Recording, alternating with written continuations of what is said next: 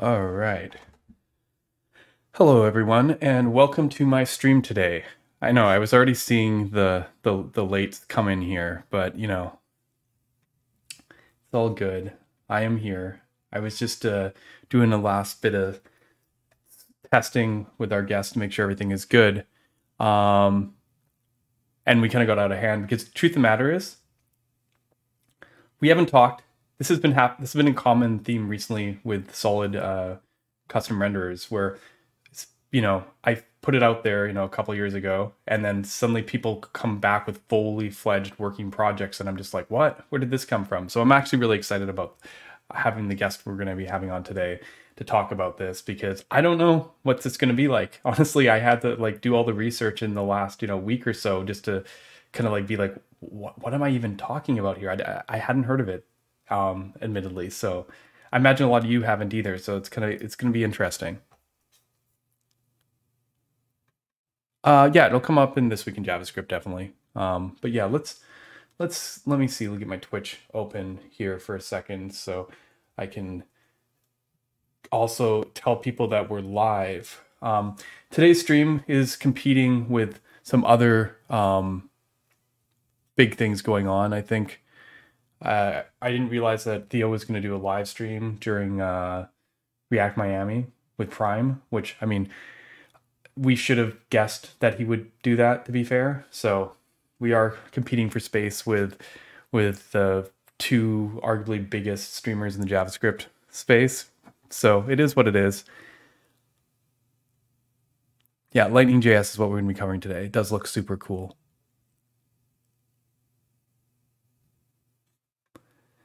Yeah, yeah. the the 0.3 switch was big.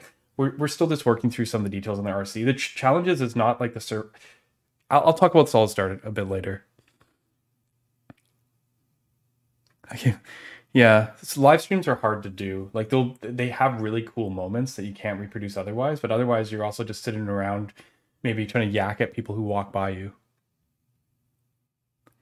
Well, we have a guest who's going to tell us what that is. But yeah, let's let's see if we can get the Twitch stream actually rolling. Let's get some you guys in there. You, I see I see you guys in YouTube. Let me see what's going on on Twitch. Yeah, so we only got like 10 people on Twitch right now.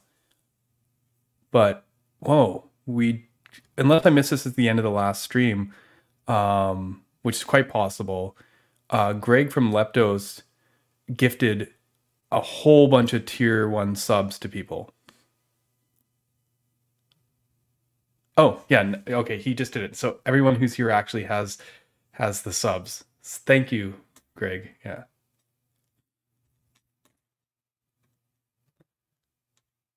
I'm here for solid conference. Yeah.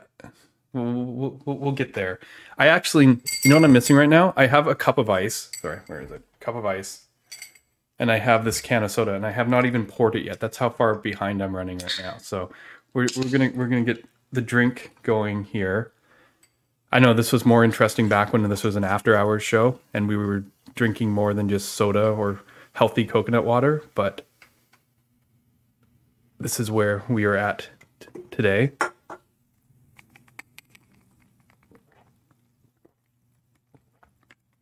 Yeah, thanks a lot, Greg. All right. All right, all right let me um, let me do a shout out on Twitter to make sure that um, people are so get them here, and then we will get started with our stream today. Um, let's see here. Do, do. Yeah, sorry. I should also. Sometimes my screen doesn't share properly. Let me share my screen for a second, just to make sure that I am in the right place. Yeah, here we go. Let's go.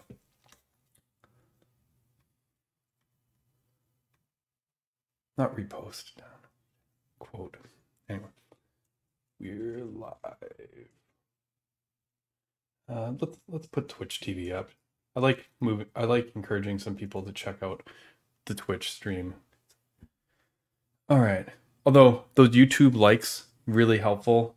Um, there's like a direct correlation with post watching. I find with YouTube likes. So like really, if you're watching on YouTube, please hit the thumbs up. It might have moved on you. I don't know if you've noticed. They're they're experimenting with um with new UI on YouTube. Some people have it. My main account doesn't, but they've actually like moved the comments and the thumbs up and everything to the right hand, so that whole like click below thing is is over. We're at the end of that age. Some people can click below, some people can't. Yeah.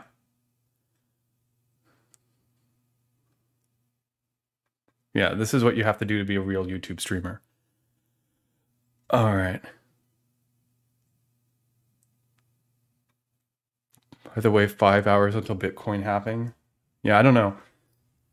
Market and stuff right now is looks like it implies increased volatility. I I probably pulled out too soon, but I just made a bunch of money on oil when it shot up. So whatever. Um, let's let's let's get to actual stream though. Uh, see, I, I like usually wasting time because I can get some people come in, but I, I think I think we have the real diehards today, the people who aren't having FOMO for React Miami. So, um, yeah, let's see here. I think I'm set up. I think I'm good. So give me two seconds here. All right. All right, here we are. All right, everybody good? Everybody ready to get started? Come on, chat. I want to see your live. There might there might be few fewer people here today so far, but do come and say hi in the chat. All right, good. Drink ready. Mic ready. Stuff ready. All right, there you all are. Okay. Awesome, awesome, awesome. Then, without any further ado, I would like to welcome Chris Lorenzo onto the show today. Hi, everyone. Thanks hey, for Chris. having me. Hey, Chris. How are you doing today? I'm, I'm doing well. I, I usually watch on the YouTube uh, and and like past recording, I watched a little bit of the Wiz one last week. And I just want to say, like, this is the highlight of my career being on your stream. Uh, really, really the best, Ryan. You are amazing, and I'm excited to be here. Uh, that again, highlight I think of that's last week too, something like that. Mm, uh, Jatin, Jatin's a great guy. I've, I've known him for, uh, I guess it's only been a year now, but he's so enthusiastic and passionate about the web, like myself. So it just, you know, he he he he was in one of those situations where he's been working on arguably some of the coolest stuff, but completely closed source.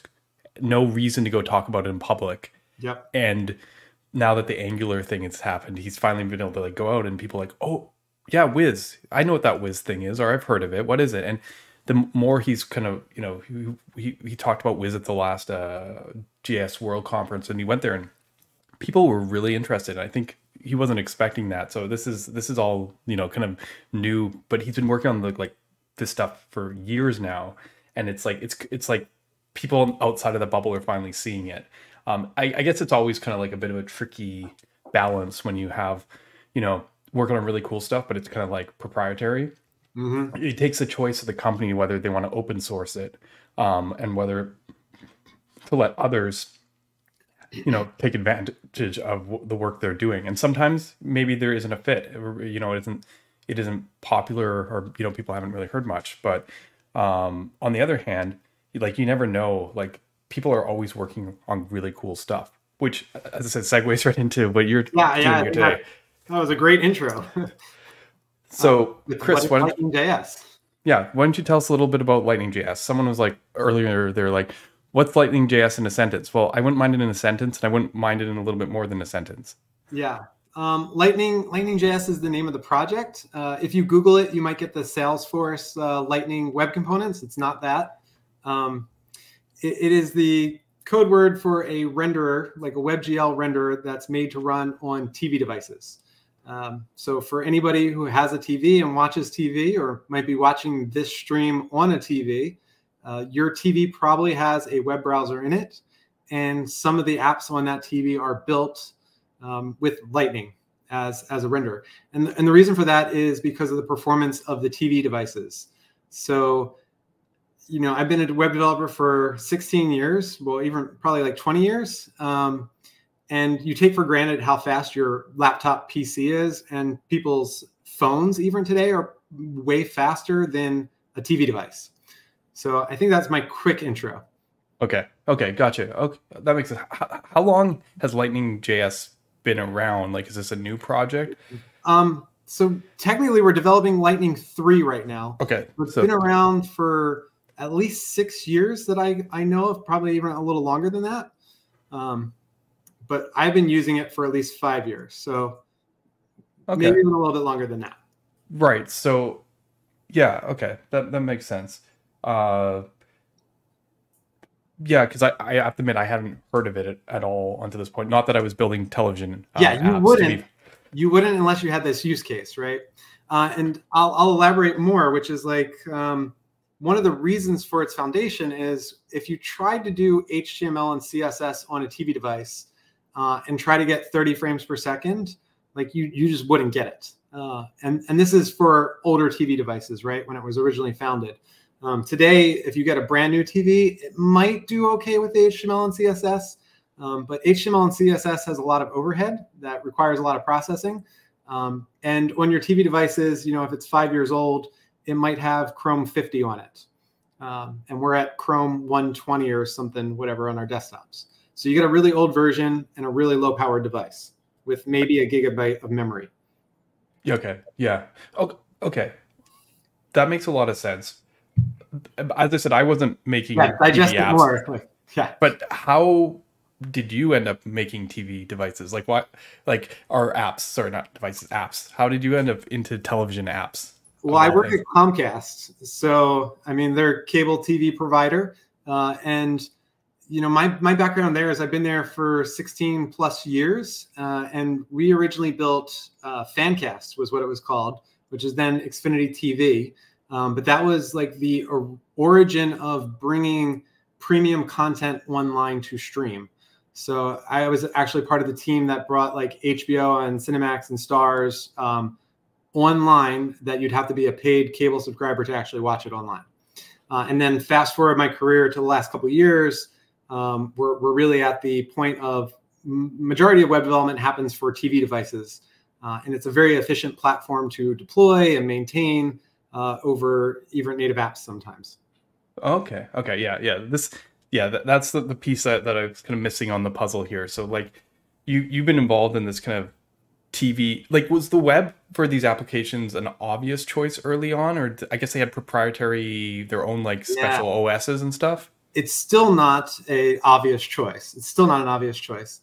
Um, and a while ago, like before before the web and stuff, there was uh, a system called XRE, which was an internal and proprietary system um, for developing for set-top boxes.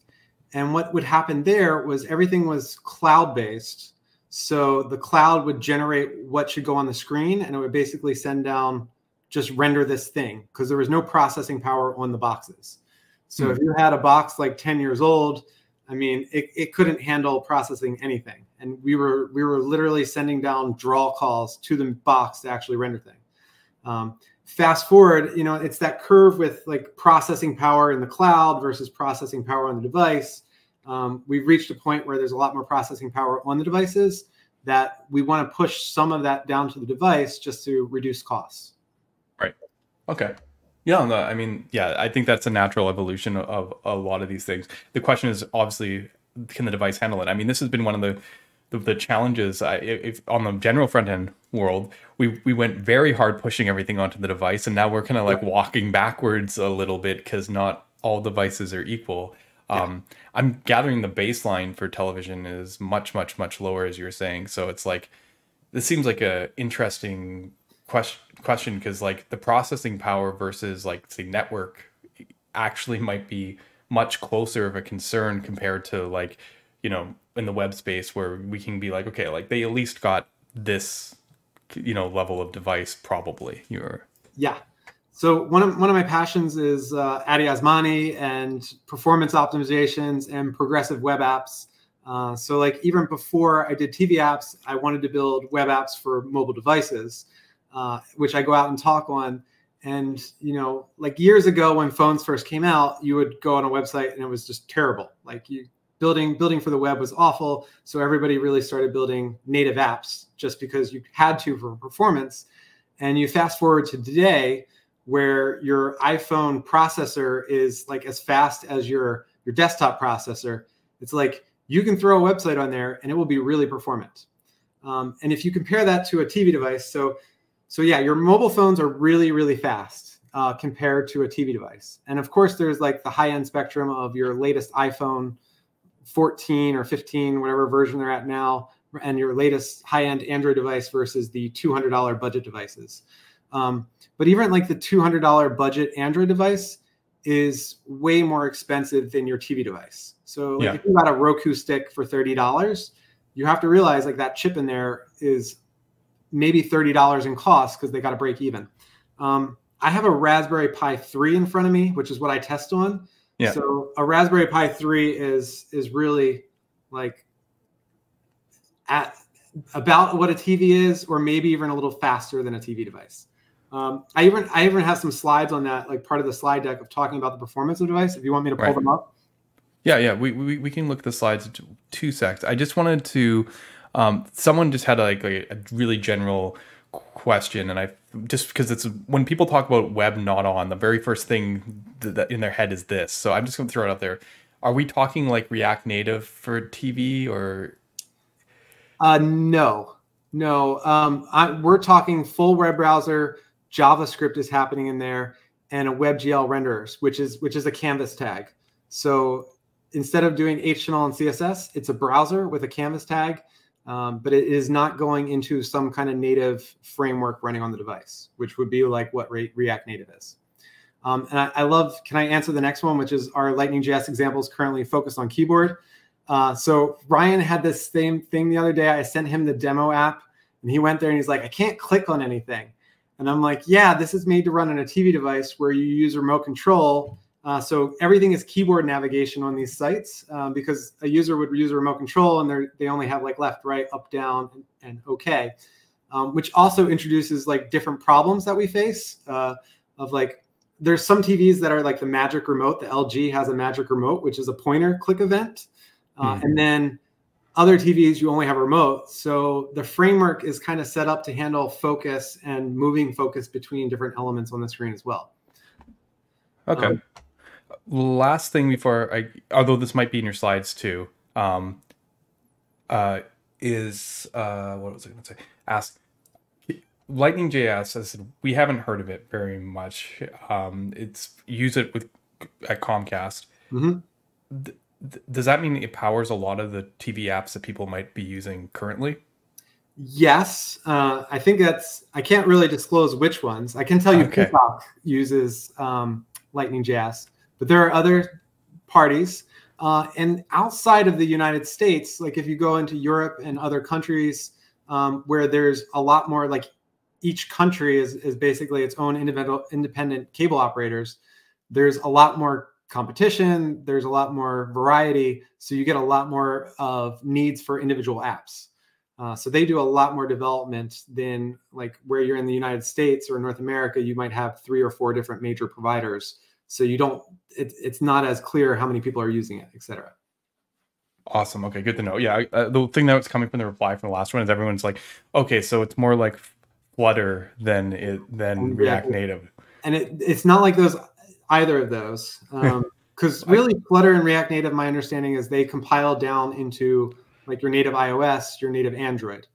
And this is not that like when you pull up the demo site and you're running in a web browser, there is a web browser on the device that is doing the exact same thing. Um, and it's sending keyboard events. It is it is literally a web browser on the machine that is my framework. Yeah.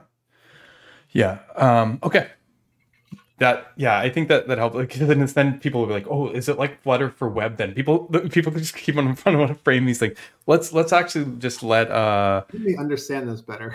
Yeah. Okay so here's the deal. Um chris has got some slides which he will try and present. Well we'll probably be pestering him with tons of questions from the chat and myself. Um, feel free to keep on asking the questions because that's the idea here. We're interactive so we, we're probably going to break up his nice slides you know. But uh yeah yeah, we'll, we'll, let, us just. I'm going to put this on the stage just so that we can actually just get started, and you can you can start get you you know taking us through this. Yeah, thanks, Ryan. And just for full like disclosure, I actually go out and do public speaking. So this is like a slide deck that I use. I have a talk, Solid.js, the universal renderer, um, and yeah, I, we won't go deep into all the slides because I have like a whole bunch of fan thing for Ryan and like how I'm a big fan and he's the best and everything. I mean, I am very interested how we ended up with solid JS because I, I, okay, I got to show the people one more thing really quick here. Well, well, I mean over here. I looked up Lightning JS, right?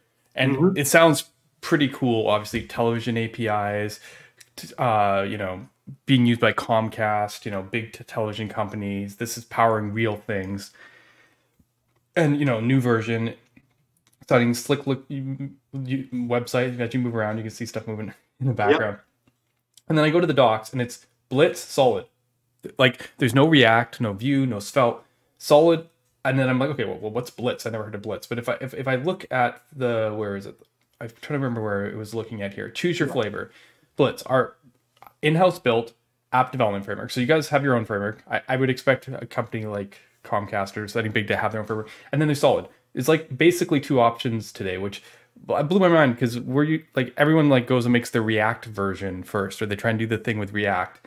Um, I'm you might answer this through the course of your your talk here, but um, I'm really curious how Solid became the first like you know integration basically here. Um, this is pretty exciting to me. Yeah, and I, I, will answer that accessibility question in the in the chat in the future too, because accessibility is very important. We do have very accessible um, interfaces, um, but it's much simpler than on the web. I'm going to answer it real quickly. Uh, okay. Everything is just strings that voices out, you know, where the user is. So it's much simpler because you just add a string to the element and then you say the context of where the user is. So that's that's the accessibility answer real quick. Um, and now I'll go through yeah, eventually I'll, I'll, answer your question too about the framework. Uh, I think that's an interesting part. Um, man, there's just so many questions now at this point that it's like, I don't know how you deal with this pounding of questions and wanting to answer everyone. It's it's all good. We we will let a few of them collect and then find opportune moments. Accessibility one, I wasn't sure if it's good beforehand, but um, yeah, let's just get rolling, and I think it'll make sense when it makes sense. Yeah, I'll go through this quickly. Like I said, I present this regularly, but it will give you the same context that we kind of already covered. This works on TV devices. There is a web browser. There's two web browsers out there: um, WPE, which is like WebKit, Safari, um, and then there's the Chromium base. So you got Chrome and Safari, even on TV devices. Like you can't can't get rid of them. And like this WPE is made for embedded devices. So it's not like your full desktop version of Safari. It's like a trimmed down, highly optimized. I think one of the issues that we face is a lot of our devices are 32 bit.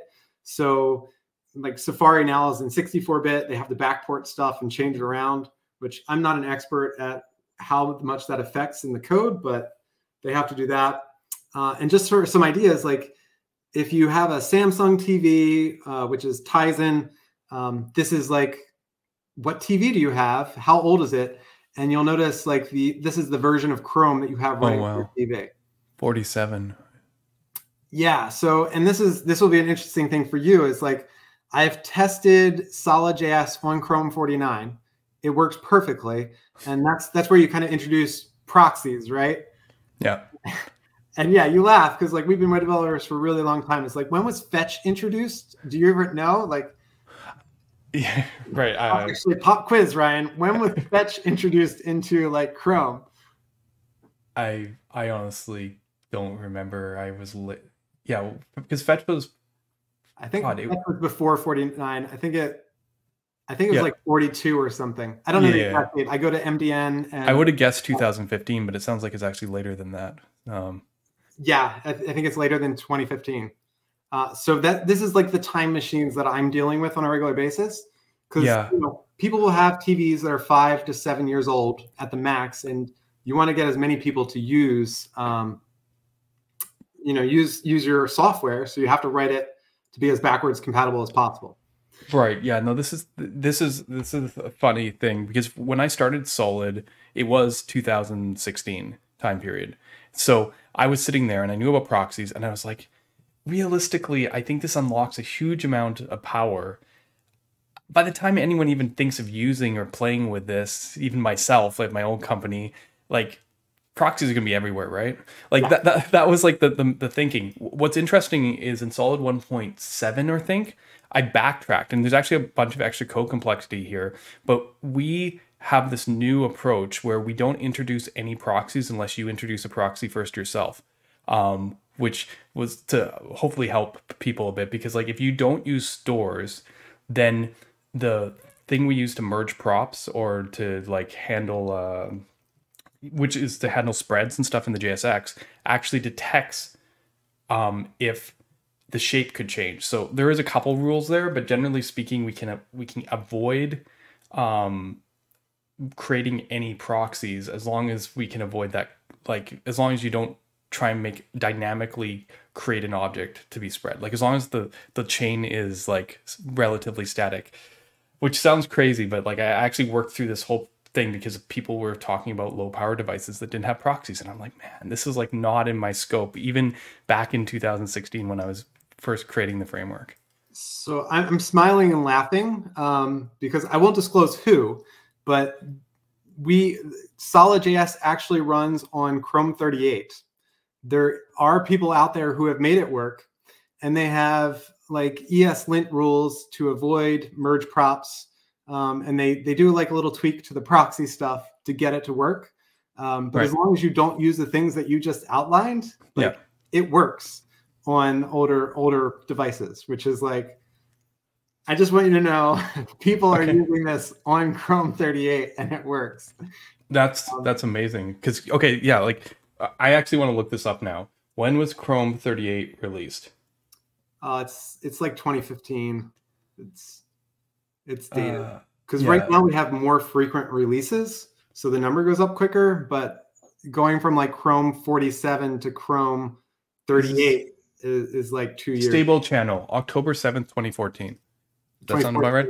Yeah, October 7th. Yeah. Yeah. And then even you also have to understand like if it was released on 2014, it made its way into TVs by like 2015. Yeah. Uh, so that's the other thing. Like 2023, M94 is the Chrome version because it takes like a year for the manufacturer to like test the browser, make sure it's working, and then kind of embed it into the device. And then it's like almost permanent at that point. Well, I guess it is permanent at the point because they don't force upgrades because it's too expensive to kind of test and, and get these upgrades going in the TVs. Right. So there we go. Apparently, we can, under certain conditions, support browsers that were out uh, years before Sol was ever released to the public. Like I released in the public in 2018, so like browsers that came out four years earlier. Well, there you go. Yeah, I like this comment. It's like the IE9 nightmare all over again. And I'm I'm just giggling because like I've been in web development for 20 years. I remember IE6, and we we got the t-shirts when we finally discontinued that IE666, and that was like I got t-shirts for the team to like celebrate when management was like, yeah, we no longer have to support IE6 and that was dropped. Um, yeah, web developers don't know how good they have it today. It's so funny because web as a platform, generally, like the backwards compatibility is the thing that haunts us more than like a ton of other platforms. But to think that there's other devices that are, yeah, that are that are yeah that are locked in even older, and so they haven't like gotten away from God. Yeah, IE was was just something else. Yeah. Um, I think I'm allowed to say that on stream here. Yeah. if everybody would agree who's a web developer. Um, all right. So I'm just going to continue through this. Or you got yeah. Any? Okay. Yeah, keep going. Yeah. So we build web browser. So exactly what you see on the screen, right? Like it's this, but without the Chrome of the window. Uh, you're just seeing this on your TV device.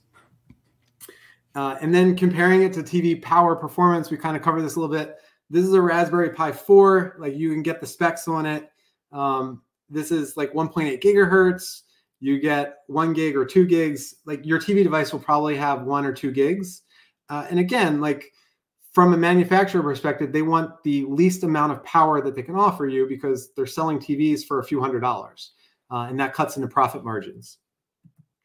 Um, and then like these these are my fun slides comparing a MacBook Pro from like 2012 to a Raspberry Pi 4 and like even 2012 which is a really long time ago that was way more powerful uh Let me yeah. know if you want me to pause on anything more. But this is the iPhone 14 versus a Raspberry Pi 4.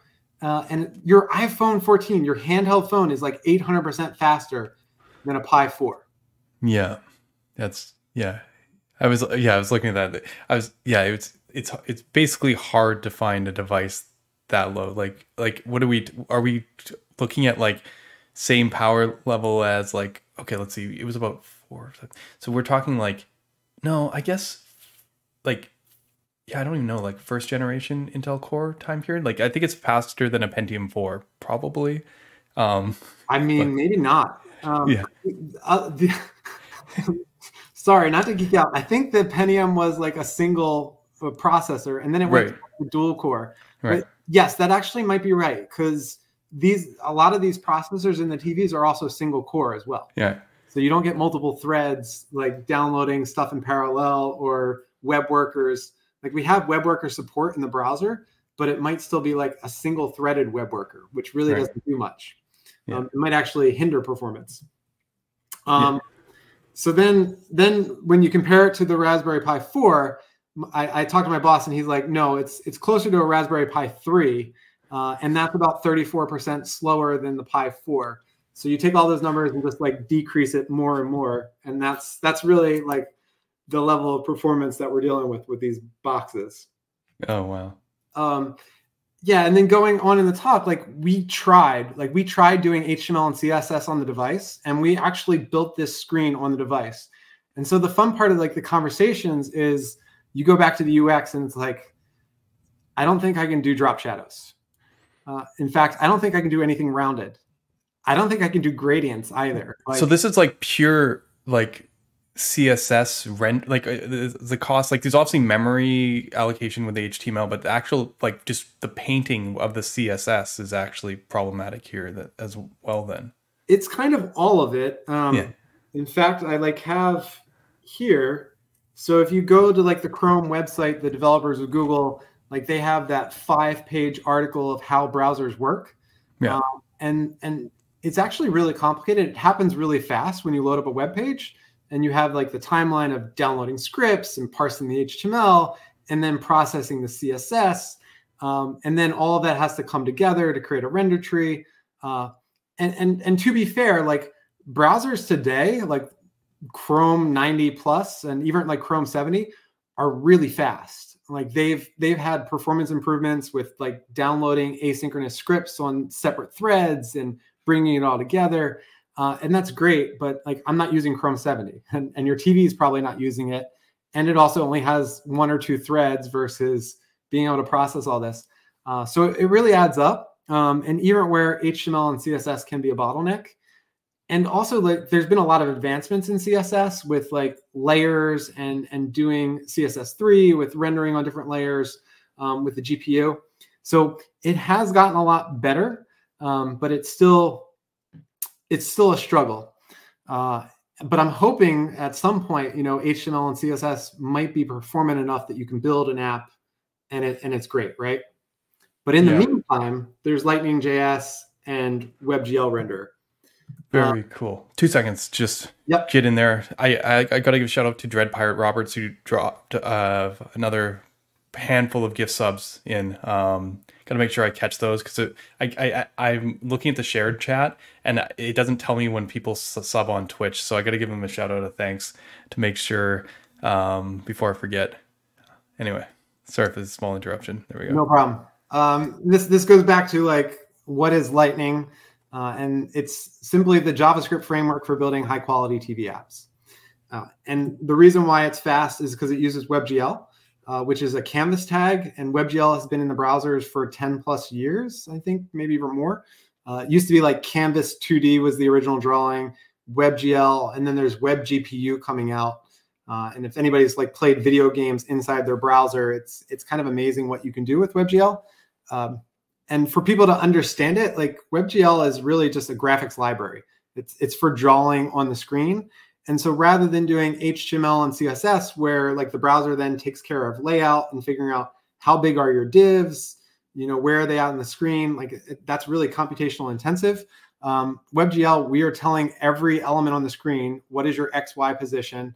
what's your width and height, and then drawing. Uh, so it really cuts out on that middleman layer. Yeah. Um, yeah, immediate mode instead of retained mode. Yeah, that is that is actually true. The DOM is retained, um, and I guess WebGL now is it's you're back to you like it's like any kind of rendering. I've never used WebGL, but I'm gathering it's similar. I've used OpenGL when I used to make games. I'm gathering generally the same kind of idea where you're just re you're re-rendering every it's it's yep. FPS is a thing. Yeah. Yeah, there's like a request animation frame, and then every frame there's this renderer code that goes through every element on the screen, checks whether it needs to be updated, and then tells it to draw on the screen.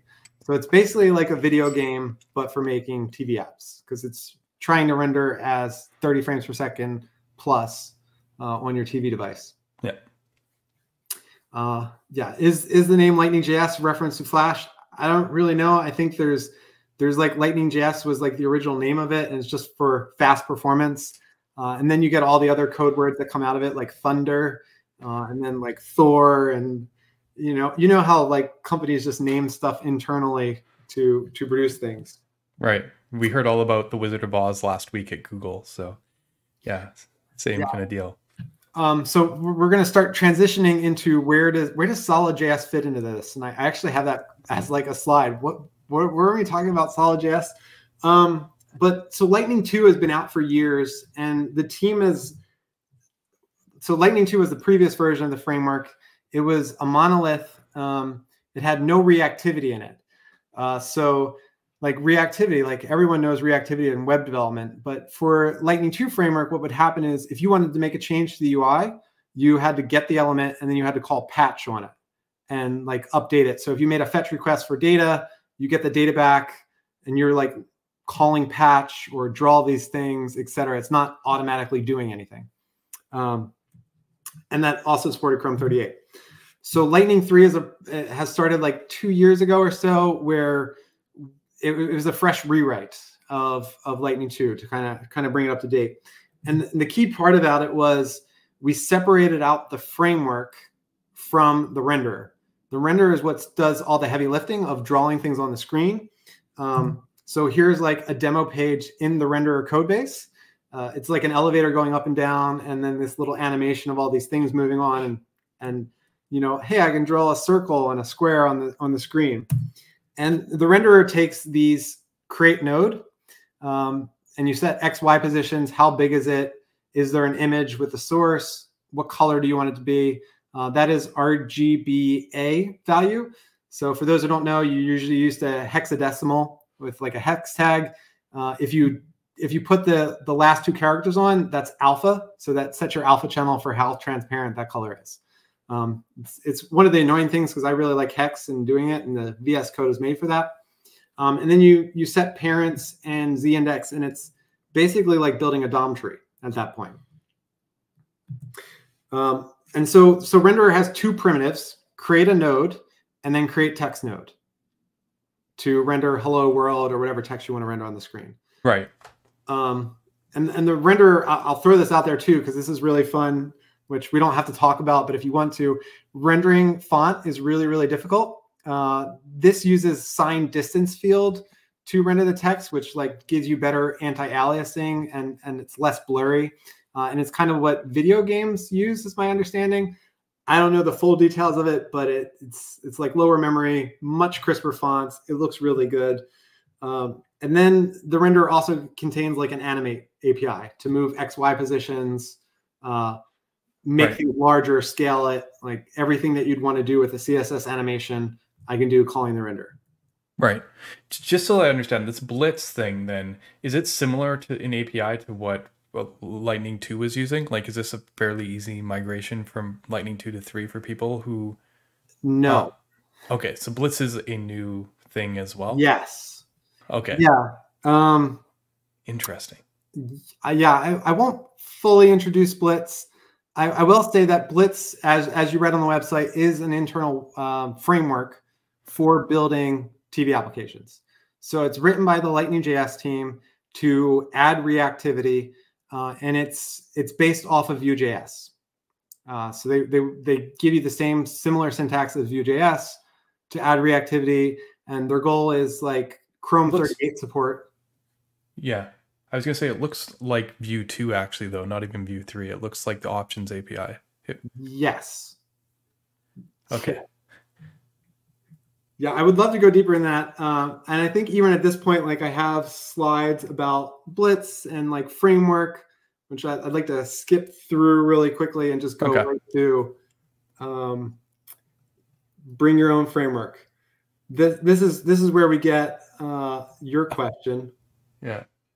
of you know and this this is what i was researching uh, and I, I will give more backstory right like we started writing blitz and building your own framework i mean ryan i could ask you building your own framework how long does that take is it hard ryan Yeah, I mean it, and I, I can only imagine when you actually have people using it. Like I, you know, like th- that's a case I hit now, but like it's a lot easier to initially build a framework when no one's actually using it as well.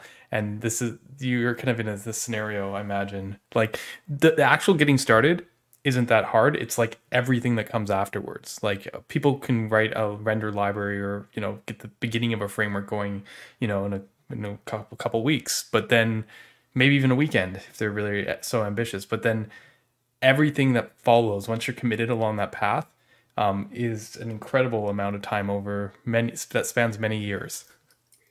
yeah i actually have there's like a quote in here um, where software development 60% of the cost is maintenance. So Yeah. the initial development is not the total cost it's the support setting up community building the website the ongoing long-term cost. Because like and i i even joke um like it's like having a baby where you know it's quick and fun to to produce the baby but once you have it like you are on the hook to support this thing for a really long time so that is my joke. I have two kids. I love them very much. Have babies. Um, but that's my sarcasm. Uh, so yeah this this goes into there there was the blitz framework that the team has been building.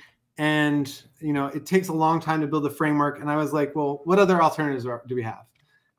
Because one of the downsides with it is like it, it's a complete rewrite from scratch. And it doesn't really use any open source tools to do anything uh, so right.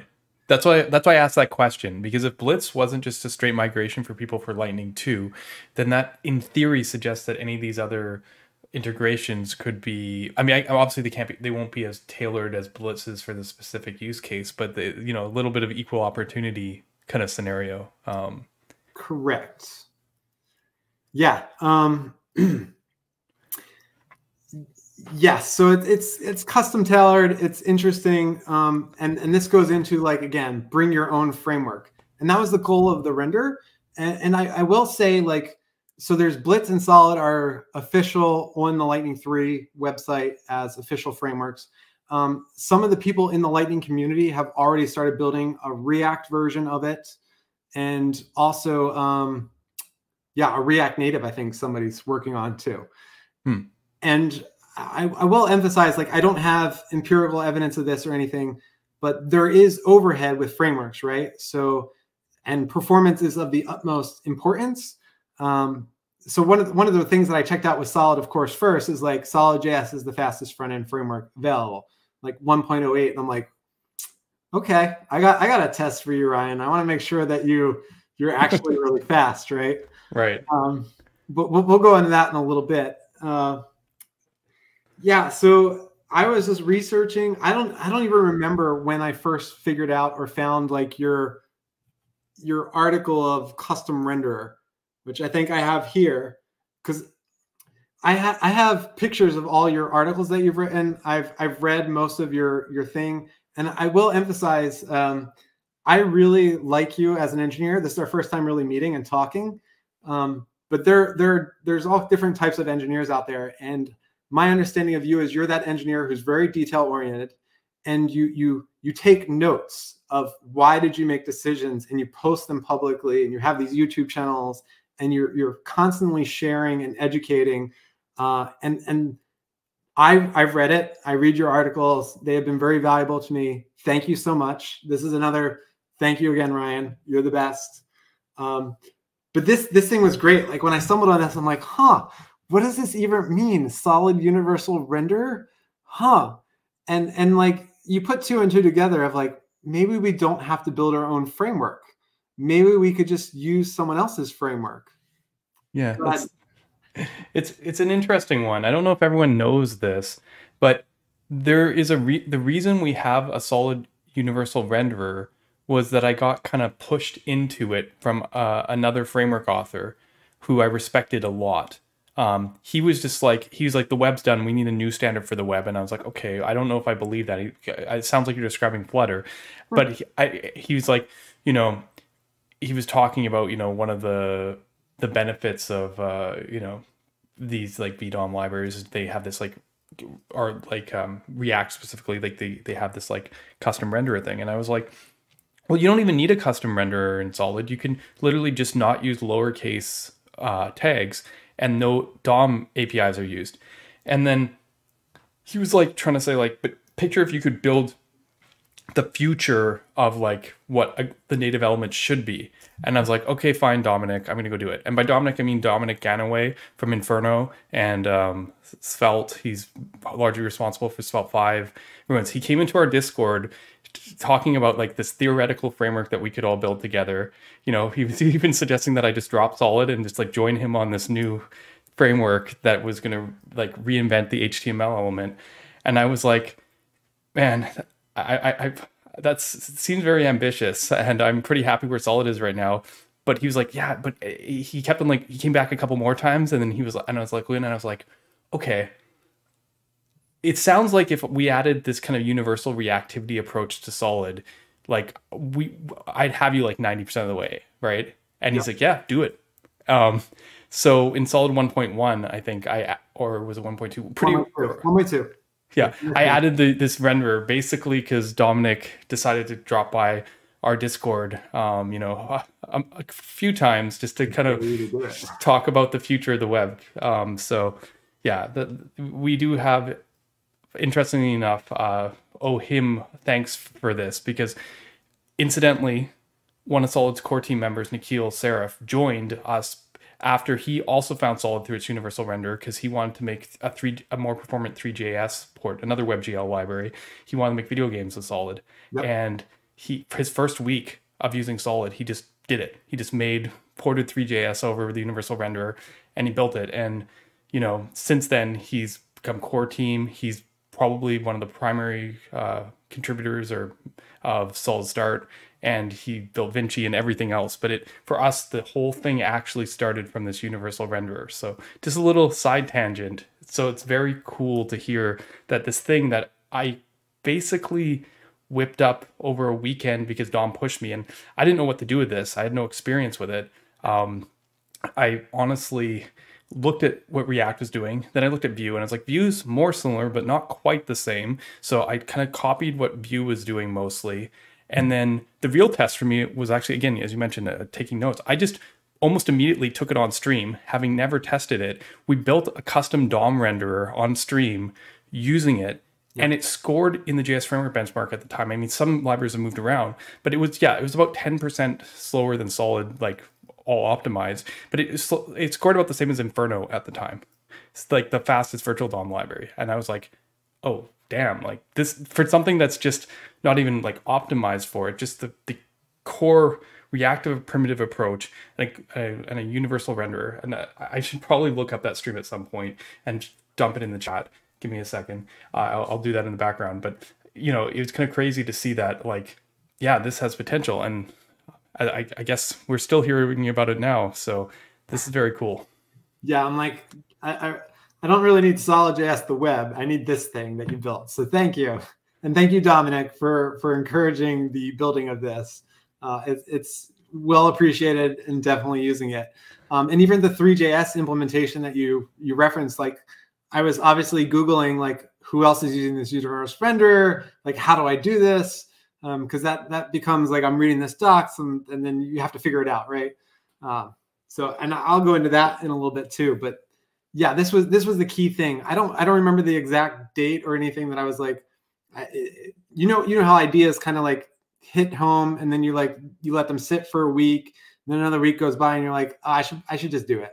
I should just try it out. Um, I think I think you even have that in. I have that here. So I just did it, just to quote you with why why did you write solid JS? You're like, you know, it, it just makes sense. you you've had it percolating in your mind long enough, and you're like, I just, I just got to do it. And you created a baby, um, which goes into you know now you have this solid JS thing that you have to maintain and run with for a long time. Yeah. Uh, yeah. So the universal renderer is awesome. You know, as I explained with Lightning JS, um, like we have these primitives, we need a framework on top, and this was just like the perfect fit of like, how does this work? Can I throw the two together? Uh, and just to go back on that question, there's there's a question about reactivity. Um, reactivity, simply like web developers take this for granted. It's it's not necessarily signals. It's just the idea that you can change a variable and somewhere in the UI automatically updates. Like that was kind of the selling point of React uh, a long time ago. Is like, look at this, the DOM just automatically updates with a change, uh, and you take it for granted, you web developers. But some people didn't have reactivity built in. Um, but yeah, we'll talk about Solid.js signals and everything too, because I think they're they're pretty powerful. Um, you know, I my experience with Solid.js is actually from learning the renderer.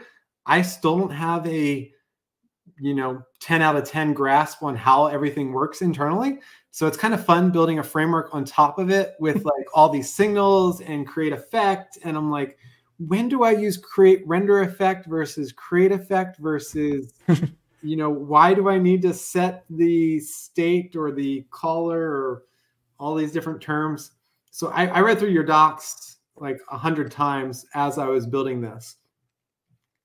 Um, but my reasoning, like I read all your articles, why solid.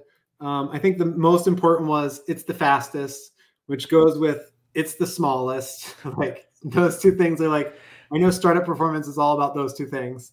Uh, and then like I'm really impressed with like it's fully featured. Um, so my goal wasn't necessarily to do React. An- another reason for why I picked Solid was like you already had this universal render API. React doesn't have that. So it, I were it should have it. Oh, it might it might have it then. Yeah, that's they, they were the first ones to do it. React Native is an example of it. Yeah, React Native. Yeah, was but they actually have something. Uh, you can make. I don't know how instructionalized it is, but you can make a custom render that they. That's why they separate React from React DOM. So, but yeah, I. Yeah, I was also concerned a little bit more about the performance of React versus Solid. So, like I've done React before. I think it's great. Uh, it's good for web development. Um, but I, I have known from history, like it's a virtual DOM. It, it, does like diffing. I didn't, I didn't know how much I wanted to dive into that. Um, and, and, then, you know, it probably is, it's probably not as fast as solid.js. At least I hope not based on your, your benchmarks and performance things, but yeah. And I, I looked at React Native as well. And I think the downside with that was like, I was just turned away from, I have to implement like 30 components or how do these all tie together? like the barriers to entry to get started and make it work was a lot higher with those other frameworks. Right. So I picked you also out of desperation. okay. not, not, making it sound like that at all. Um, but but really it was these things, right? You are the fastest. You have benchmarks. Um, it's familiar. Like it's basically like React with the JSX syntax. Like people could easily adopt this coming from React or if they're React developers. Uh, and we even had people who was like, this takes less than a day to learn if you already know React, because it's very similar patterns, very similar state, etc. Uh, and then the other cool part is like you're you're pretty established. Like you may not think so, but you have 30,000 likes. And as you were mentioning, Blitz is a new framework that is new, right? People have to learn something from scratch. Right. Um, but yeah, it's been fun for me. Like when you adopt a framework and I'm using the solid.js stuff, like I have all your guides, I have all your tutorials, and anybody who comes into building Lightning, I'm just like, first learn about solid and all the primitives that you use. Which, yeah, this this just goes into like what are signals, a little bit of that stuff. We can that's, skip over that. That's it's, it's interesting because it's like it's like a different level of scale, right? People come in and they're like, oh, I could use React. There's a billion tutorials on that. Solid, there's a lot less. But I, I mean, Solid versus someone's internal tool that they're going to build at company X or company Y. Yeah, that's again on a completely different scale. So yeah, that's interesting. Yeah. Yeah, because you you if, if you recognize the business use case of this, right? You can't go out and hire on the marketplace like I need a lightning developer. Like nobody right. on the stream has ever heard of it.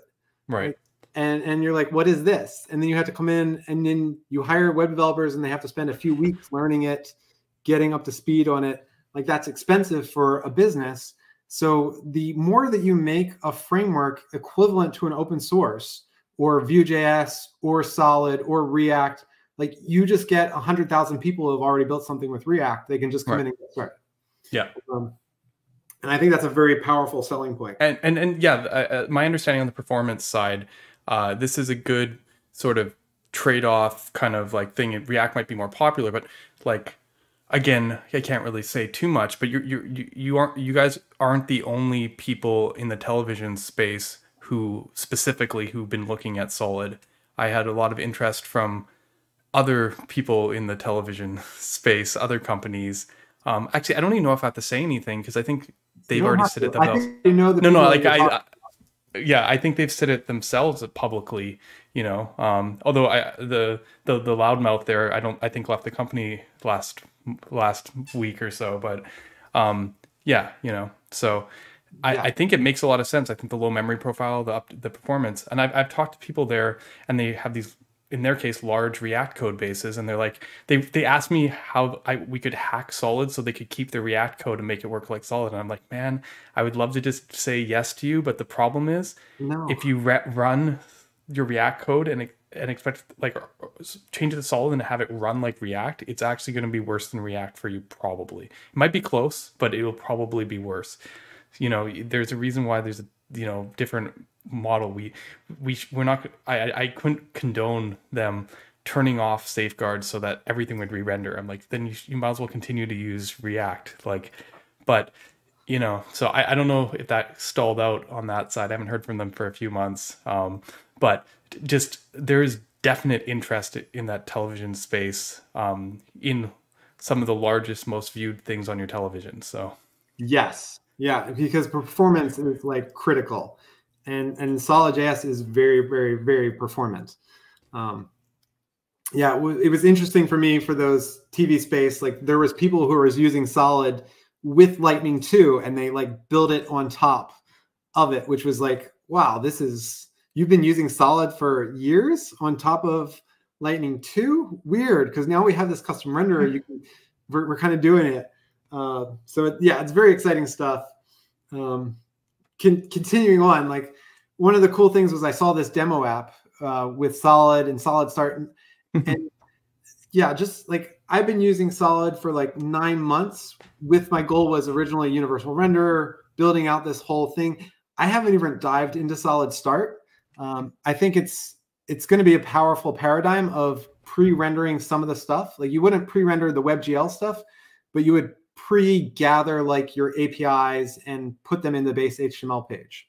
Interesting. Okay. So, for instance, if you were watching Netflix or some provider, um, that row on top is like common across most of your your people. Like you have your promotional stuff, and it's common fetch requests that you kind of want to embed in the HTML and send down.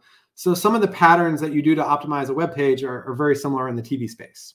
Interesting. Like okay. Caching, bundling, like everything is is is identical problems or very hmm. similar problem space. Okay. Um, so I, I really like this Solid Start TMDB app because like this, obviously this like, demo is very very nice. Um, obviously it's a TV app which you like, but it's yeah. also um, we it, technically it's experimental and we, with the latest versions of Solid Start we actually realized that we couldn't it wasn't doing it justice to be in Solid Start. So we've actually broken out this mechanism into the other libraries and we're slowly bringing it back. So this app is like the pinnacle prototype that we reached at one point but couldn't release to everyone and now it's you can't build that today with solid exactly the way that app is but we're getting there again in an even better way so uh, anyways it, it's a very cool demo but you it attracted you obviously because it's a tv interface or a mobile like it's a very uh yeah, like small device or the you know embedded device kind of and and i will say i have run this on the raspberry pi 3 and it, it starts up at the same speed or if not faster than the the, the Lightning 3 equivalent. So the HTML CSS renders really darn quickly because this is almost static when you Yeah. generate it, which is amazing.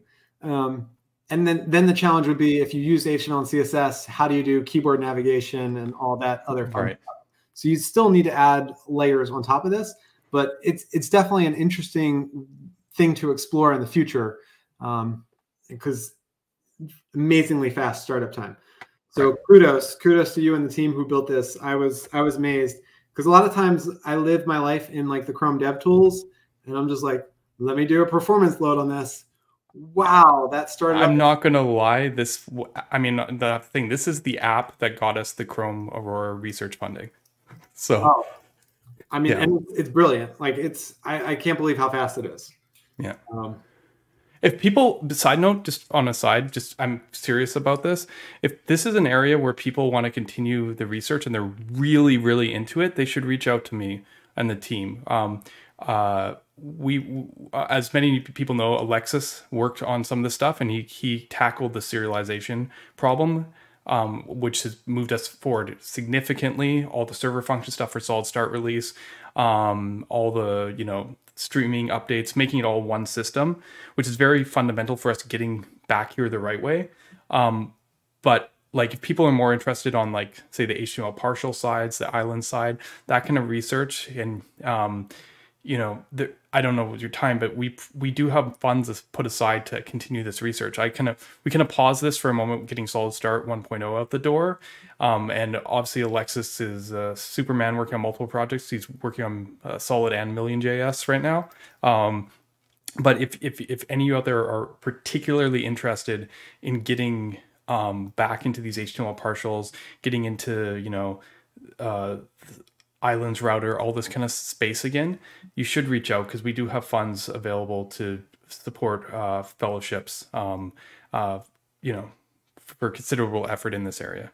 Just just on the side. That's cool. Yeah, I'll, I'll also take a moment to answer the performance wise. Do you have any comparison with like React Native and Flutter? Um, I think that's that's a great question. Uh, so internally, we've been doing research on Flutter and React Native and like doing comparison between them. Um, we we don't have like conclusive evidence or anything because we're still exploring Flutter. The the downside with using a native app, right? Like Flutter basically runs native code, um, or or it actually can run in a browser, but you have to do a lot of um, like integration with the TV devices because every TV device might have different sound and audio or video decoder. Um, and if you use the built-in browser that like Samsung offers or LG, like they've already taken care of that, and you use the standard Chrome APIs or web APIs um, to like do sound, to do all the different stuff that you do on the web, and you get that for free, all the integration with the hardware. Um, so, so there are some downsides. Uh, the other thing is like we're rendering to the GPU basically. When you're when you're using Canvas and WebGL, you're, you're pretty fast with rendering. Uh, so performance wise, getting the frames per second should be near the same. Uh, the, the benefit of a native app though is you're running native code, which should execute faster than JavaScript. Um, maybe start it faster, but JavaScript also compiles pretty fast. So there, there's pros and cons. Uh, and I think other cons with like Flutter or, or native apps is like deployment process. Uh, with the web, it's well understood. You just deploy it to a web URL, and then the browser's pulling stuff from your website. Versus if you're creating a native app, you have to deploy it to the device, um, which is not a problem with mobile phones. But you know, if your TV space, you have millions of devices, and it's not really set up to do deployments every day or whenever they want updates. Like you could have a six week to six month rollout cycle, which is very hard. Okay, I think I thor- thoroughly answered that. All right. So, yeah. What about where We're we going? go, right? What's Yeah. next? Um, yeah, so Solid.js, there's a playground. Uh, everyone loves this thing. Um, we had to build our own for Blits, but I spent like a day to adapt like the universal renderer into the playground. Uh, so now there's an option to get it working. I still have to fix it. So if you go out there and try to fix it, like I had it working in a previous version, but bundling is so hard with like building a web version with JSX tags in it. And then like Vite has dev mode versus prod. But if you try to load that with the import.meta.environment in a browser, it's like it doesn't understand that. You can't really do a default object construction on it because it's like Vite replaces it to an empty string. And it's like, oh, so getting it right is really hard because then you also have to do, do a npm release every time to actually test it. Uh, but I will work on that eventually. It's on my backlog. I had it working. I have it. I'll show you it working in a second. Um, so I think this now goes into universal render target. I read your PR here, read through the whole thing. Uh, you kind of had the same eureka of like, well, if we don't use these lowercase things, like we can just do render whatever we want. And I'm like, I like that you're summarizing it now too. Um, yeah. You can use DOM APIs, and then you even had a sample of here it is using WebGL, and I'm like, this is exactly what I'm trying to do. Thanks, Ryan. You got me like all the way there. Um, and I, I, think this goes, yeah, this is your summary of we don't have to call DOM APIs. Um, we can we can just call whatever you want. So th this goes back to like you know this wasn't your original idea, right? Uh, all these ideas grew out of other ideas, and we we've kind of talked about like React Native and you know React can even do this. Um, I, I find it interesting because uh, it's it's like a paradigm shift in your mind. Uh, I've written HTML and CSS for a long time, and you know web developers get stuck in this thing of like, oh yeah, HTML and CSS, I understand that, and and then you have to understand like these are just words that we're putting on a screen, which then some browser is interpreting to draw something else on the screen. So it's all like APIs all the way down, and it's very similar to React Native or any other thing, which is you you have differing views, but you're giving it the same view, and then there's some kind of compilation layer which converts it from Android to iOS. And like here specifically is here's the component that you use, and then some translation layer is happening to say this is what it's called on native Android, this is what it's called on iOS. And the reason why I didn't want to do like React Native is like, did I have to re-implement all 30 of these components or so for it to work? Um, it, it was it was just a lot of overhead. Um, in in the Lightning 3 integration, like there's just two components, a view and a text, which are just like a node and a text node. So those are the two primitives that you get from the solid integration for things to magically work. Uh, I think, oh yeah, here's the solid.js playground working with uh, Lightning.js when I did get it working.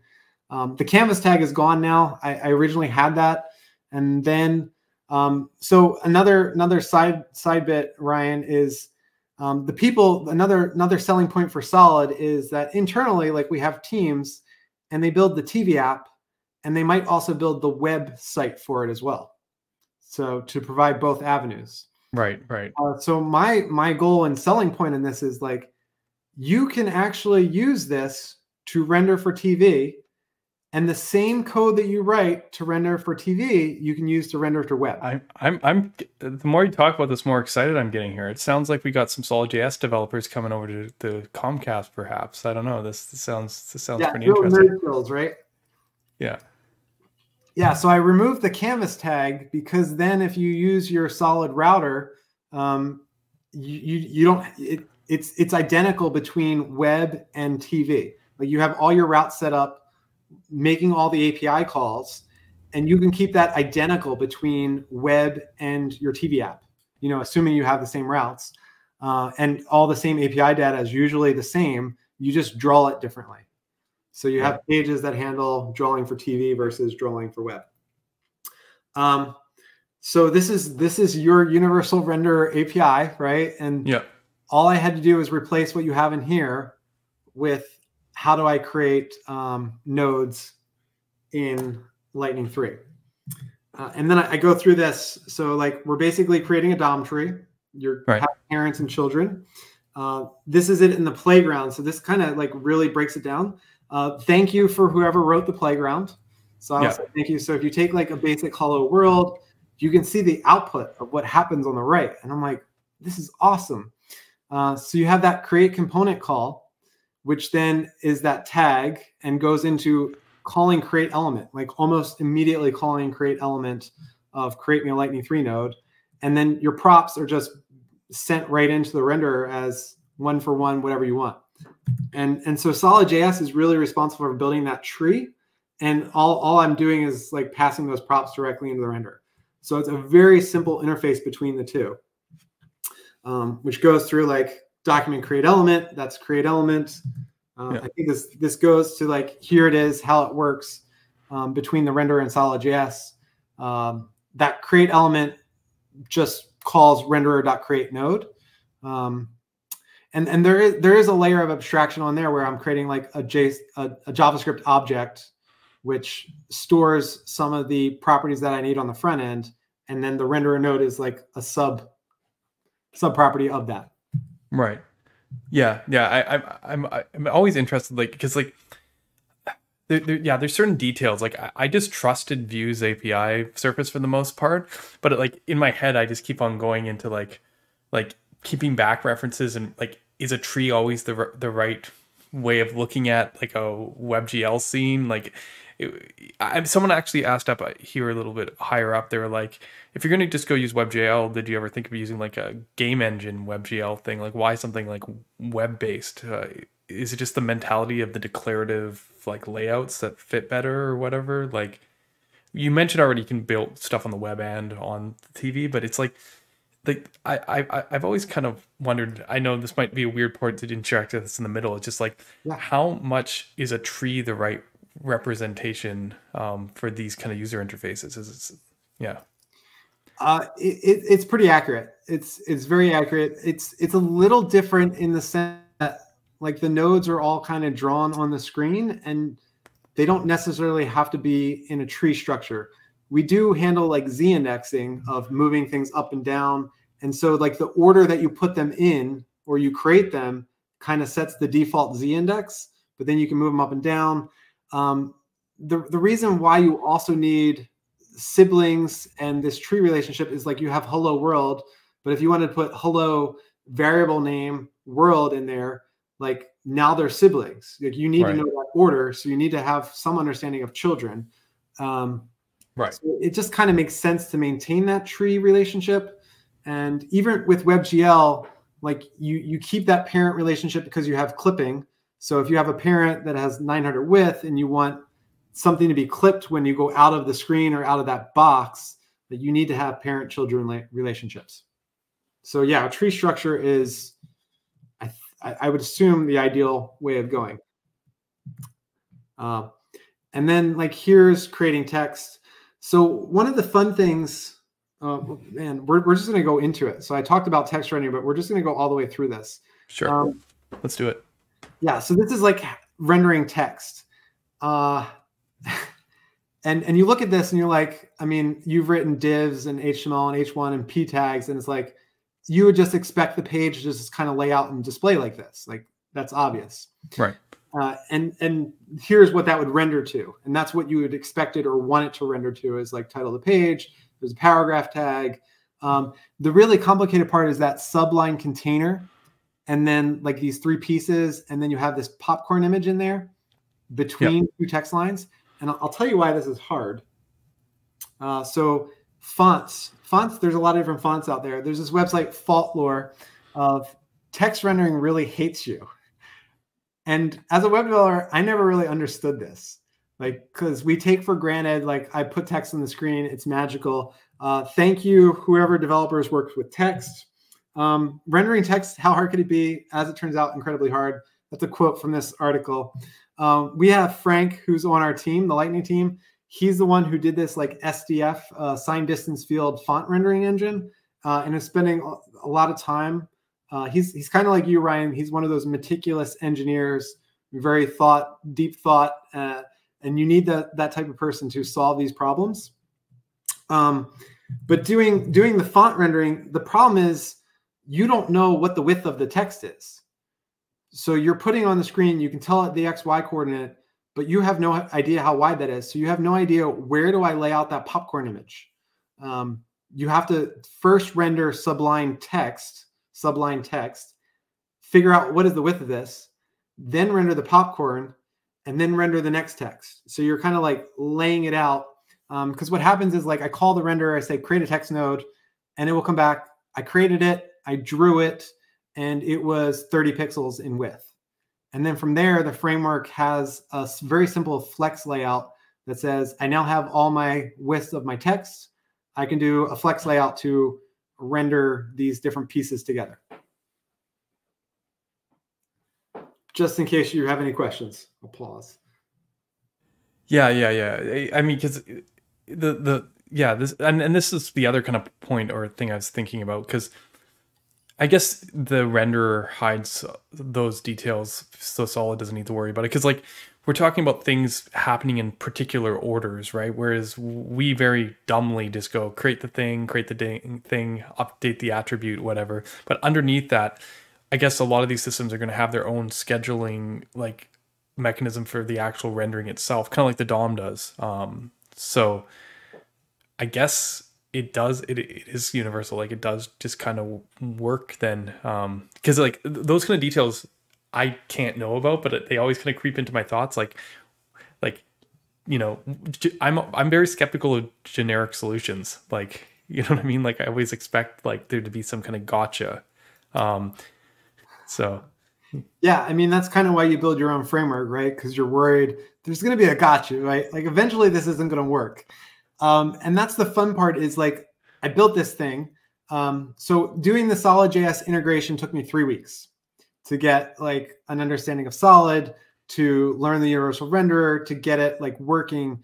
And then for the last like six months plus, I've been building actual applications with it to be like, where are the gotchas? And you know, none of them are in like necessarily the solid land there was things in the framework, um, which I'll, I'll answer like this flex question as part of it. Like flex doesn't exist in WebGL. Um, flex is something that I wrote.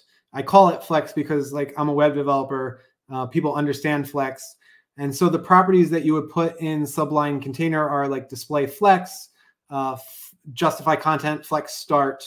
And then I have a very simple like for loop that just goes through the children and says, set the x position of this first one at zero. Its width is 30 pixels. So set the next one at 31 pixels. Uh, and then how, how wide are you? Get the next one and set the width a little bit further apart. So that's that's really all that Flex does. That's kind of what the browser does is figure out the width of the elements and then do layout. Um, so yeah, it's not it's not it's not WebGL doing it. It's there's if you actually look at the source code of the project, um, you can actually go here and like, and I apologize. This is my code that I wrote. Uh, you know, you know how engineers are kind of embarrassed by their code all the time because if anybody has a PR to make this flex better or to giggle at it, um, this this is how I do flex layout. Like it is, you have justify flex end. It's a simple for loop to go through all the children um, which I will blow this yeah, little up. bit. Yeah. Yeah, it's just a simple for loop to go through the children and say where where should your x position be. Um, and I did. Can you can you highlight the next follow up question? Because I'm like, this is great. Did you yeah, use yoga for layout? Just dropping in the link right now for yeah. people who want to go to that place in the code. And yes. Thank you for asking that question. I did research yoga for layout. Um, and and to be fair, I, I tried it. I tried implementing it for a while. Uh, the yoga, like my short understanding or comprehension or memory of it is like it was like 100 kilobytes. Uh, I think some of it was also um, like uh, WebAssembly, like it runs in a WebAssembly context, which we don't have on TV devices, uh, except for like the newest TV devices might have it. Uh, so there were some complications with it the other thing is like the performance of yoga like yoga is a super high end flex layout layout engine for like react react native etc um, and when you go back to tv devices it's like do i really have all this time to do the layout using yoga? Uh, and i'm like no I, I, really don't. I have a cheap and dirty uh, flex rendering. Like i'm calling it flex but it's 137 lines of code and it's simply like for loops going through and setting xy positions. Like very simple. Um, and even like i even have examples it's not a full implementation of flex like it's just do flex start do flex end do space it has a little bit of margins in there etc um, and everything else Oh, cool. Do you do overflow ellipsis yet? Yes, the text render actually does that. Um, you can set a contain width on there and it will actually do the dot, dot, dot. So, um, yeah. Oh, actually, you can see it at the end of the paragraph. So the paragraph goes a little bit further, but there's three dots there. Uh, so thank you again, Frank, for your hard work on the render and text layout. Um, he he. There's also two layout engines. So Canvas Canvas tag comes with a built-in text rendering, uh, and then there's this sign distance field, uh, which is like I don't even I don't I don't even want to go into the time to explain it because it's really complicated. But it's like all okay. these glyphs and things, and you you you you're doing blurs. Um, but yeah, text rendering is really hard. Where were we, Ryan? Yeah, I just I'm just thinking here because it's like things we take for granted on the web platform because we don't have to worry about this, you know, with CSS and all the text handling that happens built into the DOM APIs we use. Whereas when you're handling everything yourself, there's, you know, with WebGL or rendering, it's a lot more of these details. But I mean, you said, yeah. you got something working pretty nicely here. So that's I, I, also checked out Taffy, so I think that's the next cap. Yeah, yeah, exactly. I think the Taffy guy came from the um, yoga guy and, and rewrote it into Rust. So yeah, it was it's it's supposedly much faster, but I think it only works in WebAssembly environments. So I was like, I definitely can't use that one.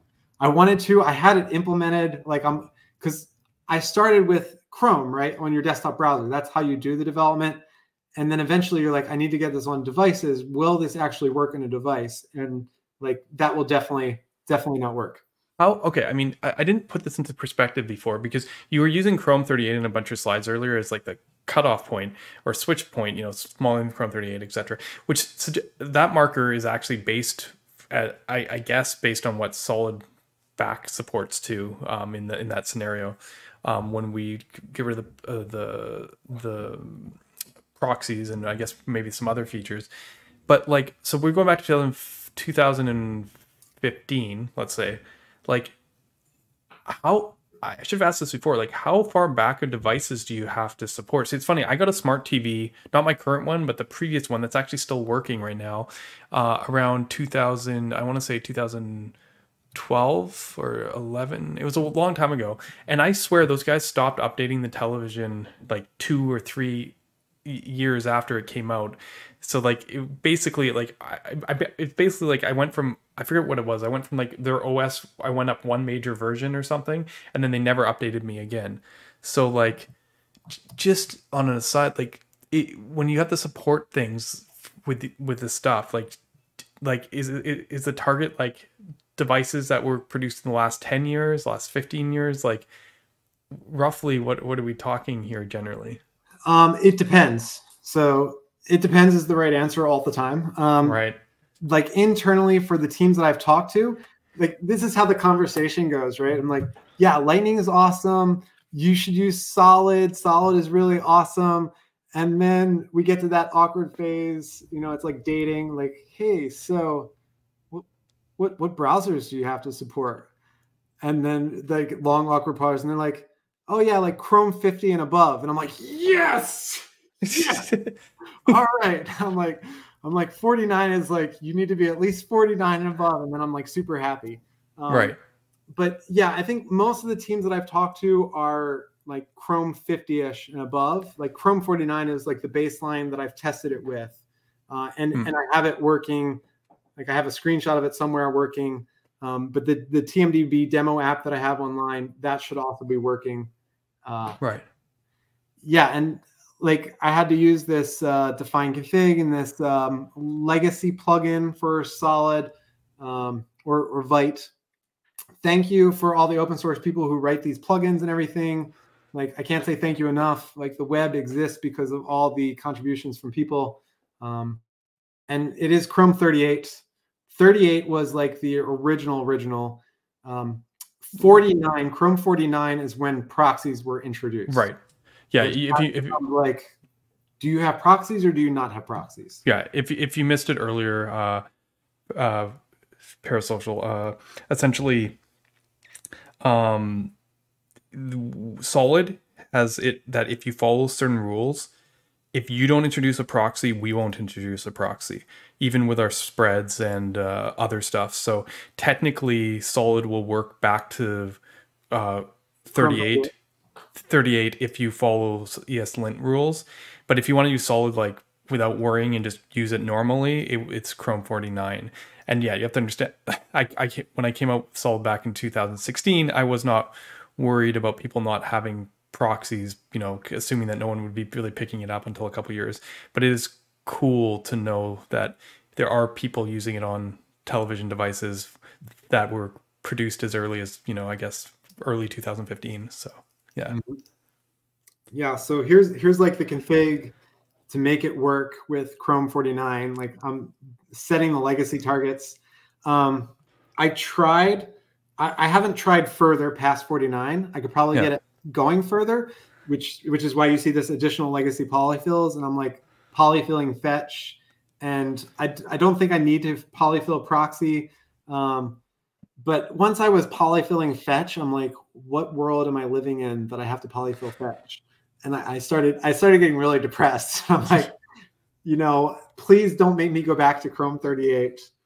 Uh, uh, that's like going back to IE6 and IE7 and IE8 and IE9. I'm like, no, no, please. Um, so yeah, to answer your question, it, it depends on teams. Uh, a lot of the ones that I've been talking to are like Chrome 49 above. I think one of the other difficulties you have is when you have Chrome 38 and older browsers, like your TV's also probably a lot slower too. So performance is is definitely going to be worse on those TVs or harder to get to a nice consistency that users want. Um, and then those TVs are probably also about eight eight years old plus by now. Yeah, so they're they're older TVs. Oh, okay. Yeah. So flex, like there's a slide on flex. Rendering layout is because of this cool flex. Um, like before in Lightning 2, rendering text and doing that little popcorn thing was the most painful thing that you can imagine because you would have to have an on load event to get the text. Then you would have to call patch to update it because there was no reactivity. So, like doing this is 20, 30 lines of code, maybe, maybe 15. Um, but doing it in Lightning 2, this was well over 100, 150 lines of code to get this to happen. Yeah, that's not somewhere you'd want to be. It's just kind of interesting kind of hearing this progression because clearly Lightning 3 renderer is way more advanced and how many custom renderers go through this process where they start in a, you know, especially I guess for user interfaces in a simpler place and then end up emulating a lot of the features that you find in the DOM, you know, like to a certain degree. Um, yeah, it's interesting. Yeah, and it's it's advanced like it handles some of the things that you would need for a tv app um, and then like this is another example of padding around just making a box around text right uh, you have this similar problem of you have no idea how wide this text is we have a general idea how tall it is because that's usually the font size or the line height um, but the width you don't know until after you get it so i even used your like decorators um, that hmm. use colon with padding. Uh, and, and essentially that waits for the element to render. It gets the ref to that node and then calculates out some stuff to add in the seven pixels, 15 pixels uh, of padding around the border box or to make that box. Um, and, and like CSS, you could just do this with one line. You're like, wait, what? Why is this a problem? Um, but yeah, this is this is pretty hard.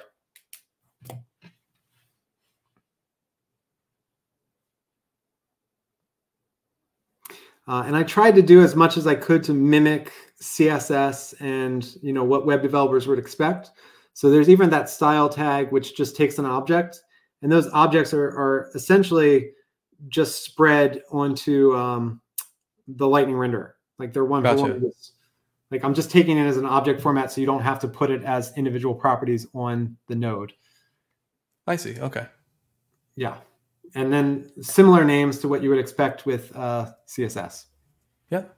Yeah. I, did, did you end up doing custom JSX types as well with this? I like these are things I haven't actually played with with the universal render, and I heard that, that they were they it can be tricky. I don't know. I did you because I'm just thinking now like the the type the typing for for those styles are obviously going to be different than our styles. Um, yeah, I, I will say. Um, so another thing, I'm not a, tech, a TypeScript expert, um, and in fact, like even doing this was learning TypeScript uh, while doing it. Um, Frank, that text renderer guy, he is the one who contributed all the TypeScript code in here. Thank you again, Frank. You're amazing. Um, and I think there's still a lot of like exploring and understanding we have to do on the TypeScript front to make it better. Um, but it, it works. And somewhere in here, like we define the two primitives. Um, and like I said, my two primitive components are view and text. Right. And the view component is just this, like a node and spread the props. Right. Like it's nothing.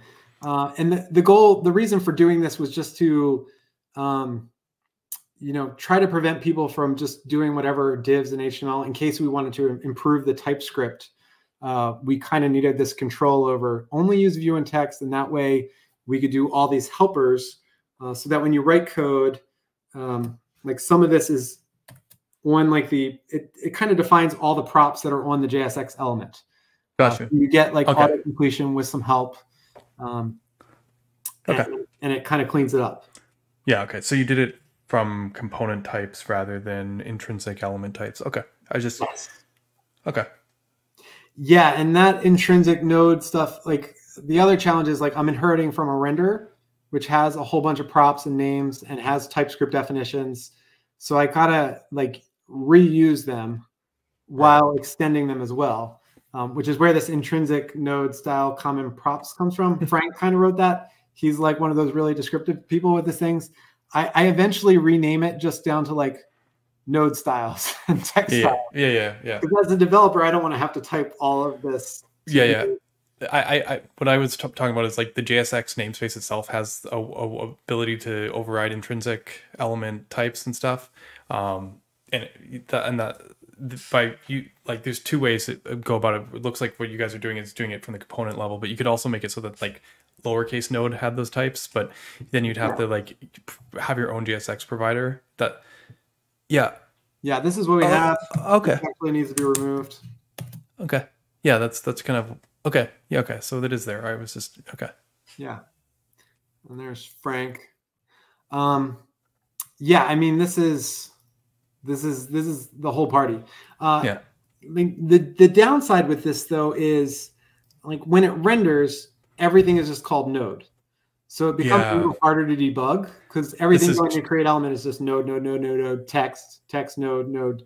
And I was like, Frank, why can't we use div and header and sidebar or whatever right. lowercase name you want? Yeah. Um, and that was like that was like some trade-offs like discussions that you have with engineers of like did i make the right decision or not i don't know um, that's for other developers to decide but you can okay. put an id tag on it so okay interesting okay um, i think that's actually another cool part that i could show off real quick uh, I, I, wonder if i have the inspector turned on no i don't i don't have it turned on here um, but like when you're developing with this. Let's see if I'm in the light project. Uh, so the open source project, I recently, or I, have had the team or help um, to recently change the format of it. So it's a little bit more difficult to understand because I haven't I haven't completed the side part of it.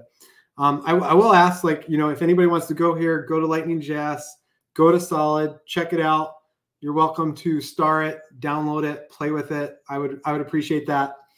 Um, but yeah, if you go to the project now, we actually set it up as a PNPM workspace, and you go into the source directory.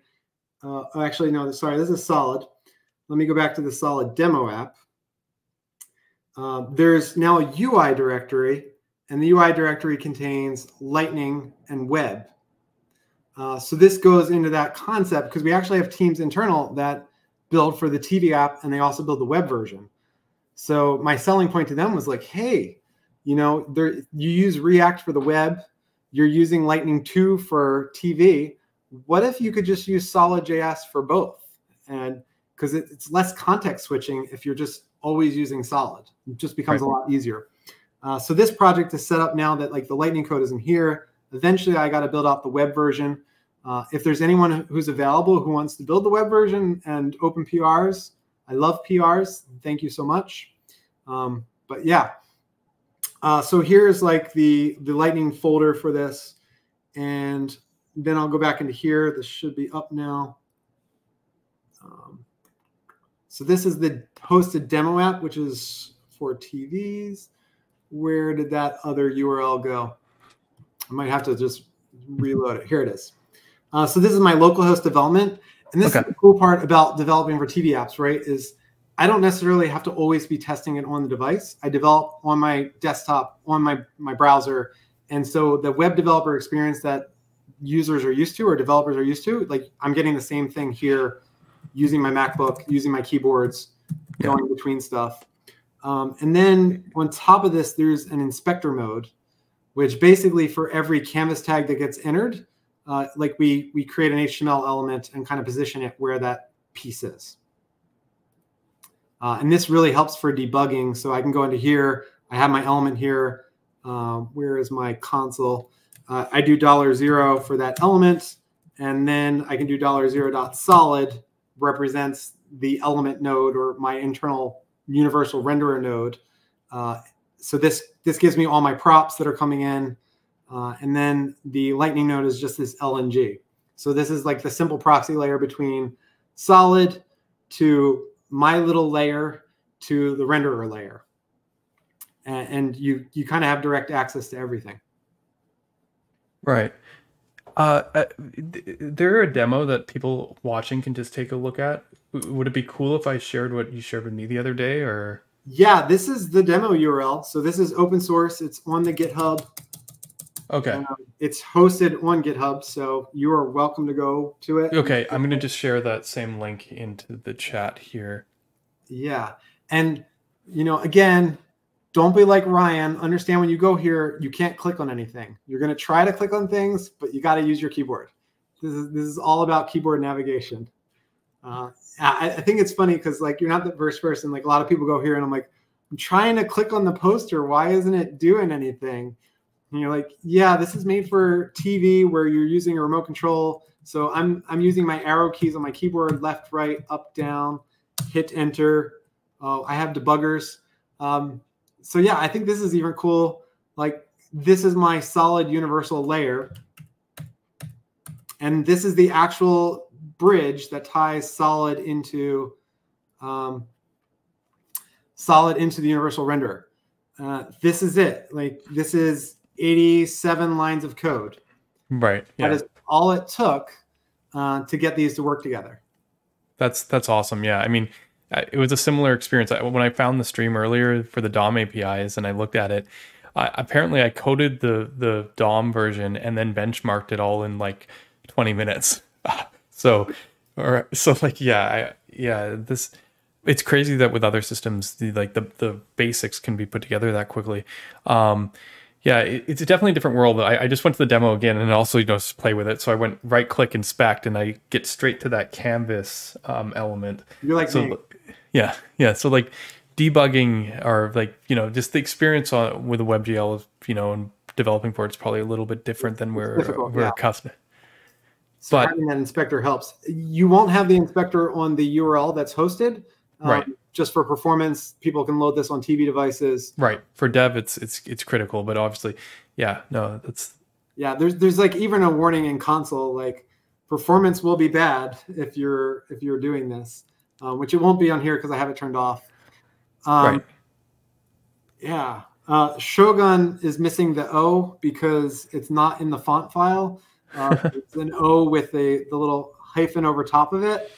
Right. So that's that's why that bug exists. I'm like, oh, you know, of course Shogun has that special character. Uh, I don't think Problem has anything else.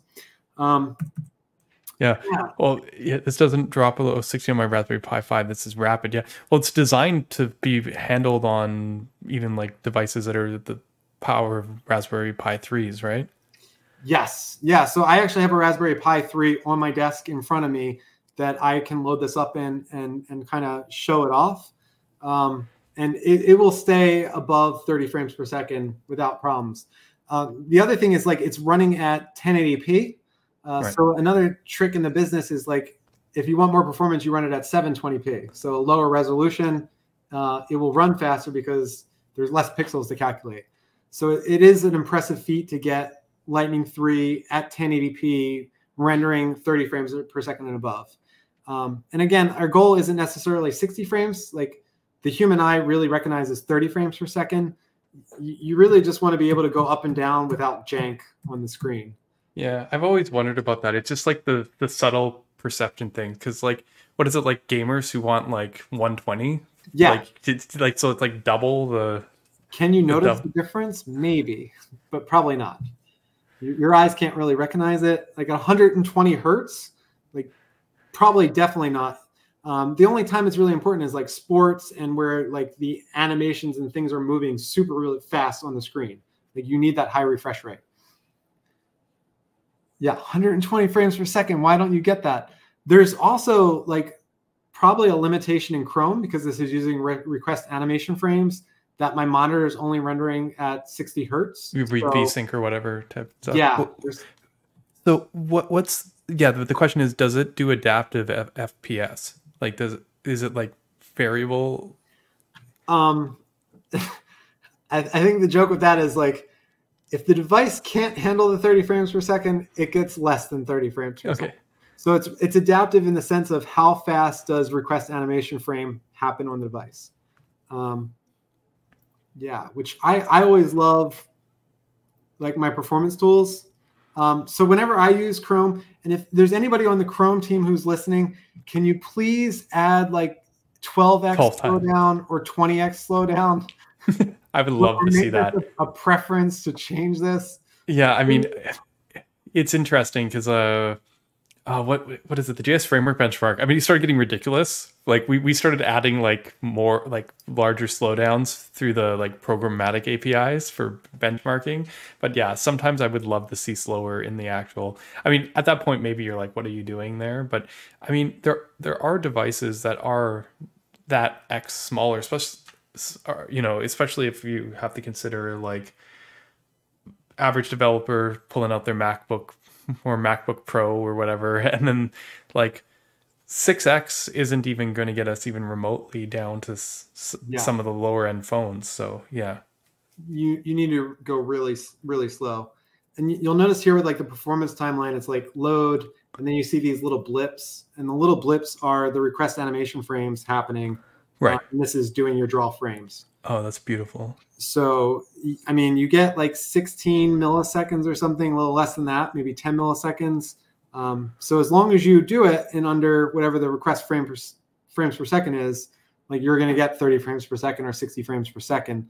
Um, and really, this is like the renderer doing its part of what are you asking me to draw, and then I do all that magic of uploading it to buffers and everything to draw it on the screen. Just to remind again, the link above is the interactive site. You just can't use a mouse or or whatnot. Click into it and then use your keyboard arrows to navigate around because it's designed for a TV device, which is controlled by remote. Yep. Yeah, I'm, I'm using left and right arrow keys, enter key. Um, then there's shortcut keys like the M key is goes back to menu. Uh, the yeah, and, and, it's a canvas, so it's being rendered with a 3D engine. So you're not going to see HTML elements. You're going to see one HTML element, which is the canvas element, and then it it, it renders uh, using your graphics card essentially. I mean, everything renders your graphics card, but like it, it renders the scene um, into that uh, directly. Yep. Yeah, there's basically a div tag and a canvas tag. Um, when the development, like when you use your local and you have uh, the enable inspector turned on, that's when we create this DOM tree to help debugging and developer experience. Right. Exactly. Yeah. This is for televisions. Um, our guest here, Chris, uh, works at Comcast building apps for televisions, and it's showing how we can use Solid in conjunction with Lightning JS to build apps um, that would run on the television. Apps, you know, like you see, you know, like, like the, yeah, yeah, things like Peacock, you know, like things, you know, of that nature, or you know, Netflix, even, you know, things of that nature. Yeah, um, and and this this also includes a video player like the Shaka player because what you get as like a TV developer is how do I build it's it's not even necessarily how do I build the TV app. It's like I need to do video playback on a TV. Like and then I'm like, we don't deal with that because video playback is a whole nother can of worms that is really hard. Um, that you you look for players and you figure out all that encoding and stuff, and that is not my area of expertise either. So yeah, how does that happen? Does does is there just an API that generic that then just handed off and it's like, okay, play the thing at this resource and then that'll be changed like whatever the device will be like, okay, this is the video stream or that you're gonna play and then it just kind of weighs its hand of it. Is that how that works? Sort like of. API? It's very device specific of how it works. Um, but do you guys wrap like a video tag for it? Yeah, so there's, there's a video tag in the browser, and you know the video tag should work. Uh, and again, like each device, then manufacturer is responsible for filling in how does the video tag work with the hardware on that TV. Right. Okay. So the video tag sits outside of the canvas then. Yes. Yeah. This, so how so does that? You have a canvas tag and you have a video tag, and that's like your whole DOM tree.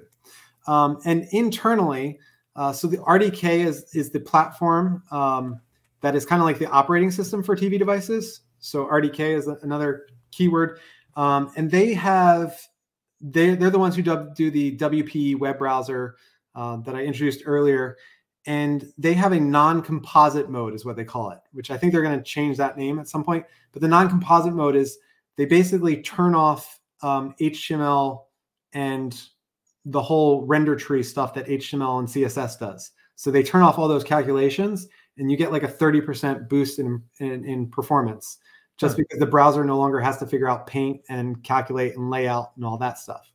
Because it would still be doing that normally in normal browsers, even though you don't have any HTML. Uh, and so they disable all the tags except for canvas and video tag. Right. Yeah, actually, this is a good point. That's interesting because you you've used these apps, you know, you the like the thumbnail videos and like like you know like you, you the ones where you like if you move on to them they start playing and all that kind of stuff you know like in youtube. You know the ones where they're like not in this example here but you know you know i'm talking about like scenarios where like you have all your kind of thumbnails but then when you move on to one it starts playing a video um yeah I'm trying to think. Actually, have I seen much of that on television devices? Maybe. Yeah, yeah, there's there's like if you leave it on the thumbnail, it'll start playing automatically, or you can like long press on the remote, which is like hold down the key for a longer period of time, and then it will start giving you another menu or something.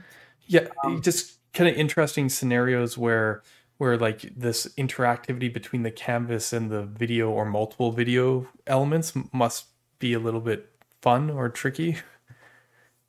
I'm, I'm going to give you a story of how tricky they are. Um, so you have the canvas tag and then you have a video tag, right? Um, but on our devices, like there's z indexing, right? Like on a web browser, you could just say video tag z index above the canvas tag or z index yeah. below. But on certain devices, the video tag is always on the lowest layer. So it's always on zero. So consider it like you're on z index zero, you're underneath the canvas tag.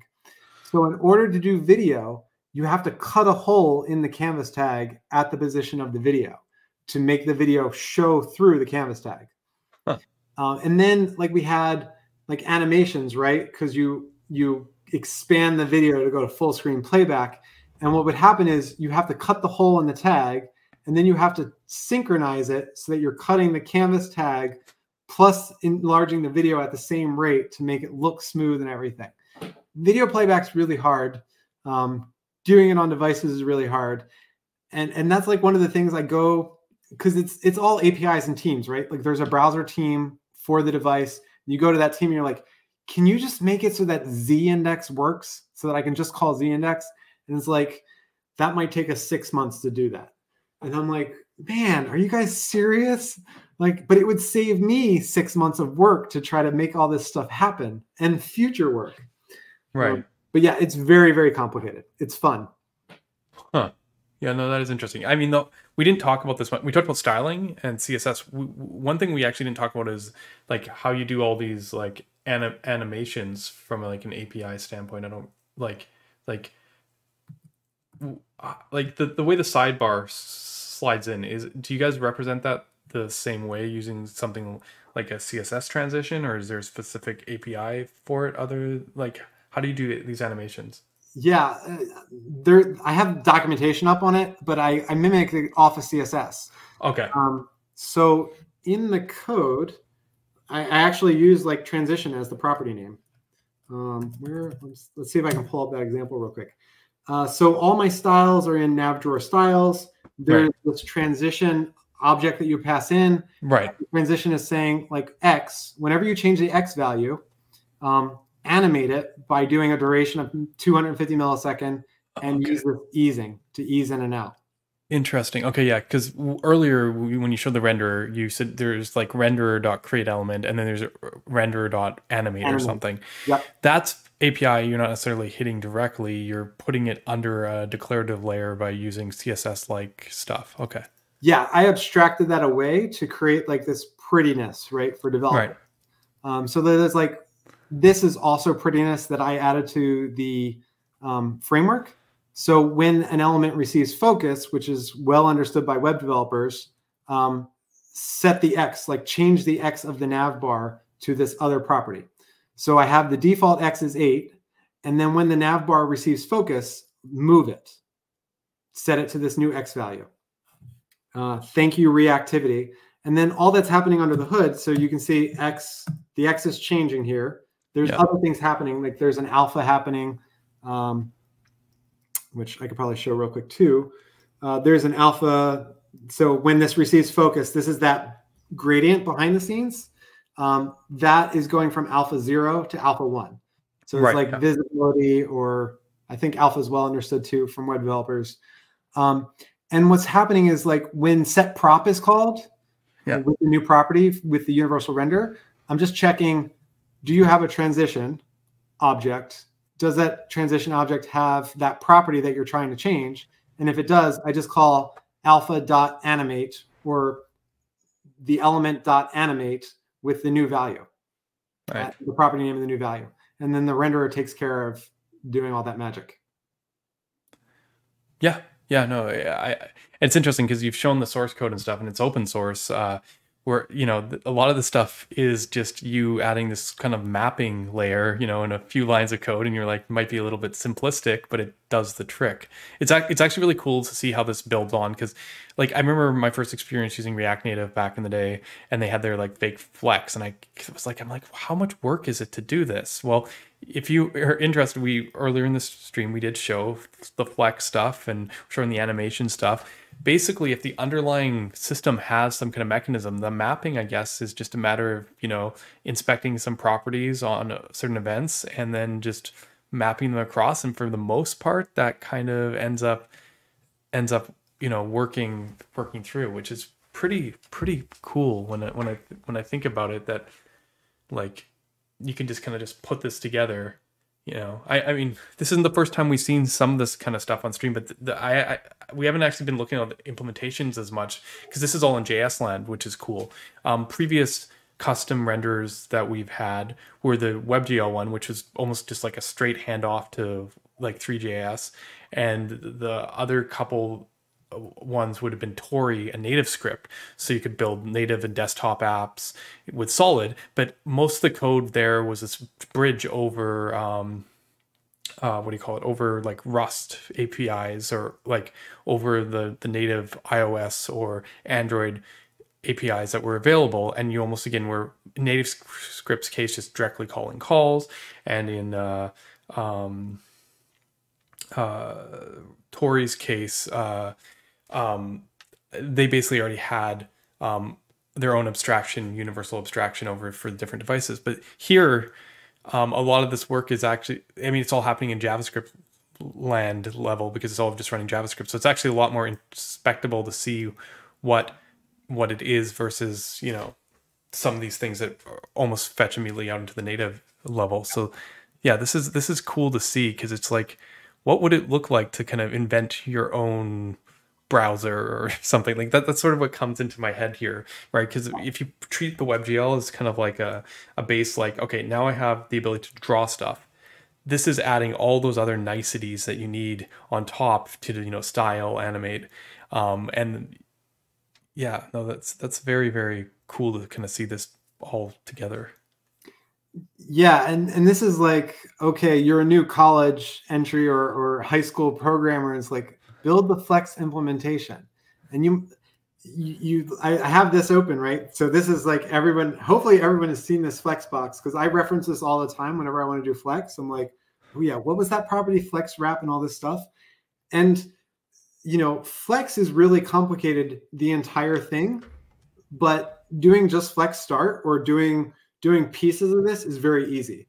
Um and and like i avoided certain things where it's like nobody really uses those properties or that's too advanced or do you really need flex shrink and flex grow? Like that isn't in there um, because I don't really have a need for it. Most of the time, you know the width of stuff. Um, but yeah, I just went through and I implemented some of these and like stretch, I don't do because I'm like, I probably don't need to stretch. The challenge with stretch and is like, you need to know um, the total width or, or the width of the container first. And if you don't know that, like you, you need to know how much you can stretch each element. So it really requires like looping through the items multiple times. Like I don't want to loop through items multiple times. I wanted to know flex start, you can loop through one time and get it. Flex end, you just start from the other side and go backwards. Like they're looped through one time, so they're very performant. Uh, and that's kind of was my my goal in implementing this was like simple API, highly performant. What do you offer to make web developers' lives better? Um, and then like the cool part is I built the simple thing, and then you get you get that third party who's like, well, you know, you need this flex item um, property so that I can remove something from the flex layout if I don't want it on there. I'm like, oh, you need that. Cool. Like I didn't think about that, but someone's like, and then I'm just like, how can I do that? And I just go in and add one if statement, and it's like, right. cool. Now, now you have flex item equals false. Uh, and eventually someone will come to me and like, hey, I need to text align center. Uh, I think the most recent change that I had was like for Flex Start, I originally had it so that the container would automatically resize based on the children. So yeah. it would calculate the width of the children and then increase the parent box to be whatever the width is. And like, you know, sometimes you don't want that. So then I had to add this flex boundary fixed, fixed or contain are the two keywords um, to do you want me to resize your box or do you not want me to resize your box? Um, so, you know, at the end of the day, it seems kind of hacky, but it comes together when you build a framework, right? You need all these pieces, uh, and you just refactor and iterate on it to make it better and better as you as you learn. I, I imagine most of these rules are places you're going to probably, if as you add other integrations, you're going to probably want to share the this out this part again. I wouldn't be surprised if some point in the future, if this declarative JS approach takes for Lightning, this Flex module would be cross framework. Um, but yeah, it's, it's it's cool to see this kind of build up from the ground up because it's it's at the beginning is when you can always see it in its simplest form. You know, um, stuff over time does tend to get refactored and time tends to get much more complicated. A perfect example is going to the Signal JS file in Solid right now. At one point that was a very simple file um, and now it is a little bit trickier um, yeah. I, I, read source code a lot. So I, I, don't think i fully understand the signals yet and all but I, I i've dived in and like i do debuggers and like what is solid doing in this? Where's the create effect? And what's this magic of how signals are passed in? Um yeah. And it's awesome. It's awesome. Yeah. In, in general, this is like an interesting space because this this is an example of an exchange I want to chat, and I'm gathering the right answers are put here. But it's a uh, WGPU didn't exist back then, but would you move to WGPU in some future version? And the response that was given in chat was the TV would have to support WGPU, which could easily be five wow. years away. Like this is a very interesting balancing of always having to support back significantly far back, and um, but also like this technology is always evolving and always changing. Uh, is this something you think about? Like, how do you approach this when you know looking at something like Lightning or like your work in general? It just made me think about that. Yeah, and there's some things in the Lightning 3 project that are are future oriented. Um, so we have this mode called ThreadX. Uh, and ThreadX is using off-screen canvas and a web worker to communicate. So rather than that request animation frame thing happening on the main thread, you could offload that to a web worker. So all your draw calls are happening in a web worker. So your main thread is freed up. Um, the challenge with it is like sending messages back and forth between the main thread and, um, and, and like the renderer. So the renderer would run on this web worker using off-screen canvas, uh, doing all the draw stuff. And I guess it's similar to like the iOS model, which is like you have the main thread. I forget what the other thread is called.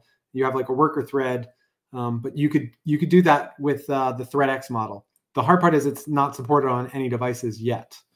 Right, right, yeah. So, yeah, it's it's it's it's interesting um, because I, I, guess it's a lot of the same characteristics of the web in general, like the kind of progressive enhancement kind of mentality has to kind of apply in here. It just it's just interesting that in this case we're talking about actual like hardware dri- driven feature kind of cycles um more more so than like you know like yeah i guess i guess i guess there's I, it feels like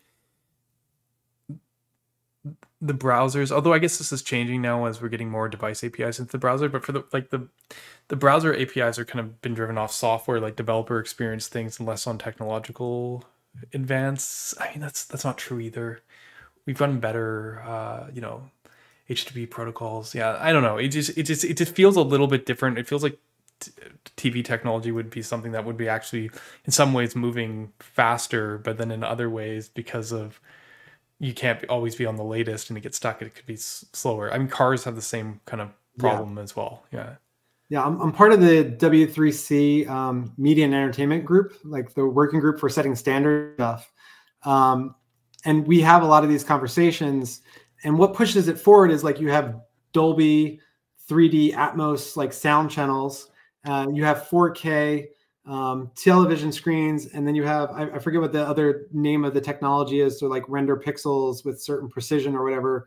Um, but then like you want Dolby on the web, right? Your your browser doesn't support Dolby Atmos, uh, so you need to create some kind of software stack or or some API to make that work.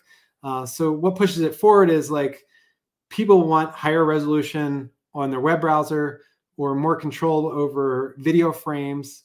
Um, and that's kind of where the MSCE uh, video decoding comes from is from Netflix and other third parties who want a video playback. Like we need more control over video playback. Build this API in the browser so that we can use it to do new stuff of like doing video playback on the internet. Yeah. Um, so yeah, it's usually like the need, the monetary driver to push things forward, and then implementing it. Yeah, no, makes a lot of sense. Just looking here. Um, was there anything else particular that you wanted to show off before we kind of just go finish up with some more Q and A? Or uh... yeah, I, I, I think I wanted to go into what you were saying, which is like this code could be reused across different things. Okay. Um, here's my active element. So this is what thing has focus. This is just create a signal, right? like I'm like, how hard can this be? Just use a signal. Um, but yeah, we touched on it. This is my node, which does the creation. Like this thing is the big complicated 600 line class object that translates all those properties to the render. You don't have to look through this. Um, but the cool part, going back to like our initial conversation of renders, is like now that I've built the solid JS version, like I was when I was exploring this, I was like, oh, Vue.js also has this create renderer and it's almost the same API. Yeah. Um, this was an influence for our custom renderer, actually. Yeah. Uh, so, like, I'm I'm exploring using Vue.js. I got a prototype working in about four hours. Yeah. Just copying over the create node and the flex and everything. It's like, it's it'd be interesting. Vue has the same reactivity or very similar reactivity to us, but I imagine that they their custom render APIs are a little bit different because they're still using a virtual DOM. So they're like they're sending through different kind of patch things. So they're still diffing stuff on their side, which is interesting. Yes. Yeah, I'm I'm very interested in building it up a little bit more and then running the performance analysis, right? Because it all comes down to performance as well. Um, but for for like the Vue.js implementation, I have this solid universal which ties into the universal API using your create and elements. Yeah. They have almost the same names. There's like a couple differences. Yeah. And and like insert node, like one of these is reversed in which order they pass it in. Right. So there's like some tidbits like there that just had to be cleaned up. But then after I got that, I did like the celebratory dance of like, yes, it's working. Uh, and now I, now I just have to move it forward a little bit more. But yeah, I'm very excited about you know tying it into other renderers because once you build this node section of how your abstraction is, you can kind of copy that pattern for other things. Um, even if the flex copies over, uh, the active element, rather than using create signal, I use the Vue.js ref. Yeah. Uh, and things just kind of work. So I'm like, this is great um, because really it, it, enables anybody to build whatever framework or use whatever framework they already are using uh, to build TV apps, which I think is is a powerful way of going. Yeah, it seems like that's the direction Lightning is probably going to go in the future. Just like once it's kind of unlocked, makes a lot of sense. Yeah, uh, I don't have anything else to show, so okay. Yeah, I would see if we've been answering Q and A the whole time, so we'll see if anyone else has a, a few more questions. Um, before we let you go and we move on to the next th- thing, which is uh, yeah, I got a couple things more today, but um, yeah, it, it's definitely for me like uh, you know this is your chance, guys. Go in the chat if you had you've been asking all along, so maybe we've depleted you a bit, but it, yeah, in general, it's it's, it's kind of cool to see a complete for me a different domain and understand like like similarities in the approach, but like also that certain problems are more prevalent or not. I remember having a, a chat with someone at a conference sitting down. Uh, I think it was at React San Francisco, um, the Reactathon, and they they were, I don't know why they were there. They were just a game developer, but they were focusing on the their job. They worked on a lot of multiplayer games, and their whole thing was about optimizing network communication uh, in terms of these multiplayer apps. And we had a great chat just talking about the problems in that space and like me kind of referencing knowledge on the on the website, you know, also being a server client kind of architecture and understanding that there are similarities, but certain things are in more hyper focus on these different platforms. And I think it's interesting because just because something isn't hyper focused in your particular use case, sometimes when people find a solution to a problem, that works um, in that hyper focused zone, the learnings from there show that something's possible that wouldn't have probably even been explored otherwise if it wasn't so important in this other zone. And you could kind of sometimes bring it back with you and then go like, okay, even though we would never really think of doing it this way, if we did, this can fundamentally change the way we look at the problem. And in that case, this kind of unlocks a different thing. Even like it, I find there's always two sides and I know I'm talking very vague of of, of this kind of problem solving space. You know, uh, it's kind of like the uh, I, I have an example for you. So it was kind of like the the the electric car thing. I, I wrote an article comparing Solid and Tesla a while ago, but it was like sometimes like something like a technology that was built for performance or built for um like uh what like saving energy like they're they're like opposite sides of the same spectrum. If you make something more efficient, it can both be like something cheaper to run so that you like save money or it can be sometimes dialed up to be something even more performant that kind of dual siding and looking at different zones where things are hyper can sometimes like the the opposite end of the that spectrum can then apply to you where it's not as hyper important to you and it can it can change things i know super vague i'm sorry but maybe you have a more concrete example it's just something that i was kind of thinking in my in my head when we were talking through a lot of this. Yeah, I I, I mean I have a, tangential example which is like Redux. Like a lot of developers come in and like Redux, I'm going to use Redux for this, um, and like I'm like no, no, uh, and it, it's not because I have anything against Redux. Like Redux is great, React is great. All these frameworks are great in the sense they introduce new ideas and concepts. Um, the challenge is like it was made to solve a specific thing, the pattern is really great. Like the flux pattern of moving your state up is great. Um, but when you get into using Redux on a TV device, like my understanding and what I've experienced is like Redux is a general store that you're saying, here's 100 functions that I want you to call every time state changes. Yeah. Uh, and so if you do that on a Raspberry Pi 3, it's like you're going through 100 functions and every function's like, hey, do you need me? Nope. Do you need me? Nope. Do you need me? Nope. And it's like you've now just spent like six milliseconds going through that to be like, nope. Oh, this one person needs you. Um, and so it really sounds like you guys don't want to be using React where you're at. Sorry. It, React is actually the, the same kind of thing. So. Yes. Yeah. And, and that's my concern too. If like, you know, the virtual DOM, you can test it, but you got to see how performant is it. Right. Um, and this is why I really love the signals is because it's that subscriber model um, that just happens automatically, and it's it's like pinpoint accuracy. It's like surgical. Of you change this, I know everyone that is listening to it, and I'm just going to tell them, uh, you know what, updated. And so I, I immediately go, don't use Redux because signals kind of do the same thing. You don't need a global state store. You can build a whole bunch of little state with signals. Yeah, yeah, it's it's it's, it's interesting uh, because on the other side, I mean, because these are all layers responsible for different things, and they have different efficiencies and what they're built for. Obviously, as you mentioned, we went to WebGL here because it's more performant for rendering than using the DOM. But what's interesting, like from a like implementation, still matters, right? Because like uh, like on the other hand, because there's a we make the world the whole time the one thing changes right? Talking about react. But in a sense webgl uh, also does a little bit of that. So it's it's doing Everything that on the redrawn. Yep. But somehow in that case it is more performant than using the dom because the of other reasons. So it's like there's there's an interesting thing. I, I someone was telling me I forget if it was the same conversation. I was talking to game, I talked to game programmers from time to time to make sure that I understand because they're a hyper performance um, area, and I've always had interest in, game development.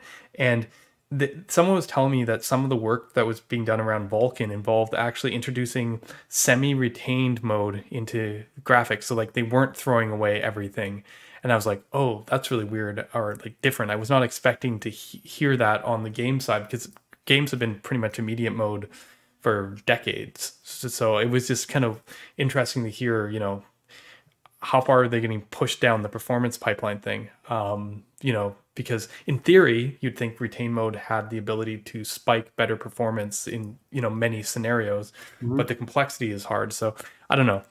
There there is always an actual implementation versus theoretical difference between these different architectures, but yeah. So the I am interested. It is interesting to me because when I developed Solid, I was like looking at the DOM and I was like, hmm. Immediate mode on top of the DOM makes no sense because the DOM's there. So if we if the DOM's retain mode, we get the best performance by actually being retain mode ourselves. So we because we, we're just accenting what's already there and doing the least possible work on top of it. It's interesting to apply that thinking to a system that's actually immediate mode underneath, where that does throw away everything. But I guess it, it just happens at different layers with different things. It's just one of those kind of yeah. funny things, you know. I will add on. We have this um, render to texture, uh, which essentially, like every node that you see on the screen is an individual node. Render to texture will actually group them so that rather than rendering 100 different items, you can put the pieces that don't re-render every frame and say like contain all 50 of those. And then the okay. process only has to do like 50 items and it just draws one for that grouping of stuff. Right. Uh, that's like a huge performance optimization uh, of you, you right, right. try to render and, and touch right. the least number of things as possible. Right, that makes sense. And what you're describing kind of is like block DOM, um, which is the latest technology. And this is why I like these comparisons, right? Yeah. If you look at block DOM like Million.js, it's a similar idea of, of using grouping and then reusing nodes by separating the static from the dynamic parts and then going like, oh, I don't actually have to recreate this node. It's still a virtual DOM, but it, it's it's grouping virtual DOM nodes and then reusing them. Yes. Eh, yeah, we uh, we actually have a similar problem, or, or something that we could probably talk about at some point, which is like the show. Um, so I'm using all the JSX syntax, which yeah, we didn't even get to the end of the slides, but like that JSX syntax, like everything you have in there just works magically with the lightning, right. lightning thing. So all the templating, everything that you do with your syntax just works, uh, which is amazing. Um, and like the, the, the challenge though is the show is like an if statement of right. Have the node, don't have the node. You want off screen. Yeah, there's there's like I want a lazy create. So like right. the show of create it at this point, but then after that, once it's created, like there's don't, there's a yeah. Don't don't get rid of it. Just alpha zero it or hide it away or yeah, I mean, we can even keep it away off. Screen. You just, to be fair, you could write your own show component, like yeah, I could pretty easily to do that if that was the behavior you want. It's hard for me to say that's the generic yeah, I don't behavior.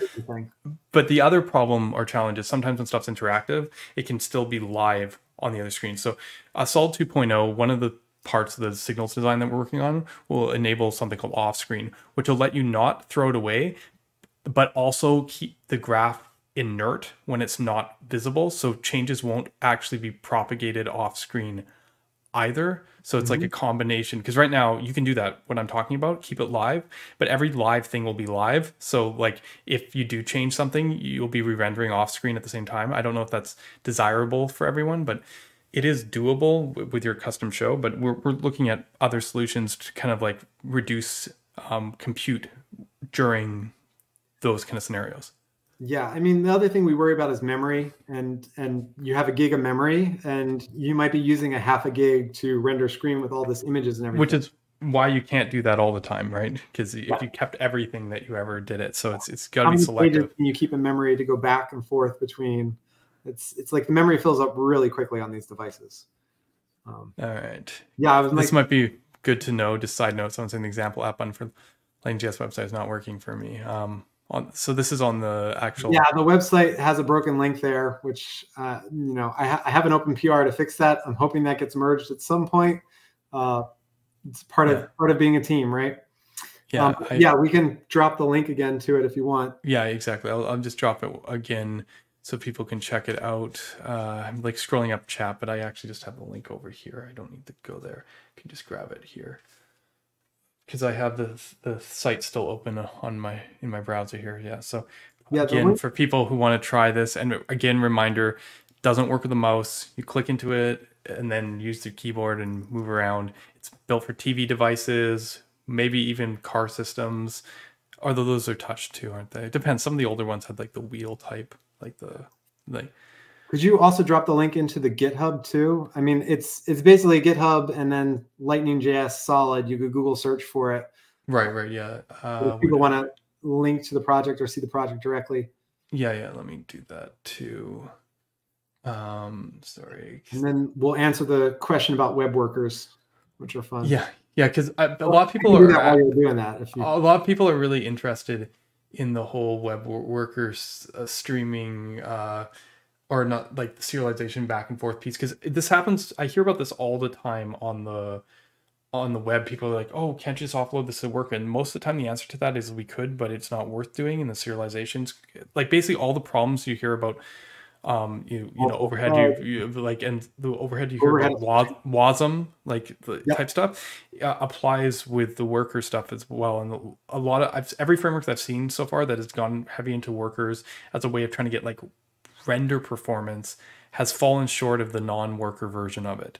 Yeah. But does this change on low-end devices? I don't know. You'd probably know better than me. So um, there is one case that we use web workers a lot, which is for image loading.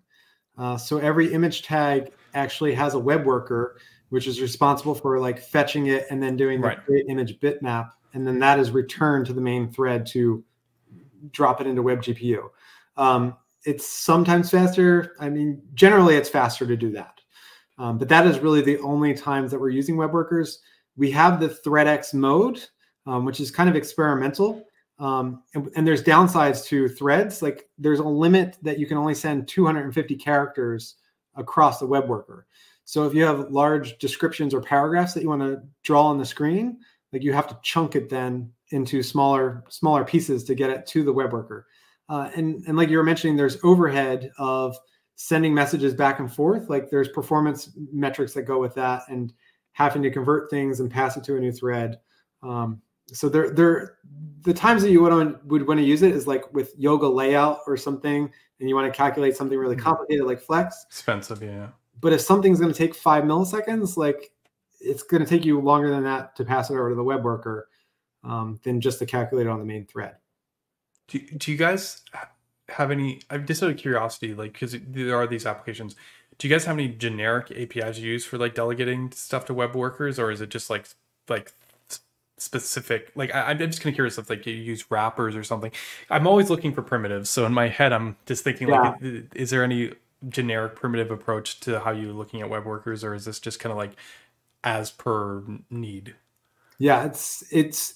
I basically copied the code from the Lightning 2 for the web worker, um, for the image worker, and it was weird how it does it. Is like it doesn't do it as a separate JavaScript file. It's actually a string um, in the main file that gets converted to a web worker and put into the web worker context to generate it.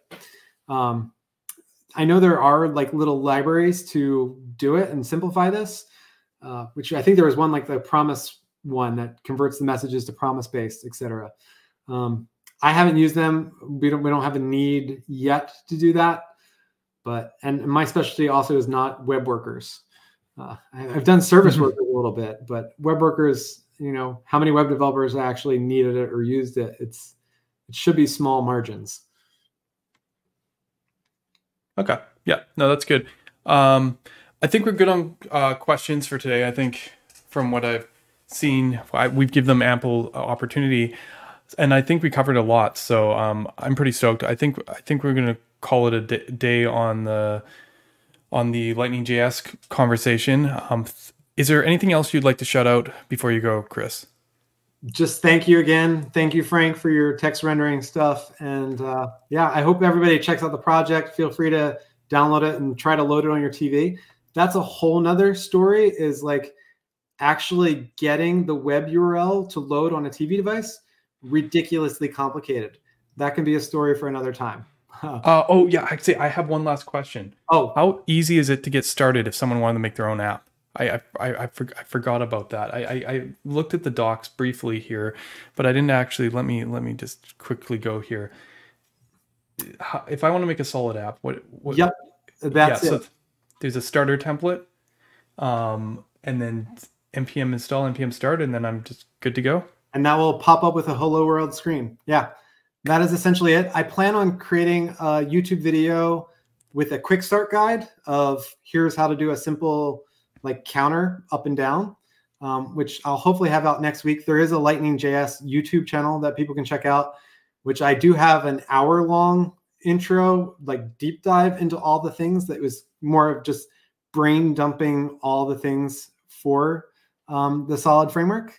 Right. Um, but yeah, this is this is the quick way of getting started. Is this template, uh, or check out the solid demo app because that is a much fuller working example of all the pieces but this is definitely the starter template. And then read through the docs. Um, we have a Discord channel too. There's Discord, which you can find on the main website.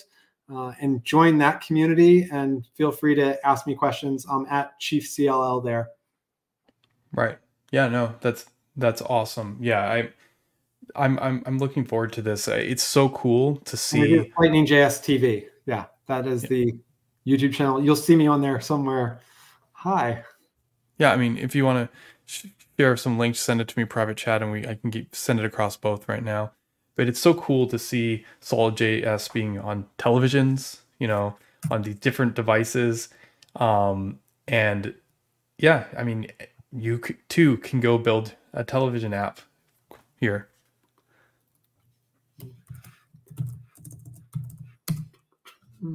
Yeah, so there's a question here. Is like Blits? I, my understanding Blits is is about at the same level as solid is like the meta framework on the website is a kind of funny thing where technically you don't need it um, but you know the yeah so we we shared the solid lightning js thing and then this is the this is your youtube yeah that's the youtube link so there's the github link to the project and then the yeah. youtube uh, which I, I hopefully add we'll be adding more videos, but there's a little short video on Solid.js universal rendering, which goes into kind of how it works. There is an hour long video that I released uh, a few days ago with the deep dive, and then hopefully next week I will release a you know quick start, maybe 10 minute video of building a simple to do app from this starter template. Very cool. Very cool. No, I'm looking forward to seeing more of this content. Whew. All right, all right. Well, with that, um, we still got this week in JavaScript to do and some other stuff, but we're gonna let Chris go. Thank you so much for joining us. I've Thank learned you. a lot. I think everyone's learned a lot. Very, very cool. Um, till next time. Uh, catch you later, Chris. Bye. Thank you. Yeah, I don't know. I didn't know what to expect. I told you that before before I started here. So it's very, very cool to see, you know, the stuff that people put together with the custom renderer without you know anyone on our team having much knowledge. Uh, or could have just been me. People could reach out, and I, I'm I'm not as connected as I used to be. Anyway, we we still got more stream ahead of us. Uh, mostly, um, yeah. There's a couple topics. Obviously, this week in JavaScript, I haven't done for like a month, so we're gonna get that set up. Um, it's 2:30 right now. I don't know. I, maybe I should get a kind of a feel for where everyone is in in chat because it this hasn't been probably the our, our viewership's a bit low down this week probably because the React Miami stuff. Um, I've been I, I thanks Shy. I've been uh I, I've been working on a few ideas and things, you know, pulling out the old HackMD, you know, uh, on some various topics. Um, so yeah, I don't know. I I can. I have some thoughts and stuff to share. That if if people are interested to hear about what I've been thinking about or working on, I don't know if your your mind's already kind of like got too much going on from hearing all about that Lightning JS stuff. Um, Otherwise, we can just go this week in JavaScript either way. Yeah. Yeah. Well, I imagine the React Miami stream is probably going to wind down soon. But uh, then again, it's after party. Oh, David is speaking live right now on React Mi- Miami stream. Um, he's talking about React Brain. Um, man, that's funny. Uh, I kind of want to know what he's saying. I wonder if I can get this shared. Give me two seconds. I want to see what is what's going on live from React Miami. Let's uh, let's see if I can do that. Two seconds. Uh, let's present. Stop screen. Present. Uh, share screen.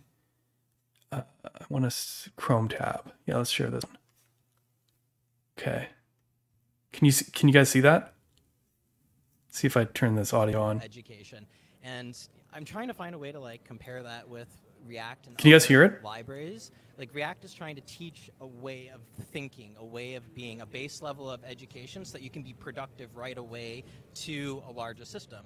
That's the corporations. Mm-hmm. And I feel like a, a lot of the other frameworks are imposing more of like a private Montessori education system where you have to do a lot more work to learn that, um, but you, you're not abiding by a similar kind of system. So, but if someone were to learn Solid 1st mm-hmm. they would have the identical mirrored attacks attempting to use React. Is it really just? I mean, to me, the problem, at least for me, was that the API, a component, is a capital lettered function. It's kind of like our convention mm-hmm. uh, right there, along with returning JSX. Mm-hmm. Like that is the, if you will, the API or the language to describe what I'm doing is identical.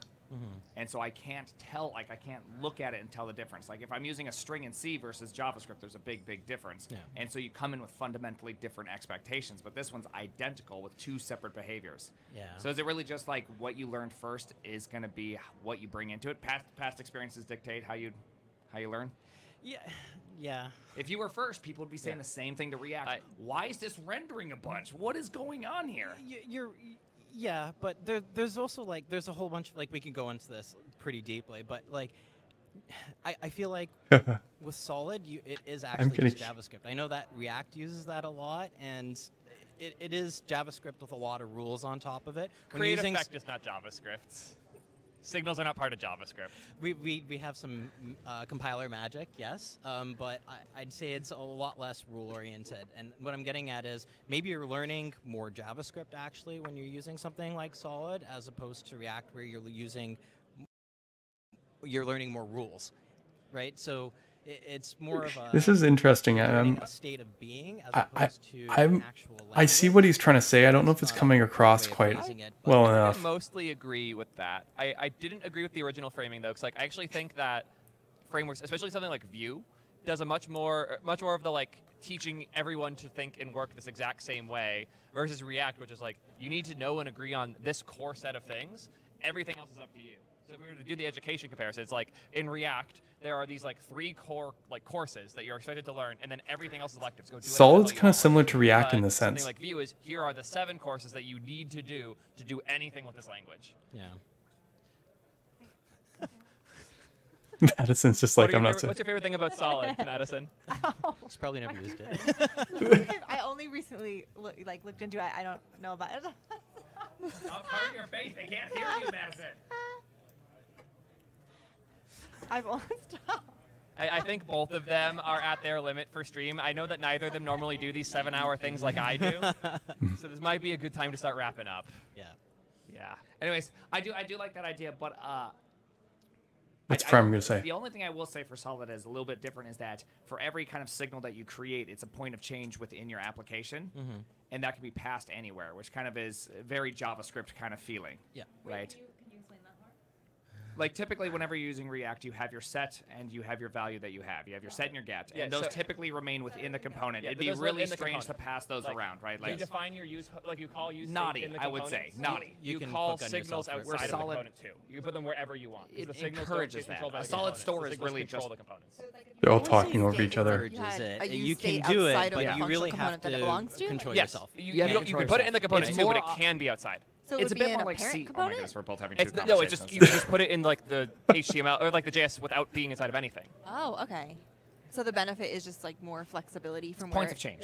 Yeah, it's Yeah. and the, the mental model they're trying to push is like with React, you think in terms of your components. So you have like your app component that mounts your top nav and your body component that mounts all these other things throughout. With Solid, you have your template that is Yeah. all of the content that gets rendered, but you also have your state, which is its own separate data thing that you can map to the components by calling instead. So it's that like like in React when you have like the count comma set count equals use state zero, count is a val- like a variable that you can just use and console log there. With solid, since everything can exist externally, it doesn't know th- that that value is dynamic or not. So instead, you have to call it as a function. So you wouldn't just say count; you would do count parentheses to, to call it. And when you call it, it's now built the relationship between where you called it and the data itself. I will say one thing that's unique Okay. about Solid is that, or one thing I really like about Solid course. is that React, in some sense, makes people think about the data they're grabbing as a tree. Where Solid, you're not necessarily bound by that same thing. You can have different ways in which you approach an application that just makes it simpler. Yeah, but conversely, uh, you It's actually also have to follow the reactivity. Like you have to make sure that you're wiring things very, very specifically, and that is an advantage, but also a disadvantage. Yes. It adds complexity, but um, it gives you more power. The the component model, but like both of these are hierarchies of how your application works. React, the component hierarchy, is the single source of truth for how your entire application functions, and your data graph flows through that. In Solid, the data graph is the thing that commands your entire application, and UI gets attached to that. I think the, the thing here that's important is that UI hierarchies are really easy for us to understand because they work roughly like HTML and they are very visual because we see them and we can understand them that way. Whereas even just noticing that there's a data graph, much less visualizing it, much less explaining it and mapping and doing all these things, it's more difficult to show that than it is to show component hierarchies. Yeah. I, I will say, like, um, React, React is fantastic. Yeah. Like, uh, I have not met somebody deep in the Solid ecosystem that's like a contributor to Solid that isn't relatively into React. We're all interact. Yeah. We, we- like there's a, a, a and especially Ryan, you know this. Yes, he's really really passionate about React. We're really passionate about the whole uh, the whole ecosystem. The the reality is like React has, serves a very specific purpose. It's meant to be productive in large uh, large teams, large scale environments. It's easy for beginners to pick up and learn these rules. And, well, easy. Um, it puts them on. Re- Yeah, easy is um, tricky. Frameworks, uh, fine-grained reactive frameworks like Solid are a bit harder to get into. Uh, like the learning curve is a lot higher, um, but I, I feel like it scales easily. Mm, Like, I- I'm Well, more once you learn it, you can actually build really large applications very similarly. With with React, I feel like it's easy to pick up and then gets way harder afterwards. So it's kind of the inverse. Especially when performance comes into Uh, I- consideration. I, want to see more big solid apps because I found like there's a lot of parts that come to an application getting big. It's not just like there's a lot of code that we have to deal with. It's also the quality of the average contributor. uh, I should say quality. The, the knowledge of the average contributor goes down as the project gets bigger. Skill The more issue. people contributing, the likelihood that they know the things you're using, much less where they are in the code base, is much lower. So while I have seen a couple pretty big solid code bases, there had been no new contributors to them for like four to five years. Whereas with the average React code base, especially at a big company, a lot of people learned React by contributing to one of those big code bases. And that's a thing I think we haven't seen enough of in solid to know for sure. My favorite like like thing that I rant about all the time is the idea of like the average React developer, where the average React dev has Yeah, probably never initialized a React project. They probably picked up React because He- there's a code base at their company. It's like the using. And it was more- Python They did not choose React. argument The average person writing React that I covered on a previous stream. React. It was kind of forced upon them some way. Whereas with Solid, the average Solid dev absolutely picks Solid. They want to work on Solid. If they're using it at their company, either they were the one who brought it to their company, or they picked to work at the company so they could use Solid. Yeah. No, I, I think you you nailed that part of it.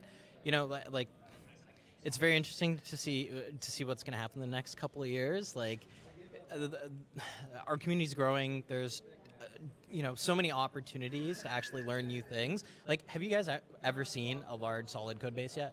I have. What's the largest you've seen? I got a decent bit of a tour on the Post News site. Okay, that's yeah. that's a pretty decent sized one. So I've now helped on and or constructed about four reasonably sized packages uh, or apps with maybe about 20 30 routes or one had 50 and so How many contributors on the biggest one? about four Good to know. reasonably reasonably, Yeah. reasonably I sized just I, I learned React on a code base that had 800 contributors. you've seen some pretty scaled like, Yeah. well scaled code um, and and, that's you've the thing I probably seen some crazy stuff see. at uh, netflix as well Netflix is one of the craziest React code bases in the world. I, I, if I worked at Netflix, I would probably hate React. Yeah. remember, just the television nods. doesn't have a concept of focus. yeah So focus runs through React. You know what's funny? Oh. Right now, Ryan's actually doing a stream with the guys from Lightning JS. Um, so it's a framework that uses Solid's universal render to actually create TV applications. It's very hard if you only have left, right, up, down, and back, which is like, or enter, which is your only That's funny. five buttons at one point. he doesn't know that I'm How watching you right think now. About an application changes. Yeah. No, it's stuff. it's uh, it's a completely different ballgame. It's uh, very interesting. Excited for React Native to solve all this for us. Half a joke. It's it, they're, they're doing really good stuff with React Native, but I yeah, building TV apps is hard for reasons other than the framework you chose. Yeah. Yeah, we talked about React Native earlier. Um, Thank of you for this. We appreciate getting to bring in our favorite framework right before the end of the conference about our other favorite framework. Sorry, A real library. solid way to Wait, end, I'd wait, say. a really good ending. Maybe. Is solid a library or a framework? oh no! Don't ask me this question. He Oh, said no. React. He said fine grained reactive framework earlier. Framework confirmed. Okay. No. We'll go with that. Cool. Hopefully we don't annoy Ryan too much. Uh, he's yeah. He'll be fine. oh, that's funny. Oh, no, he's streaming Ryan is right in now. Shambles right now. No, he's No, on a and- six-hour stream. He's not going to see this until later. Perfect. Well, I'm excited So- to see that stream too. Except oh, we we're wanna watching. Thank Clerk so much. We really appreciate you Oh, guys. my job. Oh. Yeah. Thank you so much, David. Now we can do our outro, of course. All right. What are your last Here, you can hold this. All Thank right. you. All Cool. right. Thank right. you again. Just so wanted this to was catch that. awesome. I'm pumped that we actually got to do this. Sorry, it was a bit chaotic. Sorry about all the audio stuff. Sorry, everybody, but All right, all right. Poor David. He did okay. He did pretty good. I'm, I'm, I'm. Just, I just kid. It, it is interesting being in that kind of React conference uh, zone, right? We, we get mentioned a lot in those conference talks recently. This past year, most React conference solid comes up at least at some part of the conversation, which is, you know, even I, I we'll talk about in this week in JavaScript. We're kind of the the new benchmark that people compare to when they're like, oh, is React still good enough? Solid's on the other side. So, you know, I, I think I think it's it's interesting to kind of see that.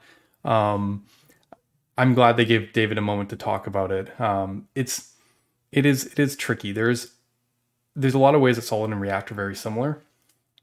Um, from like primitive standpoint and of this view of like we just give you the things up front and then build with them, not like we expect you to follow as much of a prescribed way and we reveal it to you a little in the time to make it easier.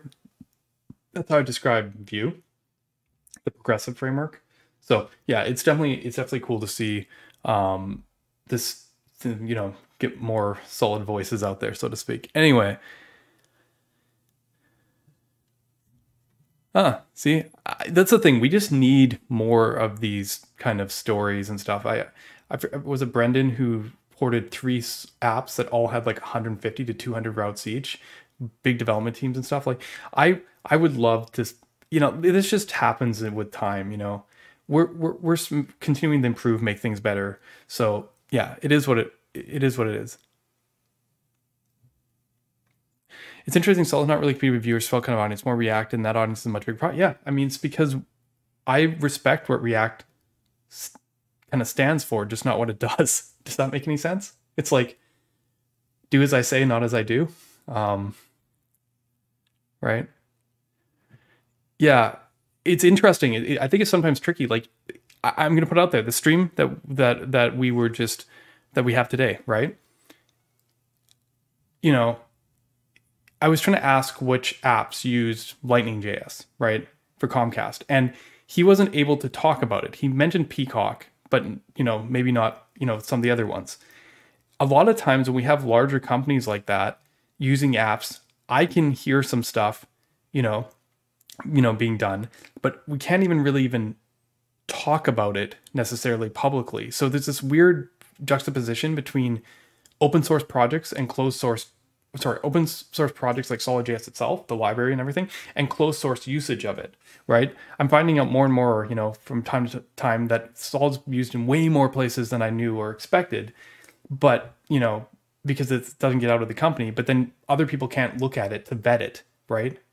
I don't know if the large code bases are ever something you find in open source, you know, to a certain degree. Like essentially you have to look find a company that's already decided to go with that and scale it up to that size. And it's like a chicken and egg problem. Like Theo's like, oh, we'll see when we see more large uh, solid apps. And it's like, but then we're not going to, if, if that's the deciding factor for people, we're not going to see large solid apps. It's, you know, until someone actually builds large solid apps, you know? I mean, when, as I said, it's indicative or interesting when you know, the stuff like post.news, which we obviously need to show off, they're like startups. Startups often are incentivized. There's a few other that we've been talking to, working with that, you know, there's good stories, things, even things like Bubble and, you know, where we can co-write marketing case study stuff because like they use solid and to great effect and it kind of ties into what they're trying to do. But like to the scale, you know, the, you know, that I've seen at like eBay or like you know you saw Twitch or Google and all that. We're yeah, it's if only Solid had a multi-million dollar corp behind it marketing it at every to every front end developer. Yeah, I mean, if only.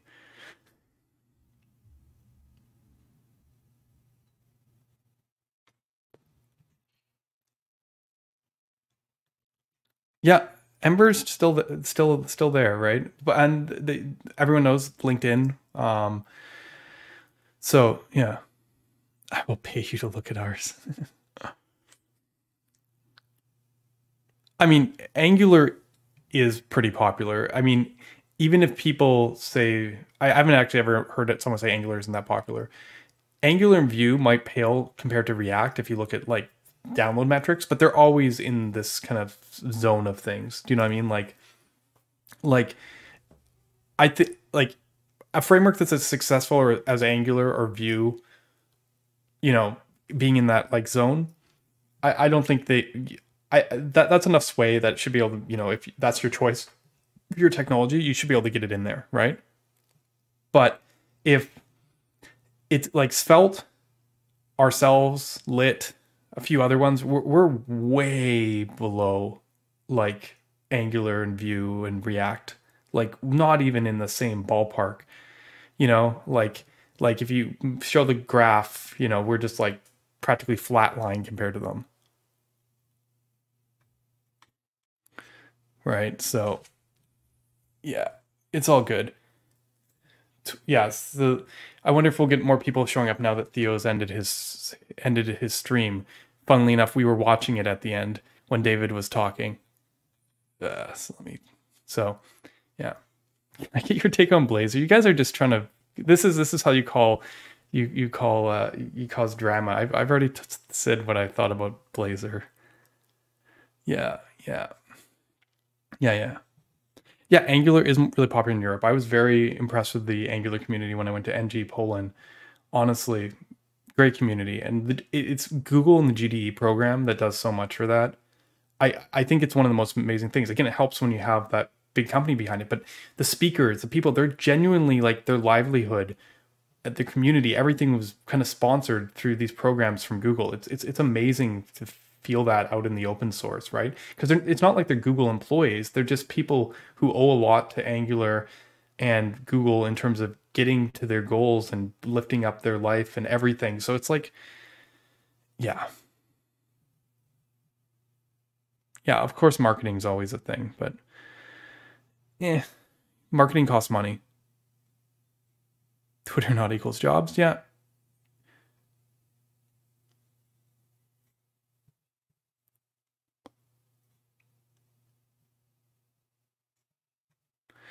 yeah but the thing is it's, it's what, what what do these things all have in common? Like release date. The, the, the it's a function of the the rate at which we can grow and then the growth continues like the snowball effect is a function of when the framework was first released. Right it's it's directly proportional it's because frameworks do, in this space don't get less popular. They just keep on growing and growing. in fact, they grow faster sometimes if they get to a certain point. There are, you know, yeah.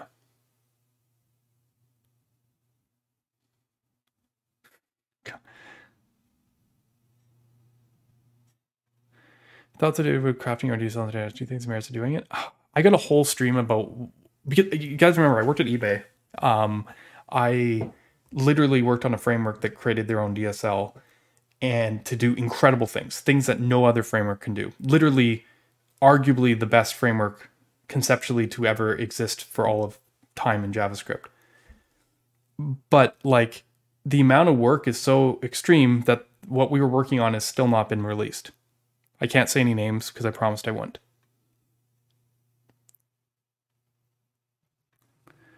Yes, you do think of two different ones, but you think about this in every framework. Like there's like there's like the truth and then like the lies we tell ourselves, right? Like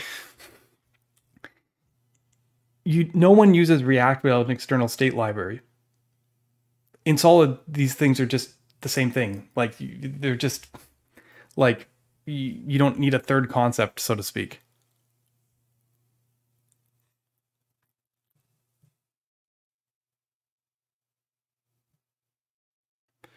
And yeah, our devs are extremely fast writing codes in Angular. What can I say more? Exactly. They know Angular, they know what they do, and they can do it. Funny thing is, this is where things get tricky. They will stick with Angular probably, even if Angular completely changes. Picture if Angular literally over time just transforms into solid, authoring experience, every little piece of it. They would probably just stick with Angular, even today. Part of it is because of legacy of their own code base, but even today, pretending like, and this is not going to be the case. Let's pretend that Angular gets to where solid is five years from now and there's no other benefit to it. It just becomes exactly what solid is today. And solid isn't even there. Let's say solid's doing even crazier things. Most people will just be like well that's fine. I'm already using angular. We've got this in our company. Everyone knows angular. And they will just use that. Like the incentive if something you know to, to you know takes years you know that's that's it's perfectly fine especially if you're already invested. And this is why that growth you know, continues like that.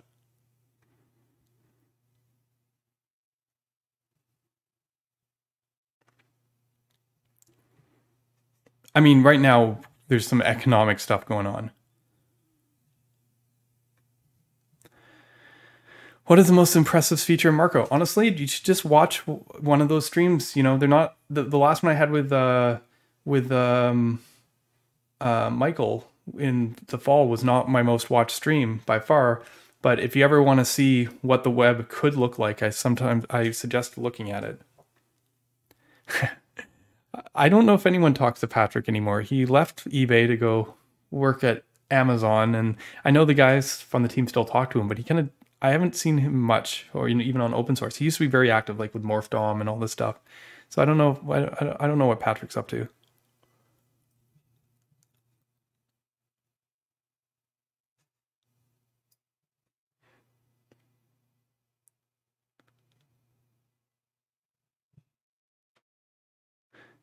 Yeah, that syntax um, podcast was really good. I, I, did a JS party this week that I think is going to be really good for people too.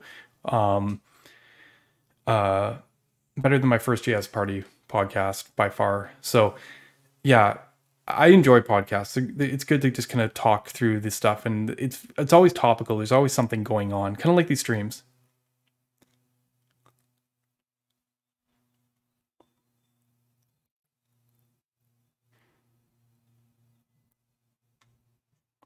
Has RC centered to other frameworks?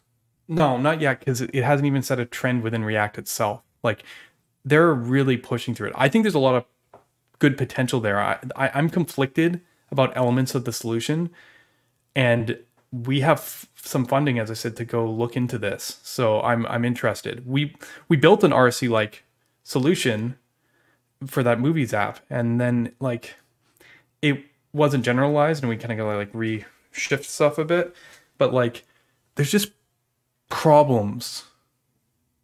It's not even problems. I just don't know if I like where it takes us completely.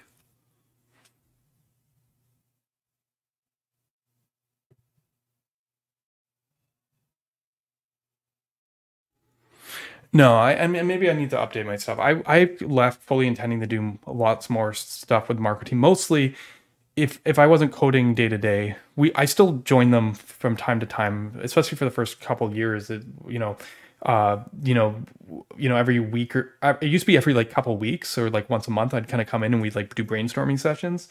But I, I've drifted apart from them a lot, and I was kind of hoping with like a Marco six release that you know I get back into writing articles and talking through the stuff and the concepts and stuff because they're doing really cool stuff. But yeah, I, I do not still work on Marco very much at all. No.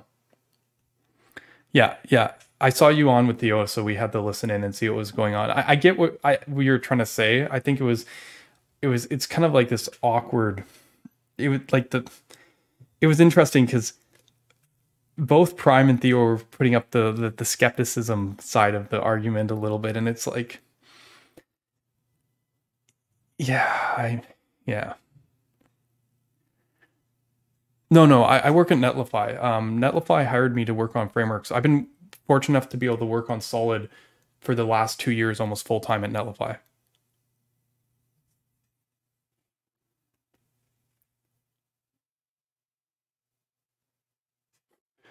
It's it's possible, but like, we, there's people who say that JavaScript is not a data flow language, that might you know kind of get in the way of that. I remember when we were first talking about getting signals into the browser, there's two sides of it.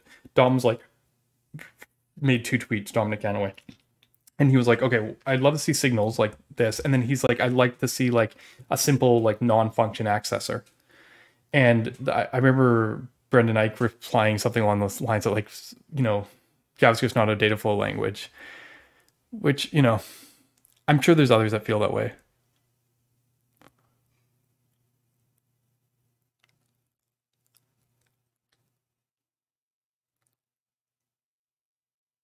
No, D- David, you did good. All right, all right. So yeah, we got some people coming in here. It's too bad you guys missed my guest today. It, people don't realize this. He was actually. It's funny because at one point in the stream, uh, Theo was all like, uh, you know, and hopefully we can all use React Native. And actually, we did a big part why React Native like didn't actually wasn't suitable for for the TV UIs he was working on. Um, but yeah, it's it, it's it's interesting. Uh, what, what, what, we covered earlier with our guest was a, was TV apps basically, um, and it's it's cool that as I said to see someone from Comcast talk about like if you look at the uh, Lightning thing, they have an internal framework and they have Solid. That's it right now.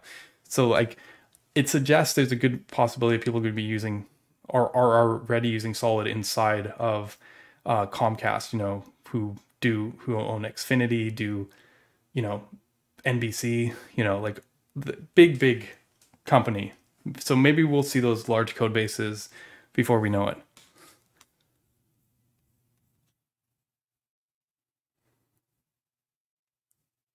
Anyway, um, yeah, what do we want to talk about right now? we could do this week in JavaScript. Now, I, I said I was going to talk about a couple of the articles I've been working on, thoughts on the HackMD stuff.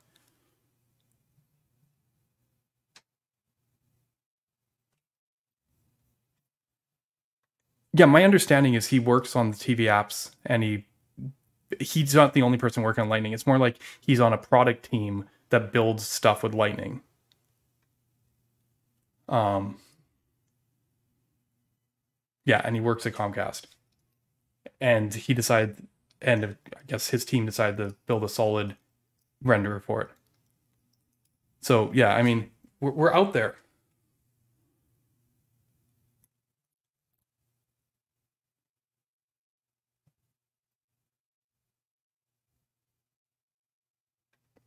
If solid is data first, UI is second, uh, React opposite, RCs are here. Did you think about making solid story more about pretending to client server data flow rather than mirroring remix? I mean, yeah, I mean that's what we did. The the feature that the last feature we put in to get to 1.0 was single flight mutations. We can basically do all the stuff in a purely client way, like like client rendered way that people want out of RCs. We can we can like send a mutation fetch the data for the next page all in the same request while doing client-side rendering. So like, in a sense, don't get me wrong, I, I think there's interesting implications of HTML partials, but solid starts feature set, our data fetching, all the elements of it that I went over previously, um, make it like this complete unified story, whether you're going from client rendered SPA to SSR, all with the same data fetching, and with all the ability to remove server client waterfalls, um, especially when Solid 2.0 finishes up, which I'll, I'll talk about in a, in a minute. Um, that, like, other than the ability for HTML partials to reduce JS bundle size, um, would have RCs like it's basically equivalent, you know. So, I, yeah, I, I yeah, I, I, I think we're already kind of doing that. All right, what do I want to talk about here? Let, let me share my screen. I mean, I could make it with, we could make it, uh, sorry, where is it? It keeps on sliding on me. I we can make the 1.0 movies app. It just won't be as cool as the the prototype one. The prototype one we were doing the show off, basically an RC type stuff. You have to understand the movies app is a static site. Like it's literally, you could just like use a basically a static site generator type thing. I mean, to be fair, there's dynamic pages like but like a heavily cached site could do it. There's no interactivity other than the search. So like yeah, I mean it's basically like it's basically the perfect demo for something like RSCs or yeah, I kind of prefer the smoothness of not using islands there but like we could remake it the, as an islands project definitely like astro style. We still support islands built in with solid start it's just the router we pulled the router out of solid start we need to re-implement the islands router back into our general router package so everyone can benefit from it. So um i mean porting it over would be easy but i also kind of like i think it, it's a good demo when we need it to be a good demo i, I think that what we're more generally going to do is because we pulled that router out, we can release Solid 1.0 without worrying about those kind of details. These are independent details.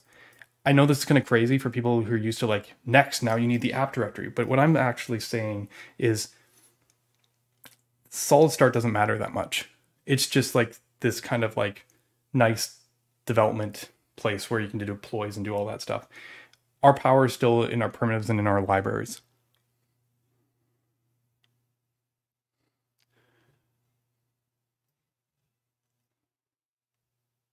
Yeah, exactly. Yeah, create resource and the work we're doing to create async is really powerful.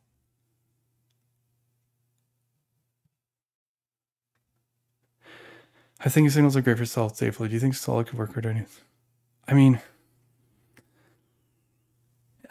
signals in a sense are um, like what a spreadsheet is. Part of me wonders though is if I would be tempted if I was making specifically a spreadsheet to make something even like specifically for that case.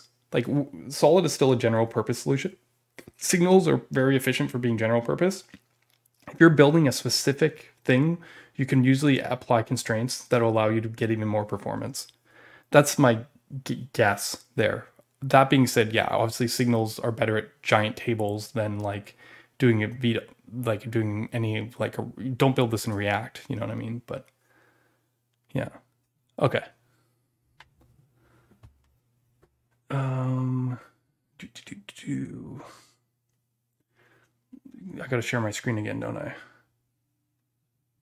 Um, entire screen, share.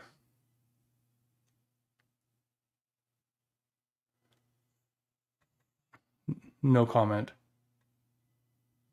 Sorry, I'm I'm not talking about. I styling is not.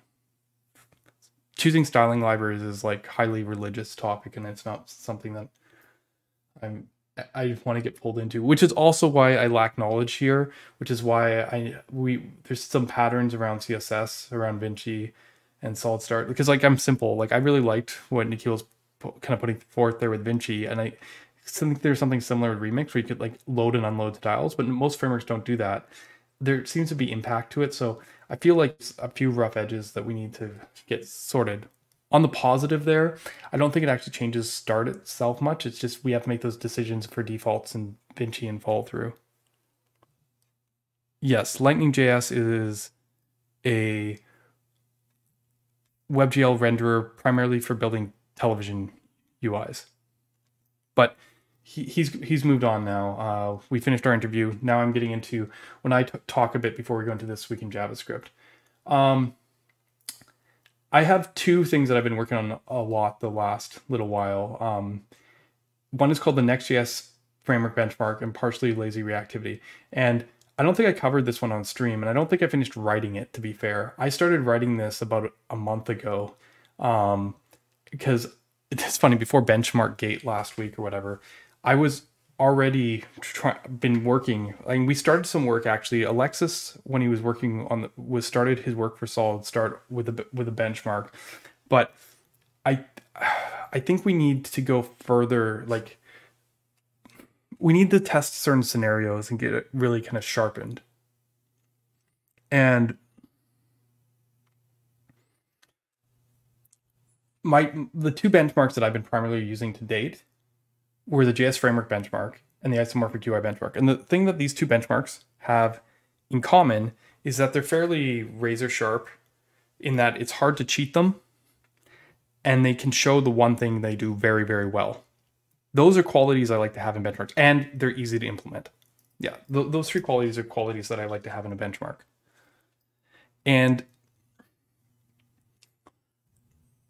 one tests like client side table rendering JS framework benchmark, and the other one tests basically synchronous SSR rendering. Like it doesn't even measure the full end to end of starting up the framework. It just it's like how fast is rendered a string.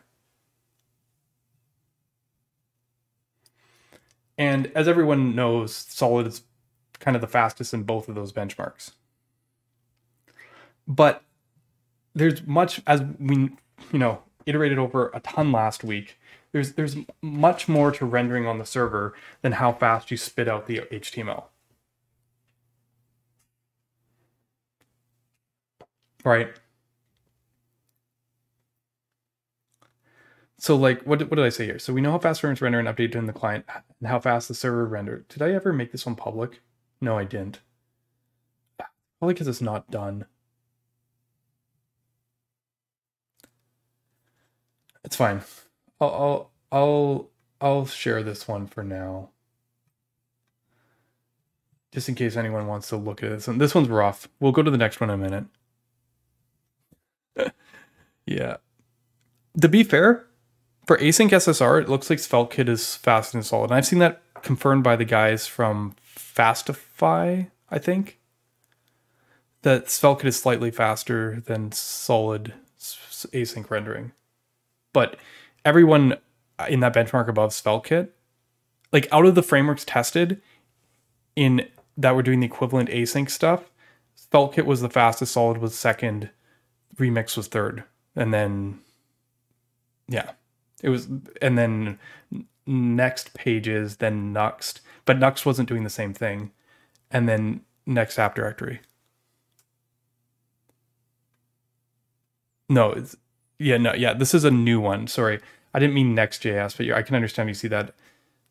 I, I was saying the Next.js framework benchmark because for me this is the the benchmark. This is the baseline of like what a good benchmark, you know, characteristics a good benchmark should have. Yeah, I, I don't care about specifically about Next.js. Let me get there. The future. And to be fair, I'm still outlining this. I just needed to get this this kind of specked out in my head. I've actually had this conversation with Misko Hevery a lot.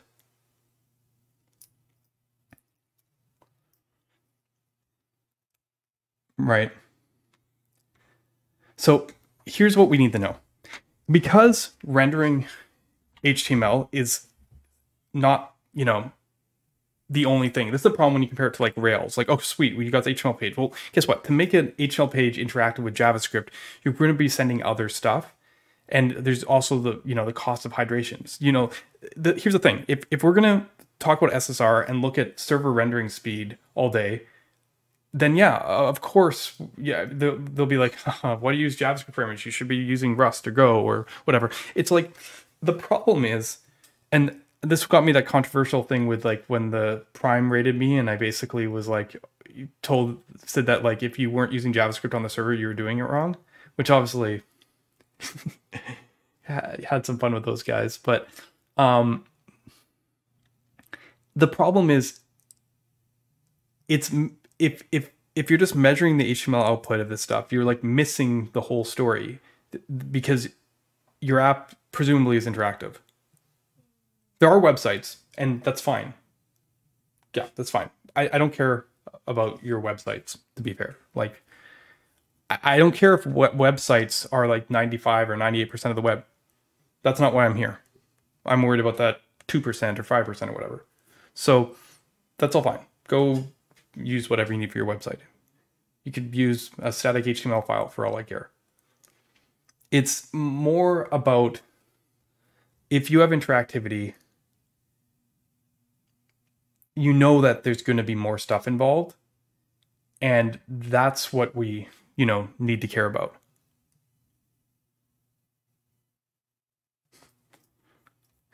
Right?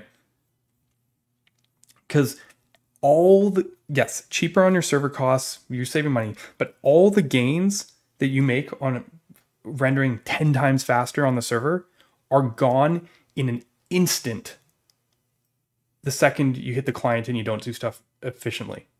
It, it, it's like the, it's like you might as well have not even done it. The the order of magnitude difference on the impact on the client is just it's not even close. Like it's like you're like look at this thing. It's so much slower. It was it was could you believe this? 8 80 milliseconds slower per request. And then it like you, you do something stupid on the client and it's like, yeah, it was three seconds slower.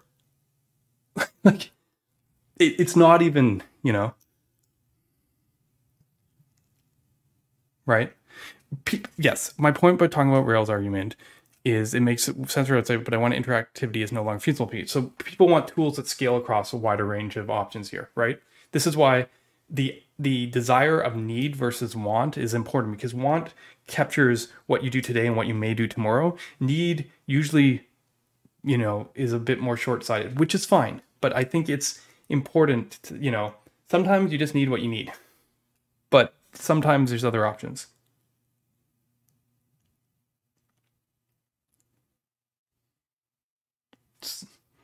Rust API with a Java applet. Yeah. I mean, perfect example. So let's talk about how do we benchmark? How do we capture this whole thing from end to end, the whole the, the whole story, right? And I, I talked to experts in the field about what is actually expensive. I talked with Jatin from Wiz. I've talked to the guys from the Marko team at eBay.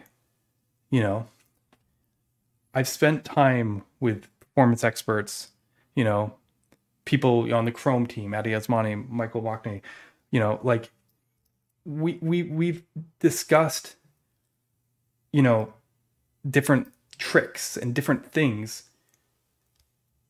And for me, if you're going to get end to end, if you're going to talk not like maybe you only care about measuring the part that's on the server, but you still have to generate the stuff that you need to be successful on the client. And we need to know what the best thing we can be doing on the client. I don't think that's known today. So these are the four things that kind of come to mind. Cost of code execution. Most of this is all initial load, but I think this can apply after initial load when you consider page navigation. Like if you're on an islands framework versus client routed, you, you hit these things again, right? And if you're an RC, you're kind of like in the middle. You're kind of doing straddling both lines. Like, like a perfect example, and I don't know the answer to this completely, is like when does the client JavaScript code load for an RC? Does it is it uh, does, is it like how does the browser know what JavaScript it needs for the next page in RC? Does it happen at the time of clicking the link or like preloading the link?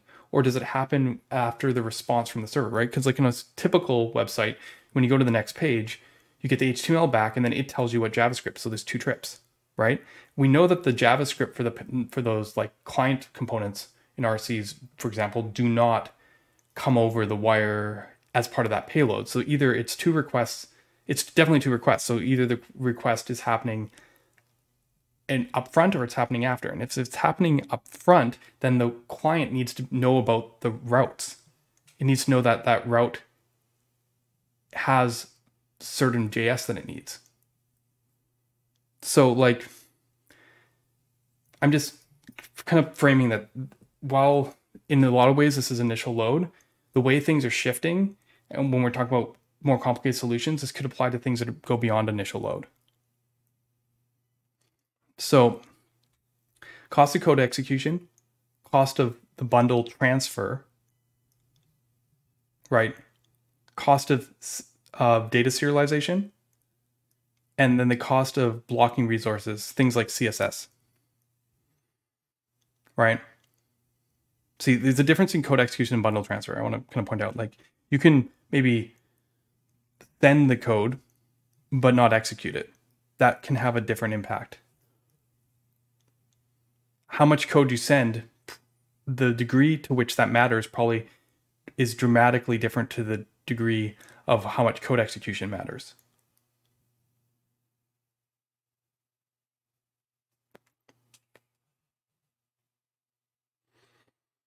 Now, I'm, I'm not really going to talk much about four. I don't know it enough. We already established I'm not a CSS expert. I saw a comparison. Someone was talking about the difference between inline CSS and uh, loading CSS, and it said that inline CSS was generally actually a lot faster, especially on mobile, but not necessarily on desktop. But when I saw the desktop numbers, it still looked like it was a lot it was still faster. Like they they were like, oh, it's you know on mobile you were seeing gaps of like a second, but on desktop it was like 200 milliseconds. Well, to me, 200 milliseconds is still significant. Yeah, well, I mean it's a tricky balance because like how much if you stop blocking C if you stop like loading CSS, the CSS becomes part of that serialization cost, like the part the the bandwidth that you're sending over the wire, right? Could four be any async dependency? I'm, I'm yeah, I'm, I'm talking mostly about ones that, that are actually blocking, but yes, it could be. I, I except for JavaScript, I'm I, like when I, I I'm assuming that JavaScript is in two, but yes, because these things all get in the way. Like if you need CSS to actually show the page properly, then the page won't render.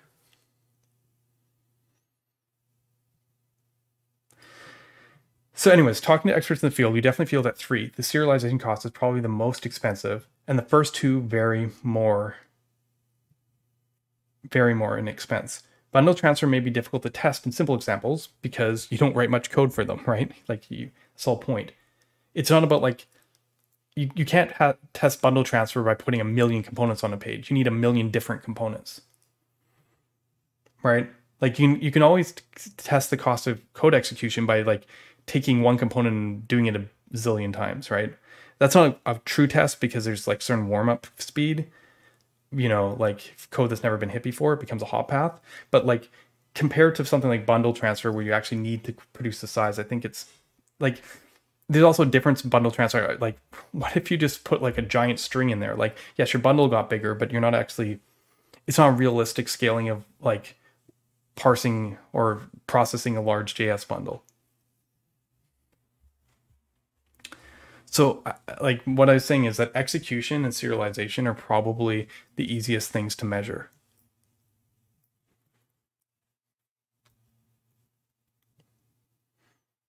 We already have a test. The Hacker News comments page is actually pretty good hydration test for execution and serialization.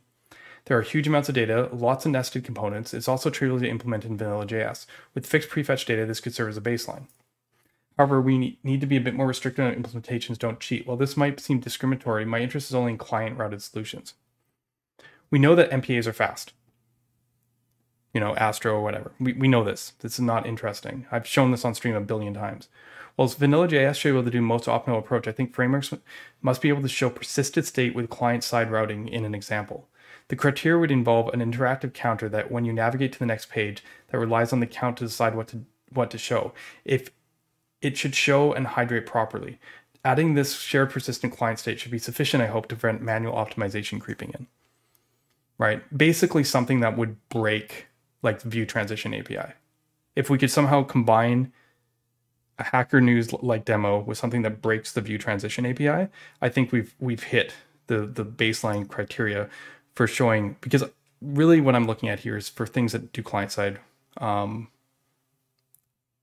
routing. I want to know why, whether I want RSCs, whether I want resumability, what the trade-offs of those kind of things are, whether just having small bundles and optimal hydration is good. How much does that hydration cost? Okay, we care more, we care about interactivity here more than render speed, right? Because it's already been server rendered.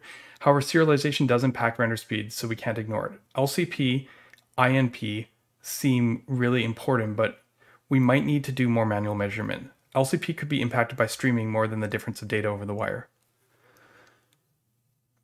Misko from Qwik had a test where a button is pushed the moment it is visible and then afterwards a, a second time to show the impact of interacting before and after hydration. I kind of care less about after hydration. The challenge there was, I, I heard from Misko, is that the input was lost for a lot of solutions if you tried to click it beforehand. So like, how do we know when the right point is to click it, essentially.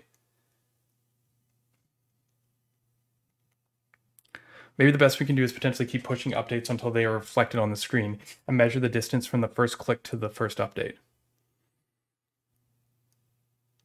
Yeah, anyways, this is just rough brainstorming. I, I, I have more work to do here. I just, I, I think we need, the, the, the challenge here is frameworks are getting better at spoofing interactivity, but the, if the true meaning of interactivity is kind of what I was getting there from when you click something, you know, so when it's visible to when it actually does something that actually gives you an indicator that it's working is really the best measure for interactivity. Um, but like, it's it's it, it, it is a it, it is a bit tricky because we have lots of mechanisms that allow us to capture events before hydration now. And like figuring out how to not have people cheat this is actually probably going to be one of the hardest challenges.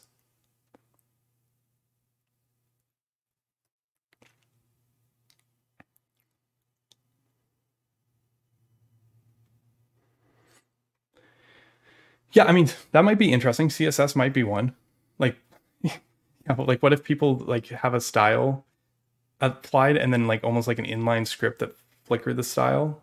Like yeah i don't know. This is this this is i i've started on this process and i haven't touched this document in a month. I forgot what it actually said so that's why i'm kind of reading it over. But i i think we need a test that doesn't include mpas i'm sorry unless like you're trying to do something with the view transition and you actually account for shared persistent state. So there has to be something to make sure that it, but it, the idea is something that does client rendering because I, I, was about to build it and then I kind of got sidetracked because I got, it's funny. I was, you guys remember I made the Qwik hacker news demo on stream, but I built it as an MPA and uh, unsurprisingly, it was very quick to load. In fact, I didn't need to load any JavaScript. And then I used it for a while to show the, the, the the problem with lazy loading JS. Um, but to be fair, Qwik then added that service worker thing that fetches in the background, and we kind of got all in the same place. But the funny thing is, I never made the SPA version of it, the client routed version of it. And my hunch is when you go to the client version of it, you're going to lose the serialization benefits because Qwik uses the same kind of optimization that Marko or Astro does to save serialization. And the second you add client side routing, it goes out the window. Server components, in theory, could solve this problem, but we know in React they definitely don't. They send a whole crap load of stuff. So, like, we need a scenario that penalizes us along all of those directions to see if there's a way to actually solve this problem.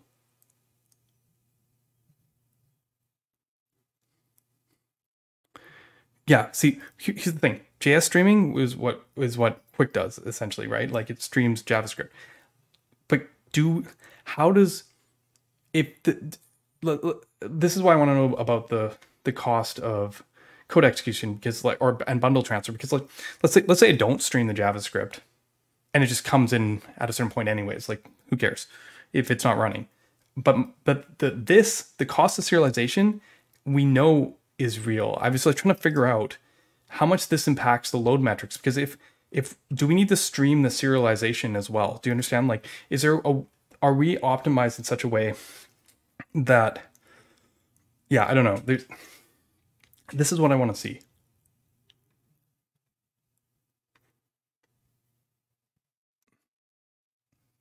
Okay. That's th- this is only a start.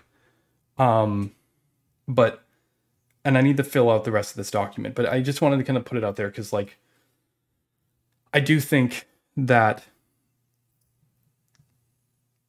the way we're looking at server rendering benchmarks is just not particularly interesting. Like we've Marko had the like the benchmark we saw last week is basically identical to the it, it includes the startup time where Marko's didn't, but like it's we, we've had a version of this benchmark for like 10 years now. We need to do something a little bit different. We need to actually get closer to what we're actually trying to do. And I know that's always a challenge with benchmarks because it adds more degrees of subtlety, but like we're we're so far from there because the technology has been evolving, you know, from things like streaming and you know RCs and stuff like the the just churning out HTML is just not telling the story. Okay. Okay. Next one. Remember about a month ago, I did Signals 3, or Signals 2.0, not Signals 3, sorry. Signals 2.0 stream. After that stream, I got serious and I was like, okay, I, I realized it took me way too long to go through the topics there. It helped me think. So I appreciate that. But people in the comments are like, Ryan, if you prepare a little bit before your stream, then people can actually follow what you're talking about. And I was like, yeah, yeah, you're probably right. But sometimes talking out loud helps. yeah.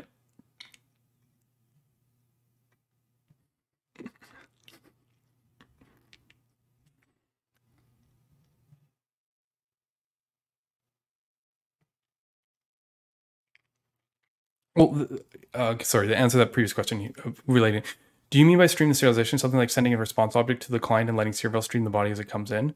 Well, in a sense, that's how Solid already works. Solid Core, if you notice Seroval is a dependency, it's because when we do SSR streaming, we actually do use Seroval to serialize the stuff as it comes in. I don't know how that affects page metrics though. Like I don't know if the fact that the current page is still running. Like I think we need to really dial down into what what matters. I like INP and interactivity seem to be what matters. You know, and the Chrome team's pushing us that way, you know, in terms of their metrics. But like, yeah, I, I, is that is that our goal? Like, we should confirm that. I think it's a good starting point. The signals four. Signals two is already so boring. Start with signals three. Thank. Uh Okay, no, we're still talking about signals too, so to speak, right? If, if you if you follow that solid today is like an ownership pattern, which I called kind of 1.5, that you can see a lot more of in other signals implementations over the next year. Um, it's not part of the like official spec, but everyone's got it in their mind. Ownership is something that comes up in those signals meetings all the time. Um, so like I I I, I kind of continued off of where we left off in the in the last uh, stream. Um, I think I reiterated over stuff. Um, I think the key takeaway from my signals two stream was that async and being lazy are at odds with each other. I guess async, lazy, and blocking are at odds with each other. You can be lazy and async, but not blocking. But if you want to do blocking, then if you're lazy, you're waterfall inducing. Basically, like React. React's like server component architecture is like designed to create waterfalls. There are waterfalls on the server again, so it's fine, but it like it's basically like like how to create waterfalls. And I but I like the blockingness because it removes the coloration from it. You know, you ever heard that term where, you know, of coloration of functions, like they become a different type? Async functions literally have an async thing in front of them. It, it, colors them, so to speak. Async functions beget async functions beget async functions all the way up the tree. And the equivalent in something reactivity is if you have to check for is loading or null check everything down the graph. So if you can be blocking, as in you hit something async and you th throw along the data graph, then you can remove the coloration, which is really nice from a DX standpoint. Now, I personally think that is a terrible idea from a view UIs thing. It's the reason why you probably aren't going to see async components in the client because things happen at different times, you know, interacting with each other. It's kind of too limiting to have just like a single blocking point. It's also why I don't think generator based frameworks have really gotten there, you know. But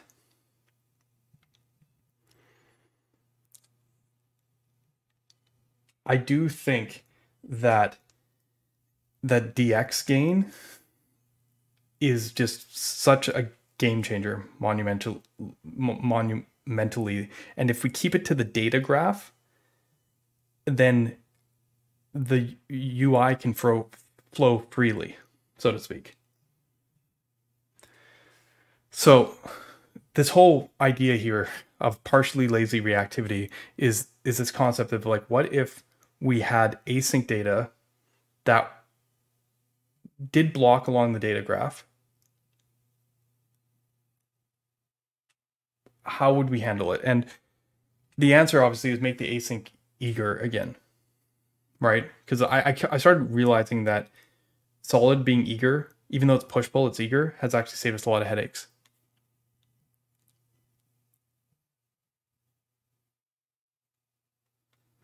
So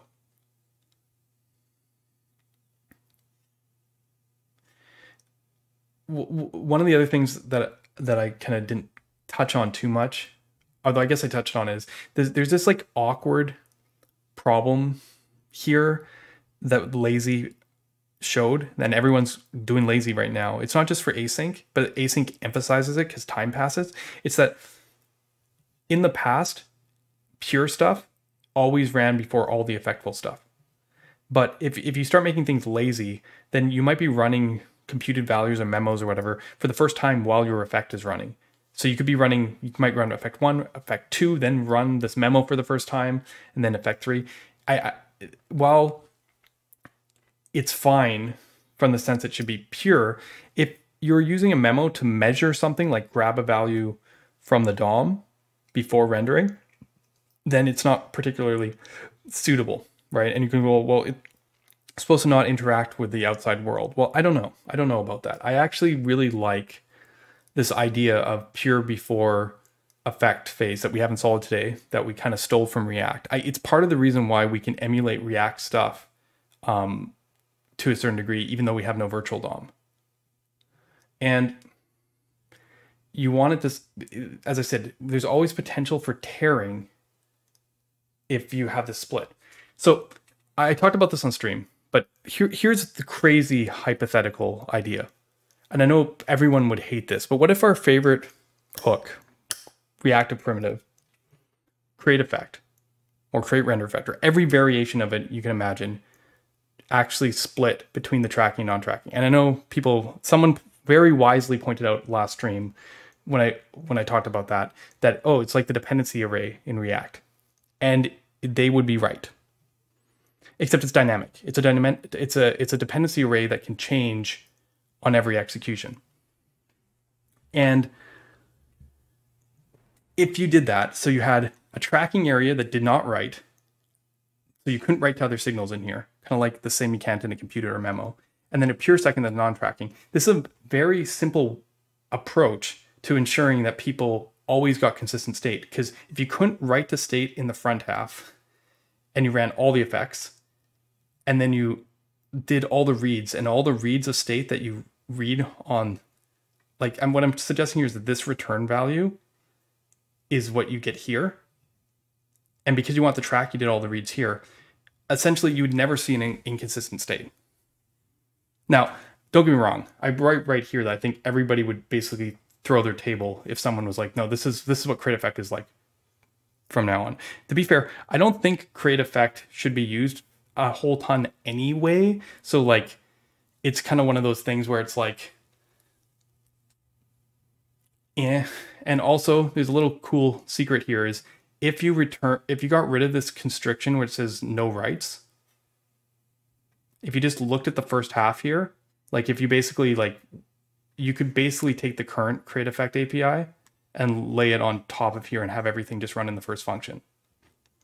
I'm not saying this is great, but you you you, you follow what I you, you follow what I'm getting at. You could actually kind of ignore that one made this change, but you make this change for a really good reason.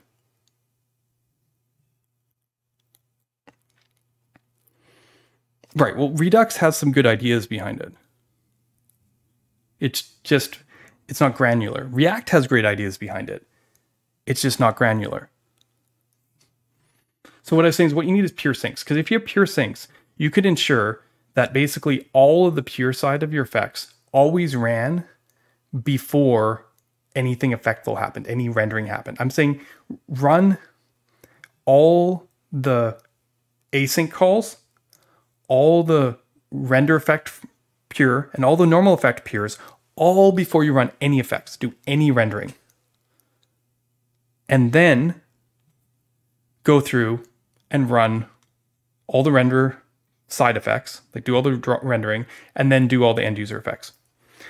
And in it, almost immediately, this feels kind of like the pure phase is like when React's doing its like actual rendering the VDOM. The difference here is instead of um, instead of creating a VDOM, you're just making sure that every memoized value gets read ahead of time, essentially. You're making sure that there's like a clear schedule here. And I kind of hinted at it here. Pure queue, render queue, post render queue. And if I haven't shared this in the chat, I really should do this.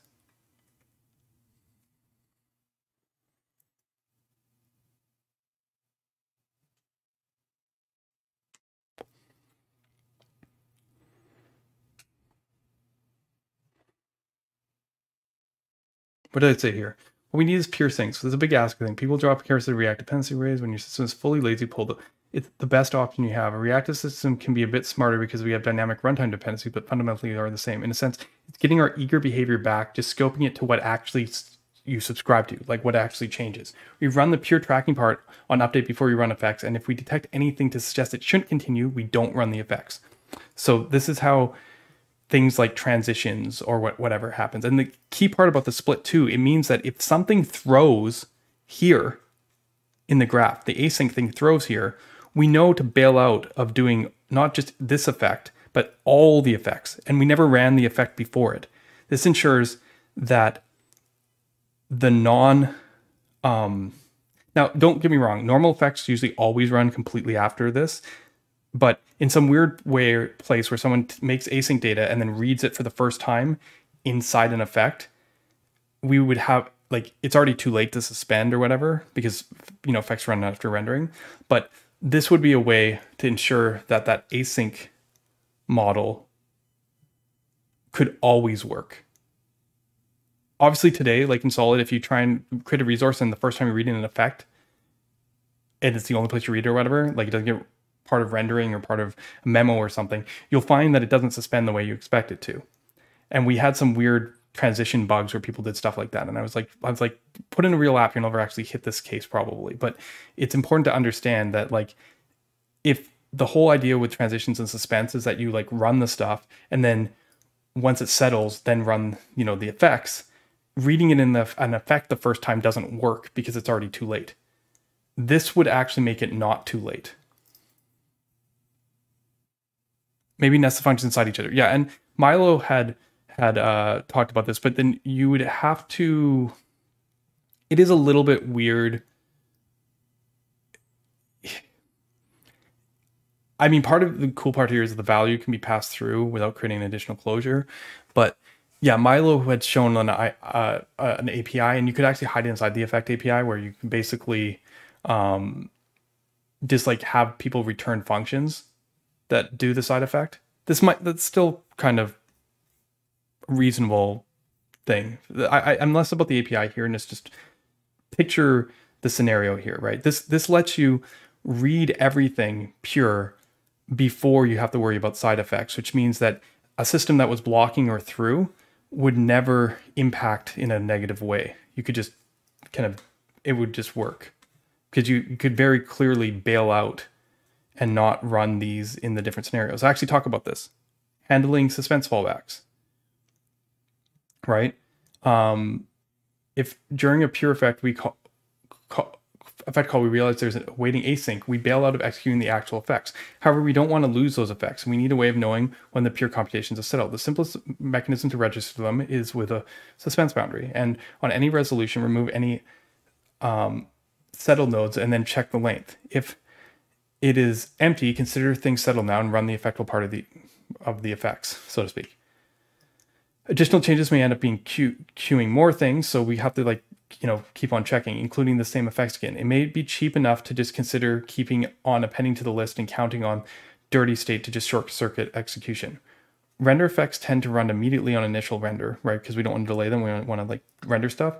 We could, if we desired, only hold off end user effects on the whole and run any render effects um, that can be run that aren't directly blocked by async. This might lead to extra work being done off screen, but it could also preemptively accomplish more of the rendering. However, with concurrent rendering, rendering any effects while unsettled is not an option, so it may be simpler to just keep the behavior consistent. Effects outside of an impacted suspense boundary are not impacted, so this is very much an ownership problem.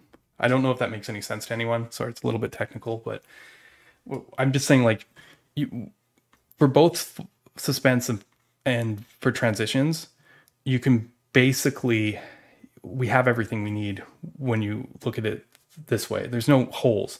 We can always, as I said, keep end user effects not like this and just keep them the way they are, but there will be potential holes, so to speak. Not common, not the 90% case, but or maybe even 95% case, but it's like not like from an academic like clean standpoint. Um what do I want to say? I mean, for transitions, what's to say? If during a pure effect call we realize there's a waiting async, we bail out of executing the actual effects. However, we don't want to lose those effects. What did I, sorry, I didn't scroll the way down. Transitions are a bit more complicated. They're almost the opposite in terms of scoping. A suspense boundary may allow certain things to opt out of a transition and it takes responsibility, but anything that is not caught ends up getting in this global thing. Yeah, so this is an important thing. I don't know if people understand this about suspense and transitions because people kind of view them as the same sort of thing transitions are a global thing where, where suspense is like a localized thing. It's like saying like if something async happens in here, we're going to show a fallback. That's like kind of like how suspense works. But transitions, when you're in a transition, is more like anything that isn't part of a new suspense boundary, something that would fall to fallback, gets caught by this global thing and that's what the transition is. The transition actually isn't localized. It's to make sure that when you change something that's even outside of the suspense nothing else reads it until everything async is settled. It's like an async transaction the reason suspense even has a role at all in transitions is because if you read a resource or async use react whatever under a new suspense boundary, that suspense boundary goes to fallback. And if it goes to fallback, the existing ones don't. Existing ones are will stay where they are because they've already shown their content. But if a new suspense boundary is created as part of this path and it goes to fallback, then it's not showing anything inconsistent, which means that any resource read under that fallback suspense does not need to get added to the transition. So if you're in a scenario where you switch to a new tab, this is the one we always use. It's in our demo. You know, you switch back between the tabs. And the basic case is the suspense boundary is above the switching tabs. So you you you click the thing and there's an existing suspense boundary, you just swap its contents. Well, when you have a transition, it won't swap the contents of the next page until it's finished loading the data for the next page. You have like an is loading indicator for the transition, but generally it's not going to swap it until it know it's settled and it can show you the content.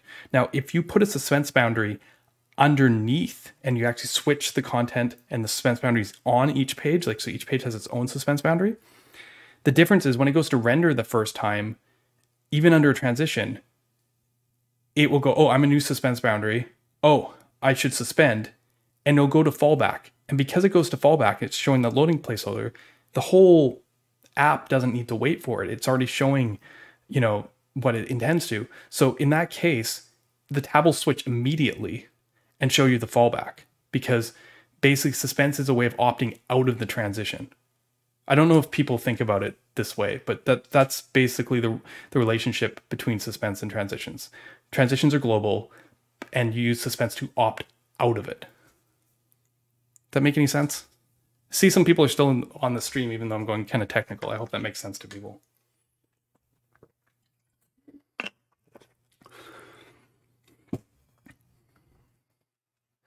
I mean, do, do, do, do. I mean, I'm pretty sure I have this demo in the tutorials. Just want to see really quickly. Transitions, right? If you don't use a transition and you switch, you see the loading, right? If you solve it and add a transition, it loads initially, but then when you change it, you see it'll go gray if it takes long enough, but it waits for the content to be loaded. But if I wanted to add back just for one of these, um, the loading indicator. Let's say just for tab three, wanted to add the loading indicator. I would just put a nested suspense boundary. See, it's under the match. So what should happen now is when I go between one and two, it holds. Yeah, holds. Three, loading indicator. Holds, loading indicator. Holds, holds. See? So these ones, uh, and maybe we should make our delay a little bit longer to emphasize my point. Make it like 820. Okay, cool. What my point, what I'm getting at is, see, yeah, two. Yeah. Actually, I, it's more like I should have made the fixed pound longer. Yeah, there we go. Okay. So these ones wait to transition. This one transitions right away and shows a loading spinner. So as you see, by nesting suspense, we actually opted out of the transition.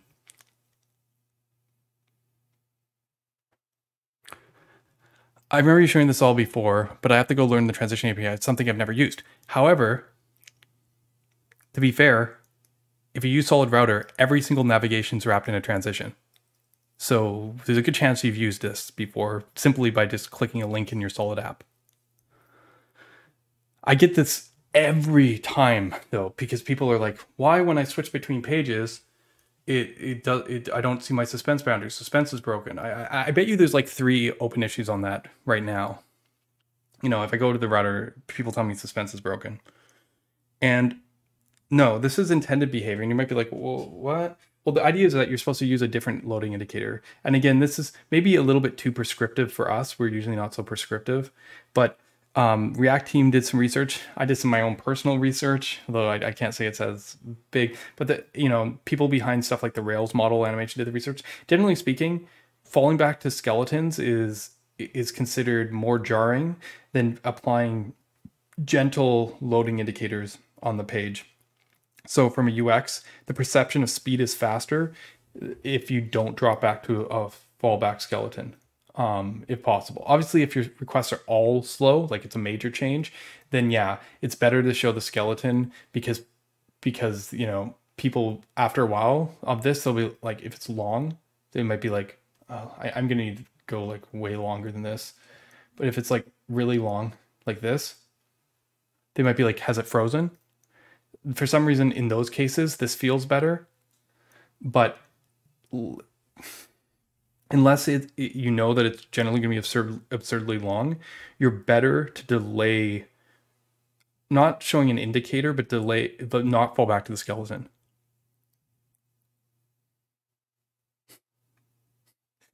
we React to do this with key tab. Yeah, as you can also, as I said, use it. But the, React has the same suspense behavior, as far as I know, in terms of like getting out of transition. So just the routers. It's funny. The people who wrote the routers haven't been lockstep with React. They both kind of like not into concurrent mode, both React router and TanStack. So like a lot of them didn't build transitions in the baseline. So like it's it's it's it's it's, very interesting, especially in Remix React Router's case, because React team was like kind of like intending this all along. You could tell in that 2018 conference talk, you know, the React Iceland or whatever, they were like trying to show like this is how to do things. And then, you know, obviously React it wasn't released in React for like another four years. So Remix and them had to build their own version of, of these things.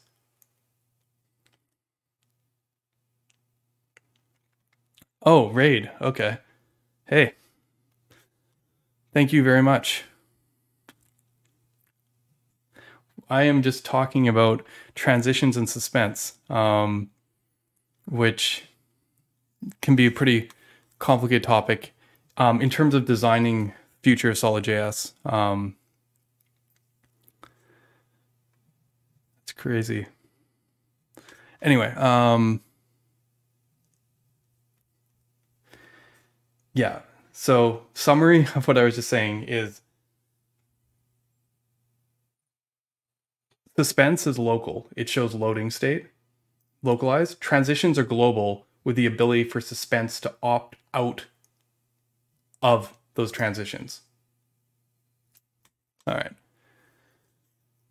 Anyway. Now, I'm deep, digging super deep in here because I started kind of going into this this uh, thinking that I was like, well, if I'm gonna split the the pure side. Ooh, it's a question. Is there a way to suspend a sync component like it's funny. Someone asked me to do this once. Um, I mean, not easily because how should I put it?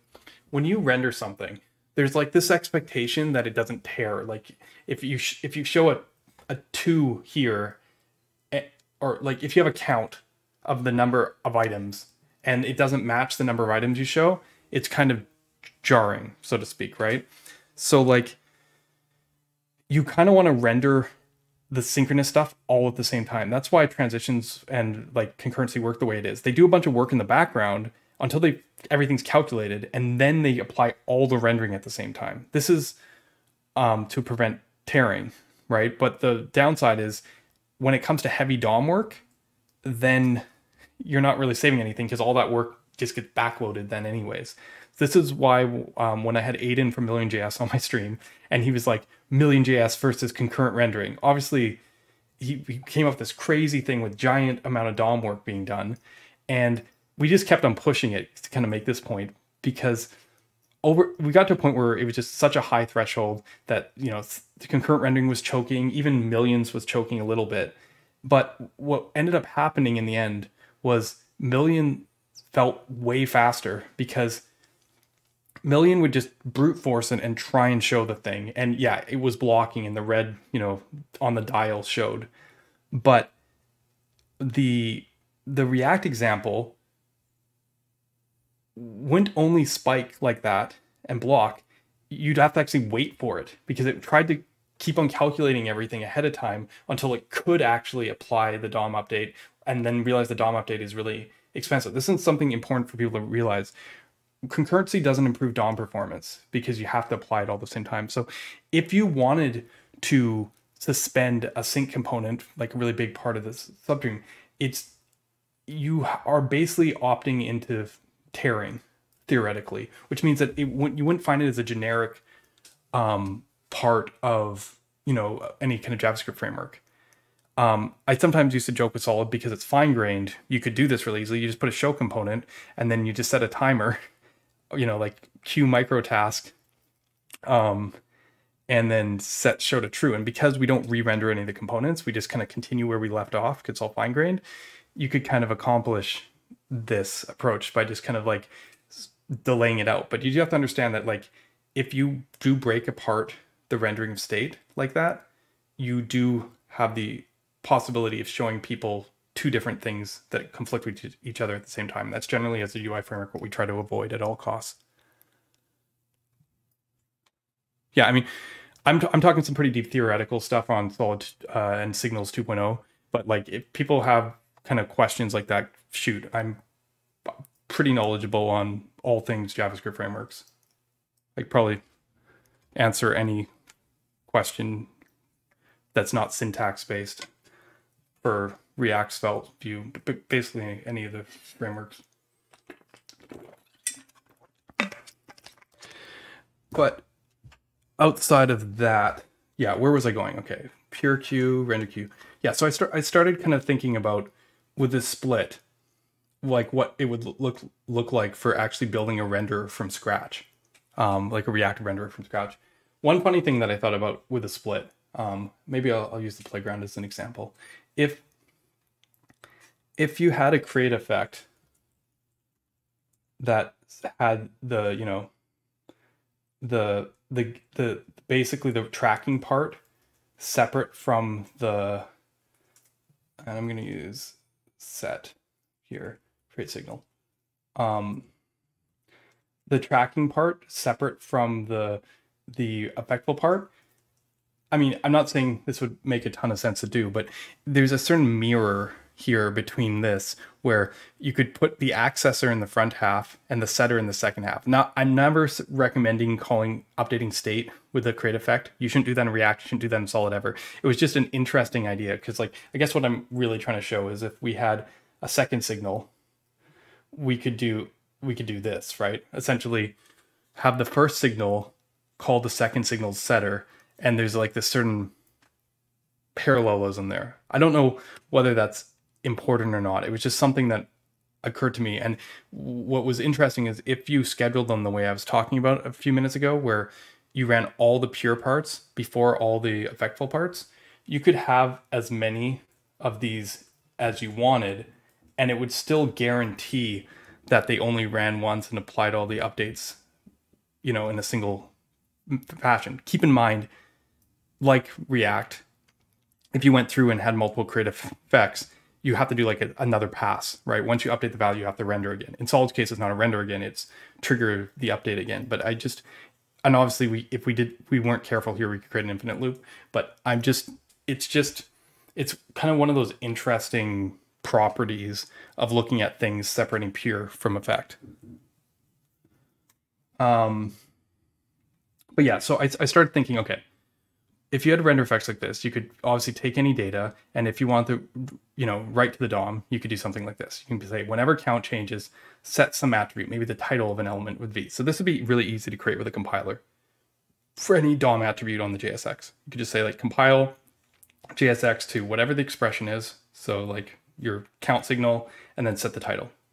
Works very similar to what Solid works like today. You just pass the value in, and then you get it in there we do something in Solid where we group together multiple attributes on the same element um, by passing in the previous value.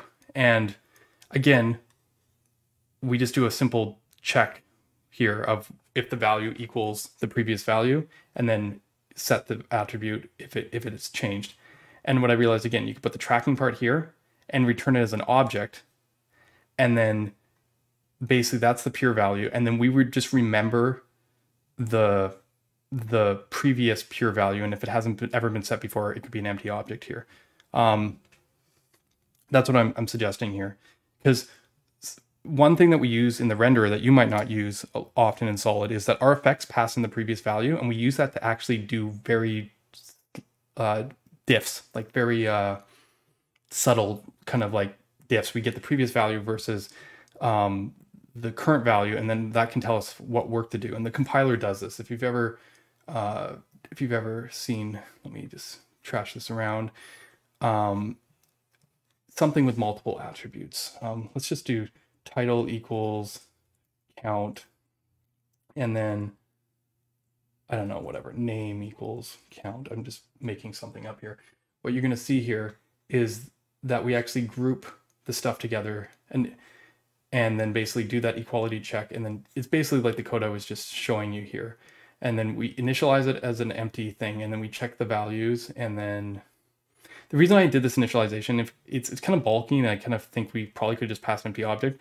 I was talking to the guy who created the EV framework, one of those performance guys, and he said, and he's right, if you create an object with a specific shape, and then only use that shape afterwards when you when working with it, um, it keeps it monomorphic and it, especially at all the call sites like where it gets passed in. And this has it, this has a huge um, benefit to javascript runtime so that it if, if your shape of your object can change at a call site it it it has to deopt because it can't like make certain assumptions. So even though this generates a bunch of extra code in theory this should improve performance. I've never measured this performance per improvement but it's just just in case it's kind of thing you've ever wondered about. Um, but generally speaking, th- this map is pretty easy to do. You know, we here we just the return value is what we pass in as the previous value basically every time we do our check. In here, it's basically the same idea. Essentially, we just have to make sure that the value from the first half is the first argument and that the value the, the previous value comes in as the second argument. But I realized there was like it was a it, for the third operation, there's only really three things you do when you render. I don't know if people know this, but like when when I create a renderer with Solid, these are kind of the same things. The, the, there's two operations you're basically doing. You're doing set some attribute, essentially, and this is like a single attribute. This is like some grouped attribute just for performance, so we're making less effects, or you're inserting something. Basically, everything falls into those two patterns. Um, everything else in solid renders, like components and that, are just function calls essentially. So the only thing actually doing the work are am I updating an attribute or are am I inserting something in the DOM, some text or some other elements? And the way we do that in Solid today um, is through something called uh, the, insert function. And I think if I looked in the playground here, you would see insert. Yeah, insert element count. And this doesn't really show me very much. Count, as I said, is a signal. So it's saying insert the value of count into this element. Pretty, pretty straightforward. Kind of basically what it says. But the insert thing internally handles previous value. Um, but it's instead of being the previous input, like what we're diffing here, we're saying, get me basically this value of the input, compare it, and if it if it changes, set something. That's easy to diff. Insert actually keeps the previous like DOM nodes so that we can diff the the new DOM with the old DOM. So it's actually like the output. And that's kind of I'm like started getting to this weird place where I was like, oh no, am I gonna need to like add like a third field? Like the value in, the previous value in, and then the return value of whatever I'm doing in the second fu- function. And it Solid also has some really weird stuff that probably makes more sense that people have used it before, where we do this reverse unwrapping that's really quite expensive. Um, it's not expensive, but it, it I, I basically did a bunch of stuff that I was hoping would let people do whatever they want without breaking the framework. So, you know, because people with signals tend to like just throw functions everywhere and just like pray that it works. Um, what I mean by that is because signals are function calls, right? Like, see this count. You could also just like do this. And this complains at you with the linter, but what you're going to find here is that it still works because it has to work because we have to be able to handle functions because of dynamic inserts. And, you know, at a certain point, people just don't know what they're dealing with and they'll just try and jam everything in. Um, especially when you're doing functions, passing functions of functions of functions. In Solid, though, you see this this under this linting thing here, and that's because we want you to pass the value conceptually when you author. See, this is returns a number. We don't want functions. So in Solid 1.7, we got really strict with TypeScript to prevent that. But our runtime is designed to handle people throwing the craziest crap at it, even though TypeScript is like, you shouldn't do that. That adds a bunch of complexity that I realize if we accept the solid 1.7 rules, so to speak, that, you know, people are smart enough to only like wrap a single level and TypeScript will tell you what's up. Like in for you, you just have to think always pass the value. For people using like non-compiler versions, people using like pure no build JavaScript, they have to pass a function, which they're used to doing. Uh, those people are crazy, but you know, I, I appreciate their hardcoreness. Um,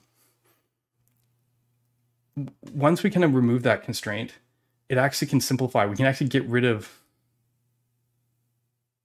uh, yeah, yeah. There's definitely performance. This is this is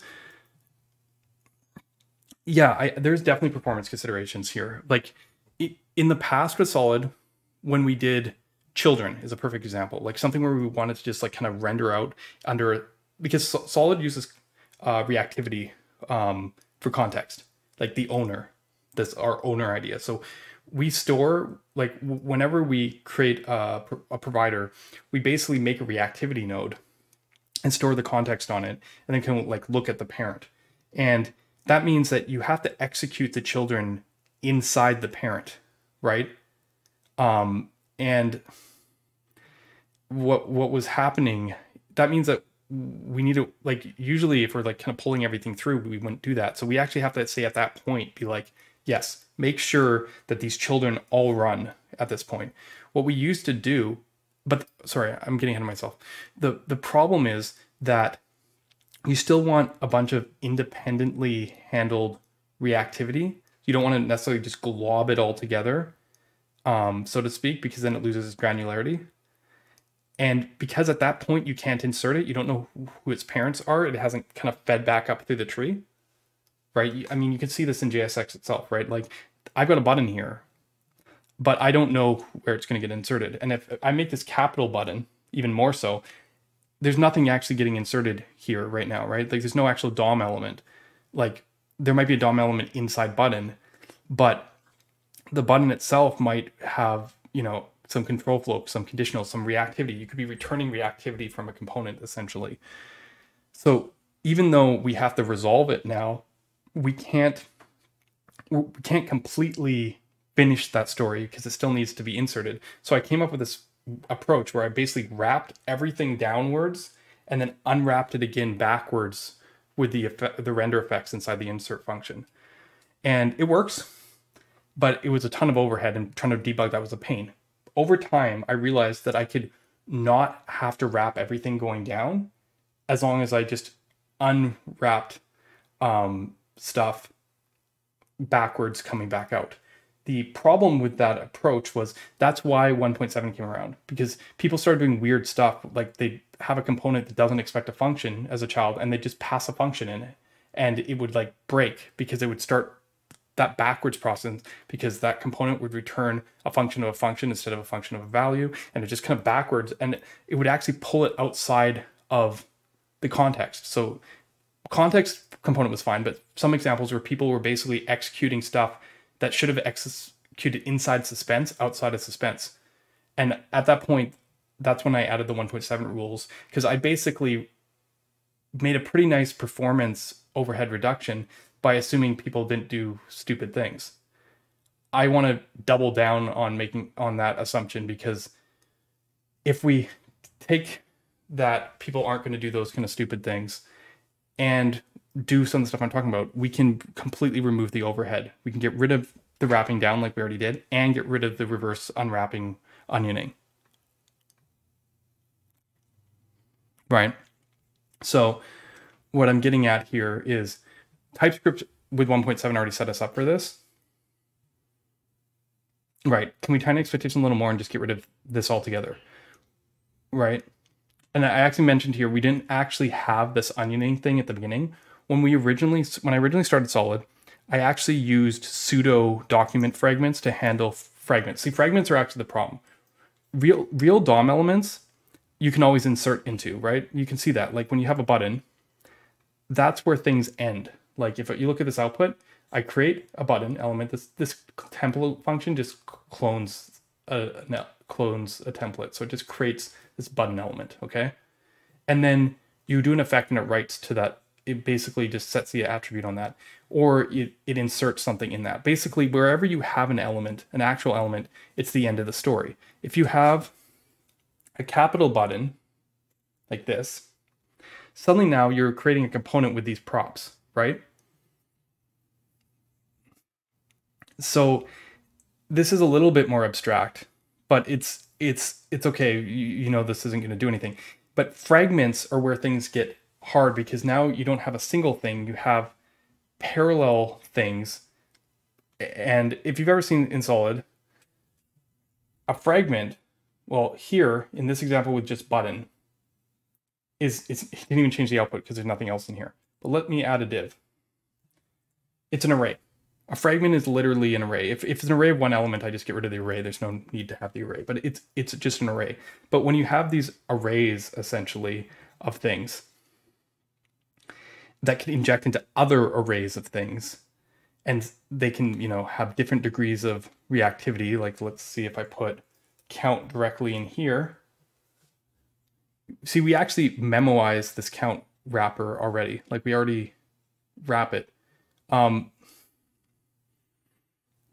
like essentially you get into this zone where like these things can combine and all kind of mix together perhaps um, and that was kind of what my concern was why I, I, wanted to do onioning because when we had sorry back to my example here when we didn't use this and actually had like a fake like use a document fragment made it more like a like like as i said if i change this into a div now you can see this is the end of the story. It just inserts some stuff into the element. When when we compiled fragments this way, we didn't actually have this unwrapping problem because everything was localized. But the problem is um, this ended up being a lot slower. Um, managing that, walking through the DOM the handles shadow markers for fake fragments, because document fragments suck. I, I, don't know if anyone knows this. You guys mostly should know it. They, they deal with live nodes. And if, as it turns out, if you take a node that's in a, do- a, document fragment and move it in a location, different location, it gets removed from the document fragment. Basically, there's only one copy of the DOM node that contain it. So because it's got live nodes, document fragments lose their references. So you have to kind of keep track of your own references your, yourself. So it's like there's a lot of extra complexity in processing. And if I go back in time, when Solid first legitimately won the JS framework benchmark, I think it was on my birthday. Uh, God, 2019, how I wrote the fastest JS framework. Was that it? Yeah, five years ago. Um,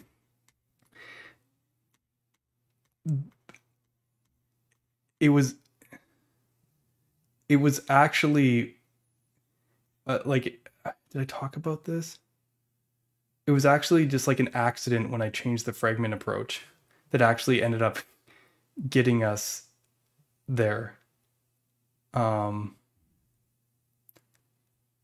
yeah, I, I forget if this is the one. There, maybe it was a different article. I wrote one where, yeah, I think I think it was this one. But yeah, it, my my point is making this change generally made it faster for simple cases, but it added this overhead um, for more complicated cases. But I realized that if we handled all the normalization, all the reducing the array in the front half, in the pure half, versus the effect part, then we can process it all at a single time instead of having this disjoint.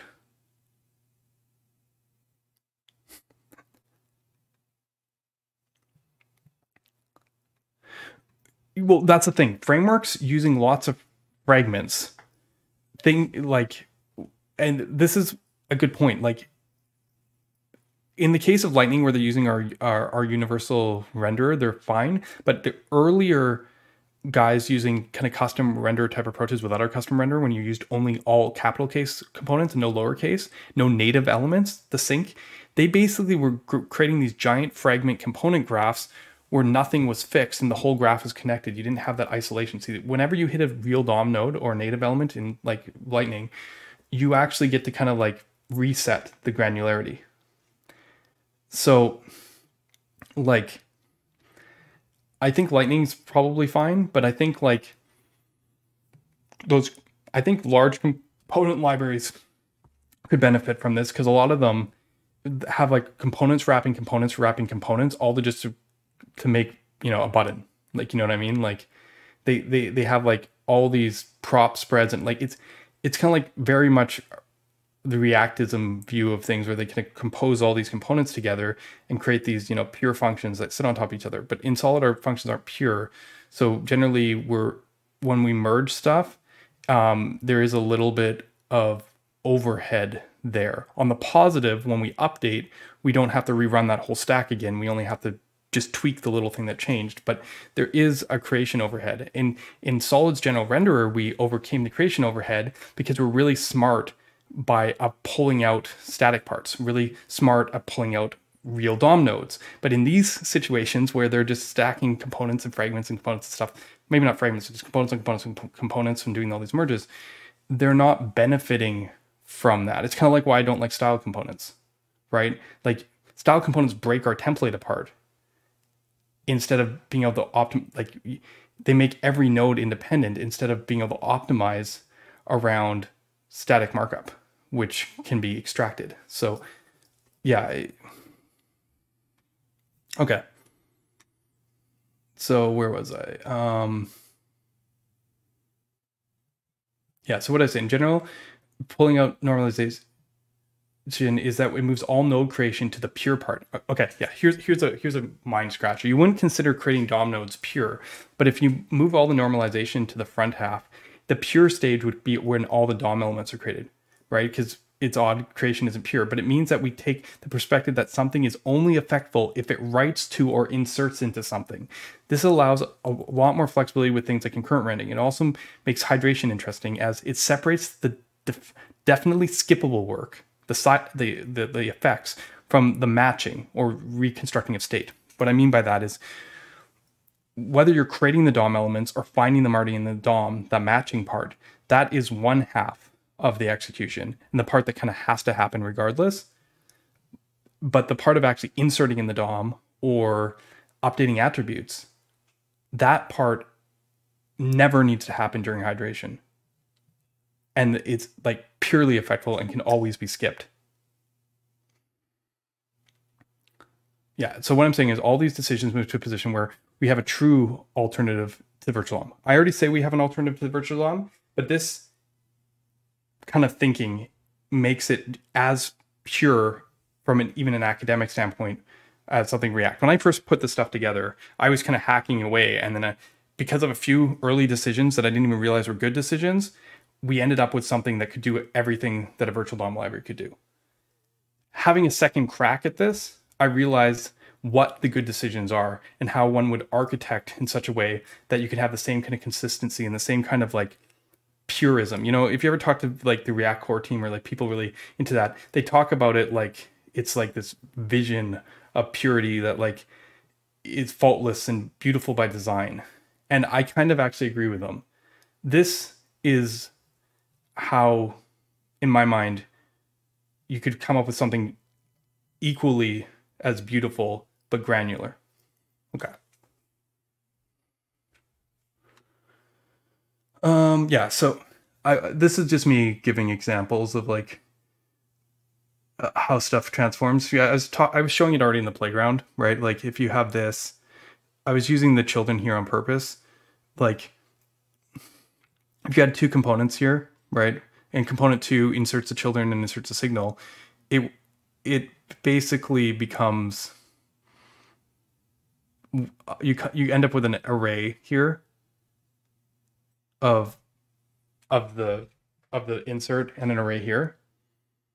Calling the function will always result in the same span because it's memoized. See, because one of my concerns here is that if you're nesting this stuff, isn't there a, a risk that um, like you could recreate these memos every time? But the way it tends to actually work is you end up creating the stuff at this scope, like here, like these memos, and then sending them back to where they actually get executed. So you don't actually worry about it. I actually, I don't know if there's much detail here, but I basically go through a whole bunch of proofs why I don't think we need onioning anymore. Talking about conditional transforms and all this. I it's probably too detailed for most people. I'm just gonna keep on scrolling.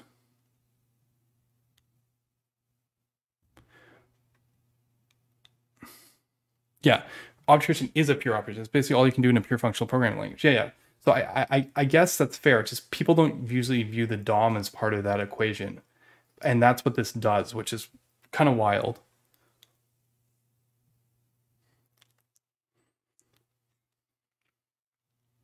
So what I actually did here was I, I went through an experiment where I actually rewrote Solid's insert function and pulled all the array normalization out of the of the insert function.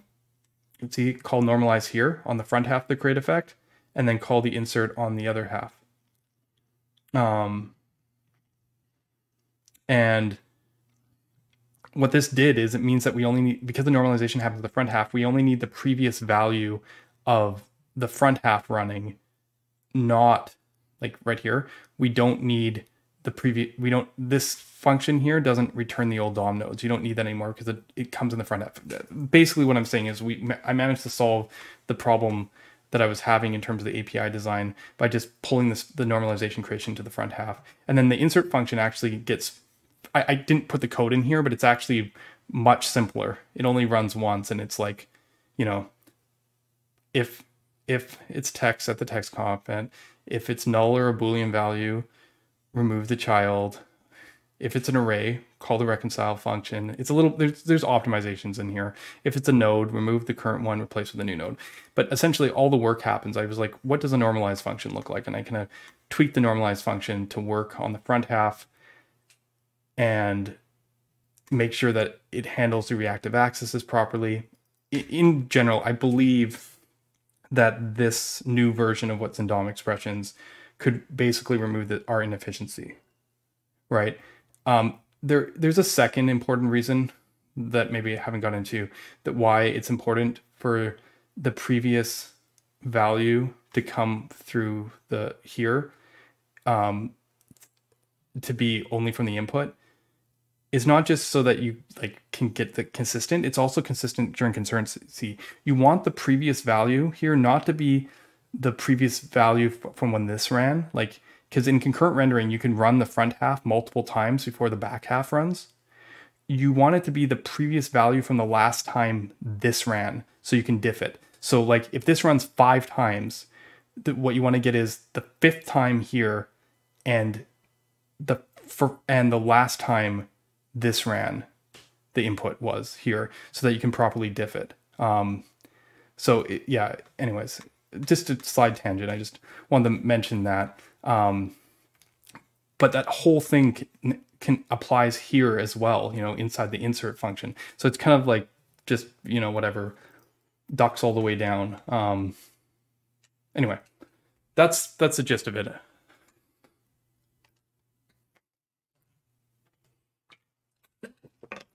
Anyway, um, sorry, I this might be interesting to some people, probably not interesting to everyone. We probably should move on to this week in J- JavaScript. I just have a couple other quick thoughts that I thought were interesting.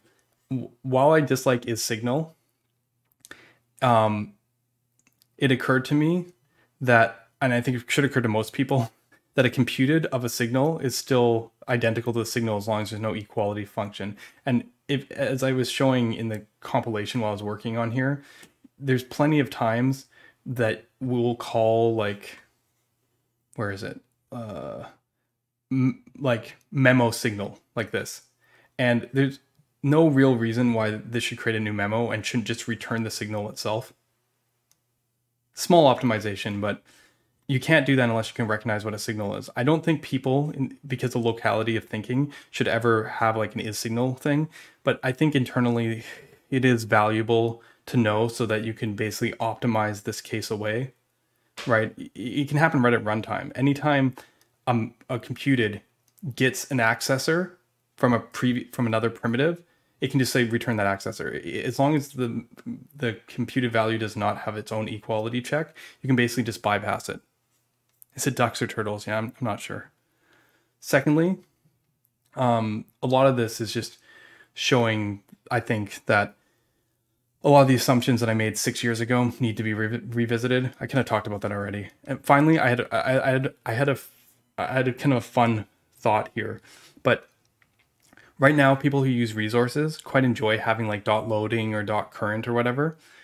Even with the throw pattern, we can still um, perhaps avoid suspense and use loading guards as a way of getting out, like reading dot loading instead of reading the value.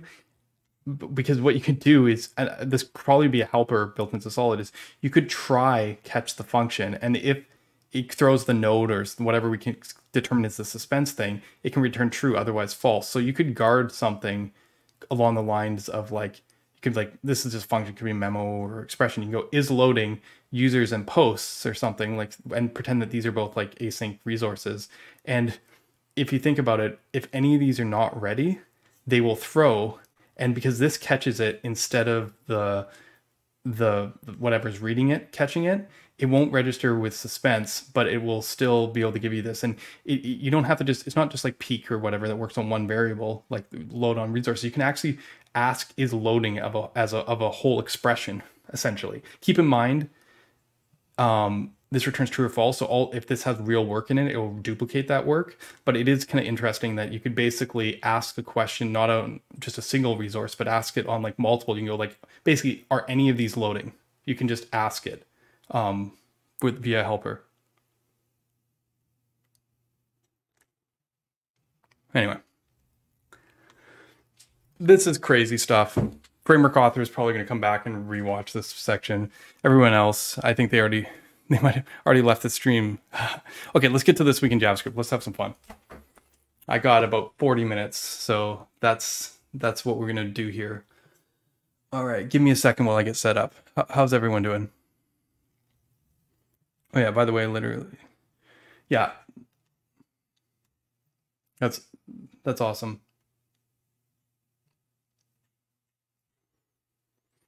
Okay, give me a second while I get set up here. Yeah, no, the, the, these async primitives and the whole system going together here is like it, it's so hard because it's like had an idea of what we could accomplish. See, here's the difference. When I first started Solid, I knew that there's some stuff we did that was really good. And I was like, more people should do this. And then we just built and rushed ahead on it and tried to get get get there.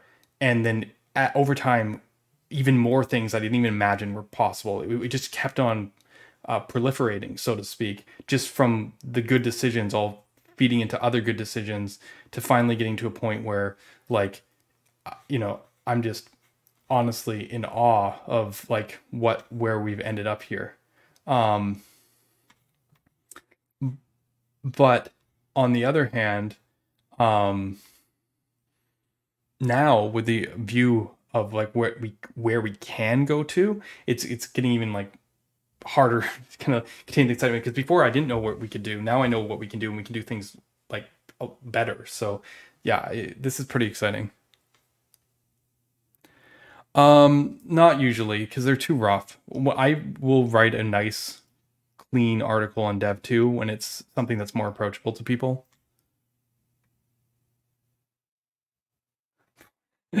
yeah, I mean, I met with them, the Angular guys. Like they're on the, they're on the.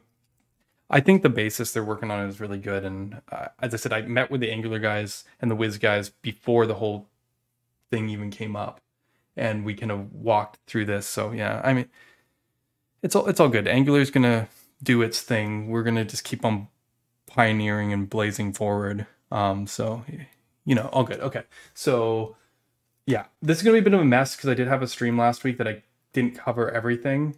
Um, but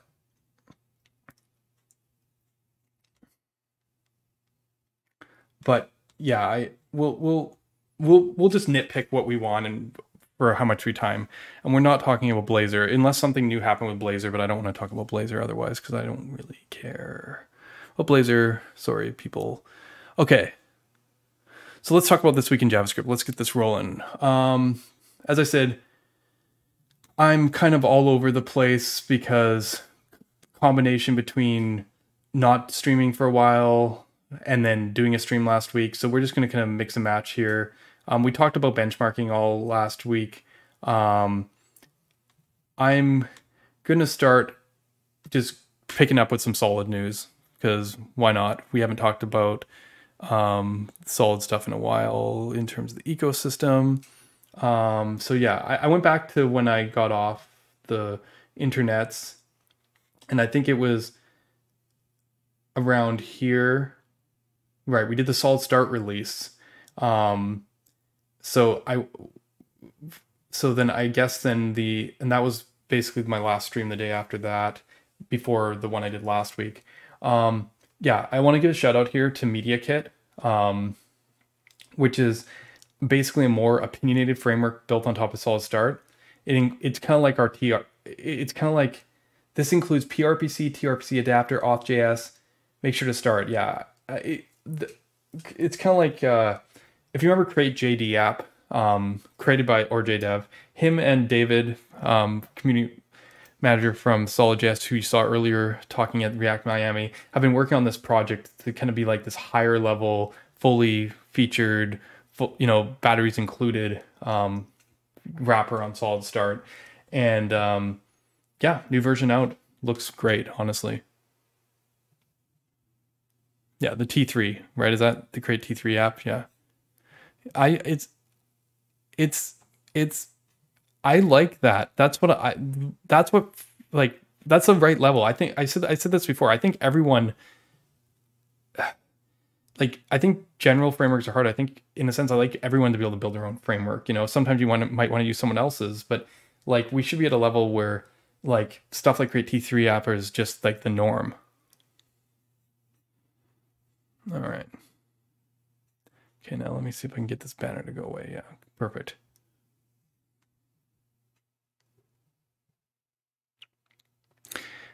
Yeah, I mean, there's some opinionated stuff. Everyone's going to have their different opinions of what they like. I, I haven't used PRPC much. I know it's based more on the solid, uh, the server dollar sign uh, syntax we had before, but it is very powerful and all kind of goes together. And I'm pretty sure pieces here are, are opt-inable. So yeah, very, very cool. Um, what else we got? Solid UI finally got needed overhaul. Now it's better, more in-depth instructions. Uh, now powered by the newest version of Solid Start. Yeah, Solid UI again. Let, let me take a look at this. What is this? B build your component library. So this is the unofficial port of shadcn slash UI to Solid. Yeah, it seems everyone likes the shadcn thing. I've never used it, but here you go. Um, I mean, people always talk about our component libraries. It seems like every time I look around, every time, you know, everyone's like, oh, but you have this cool hot thing in React. And I'm just like, I don't know, probably not. But generally, the, I, I guess I should just say, I don't know, probably yes. Um, that's what it seems like. Because it seems like whatever the new hot thing is, we seem to have a version in Solid. So very cool. Um, if you like shadcn, which apparently is a very cool library, um, there are ports to solid. Oh yeah, and there's a CN solid as well. So there you go.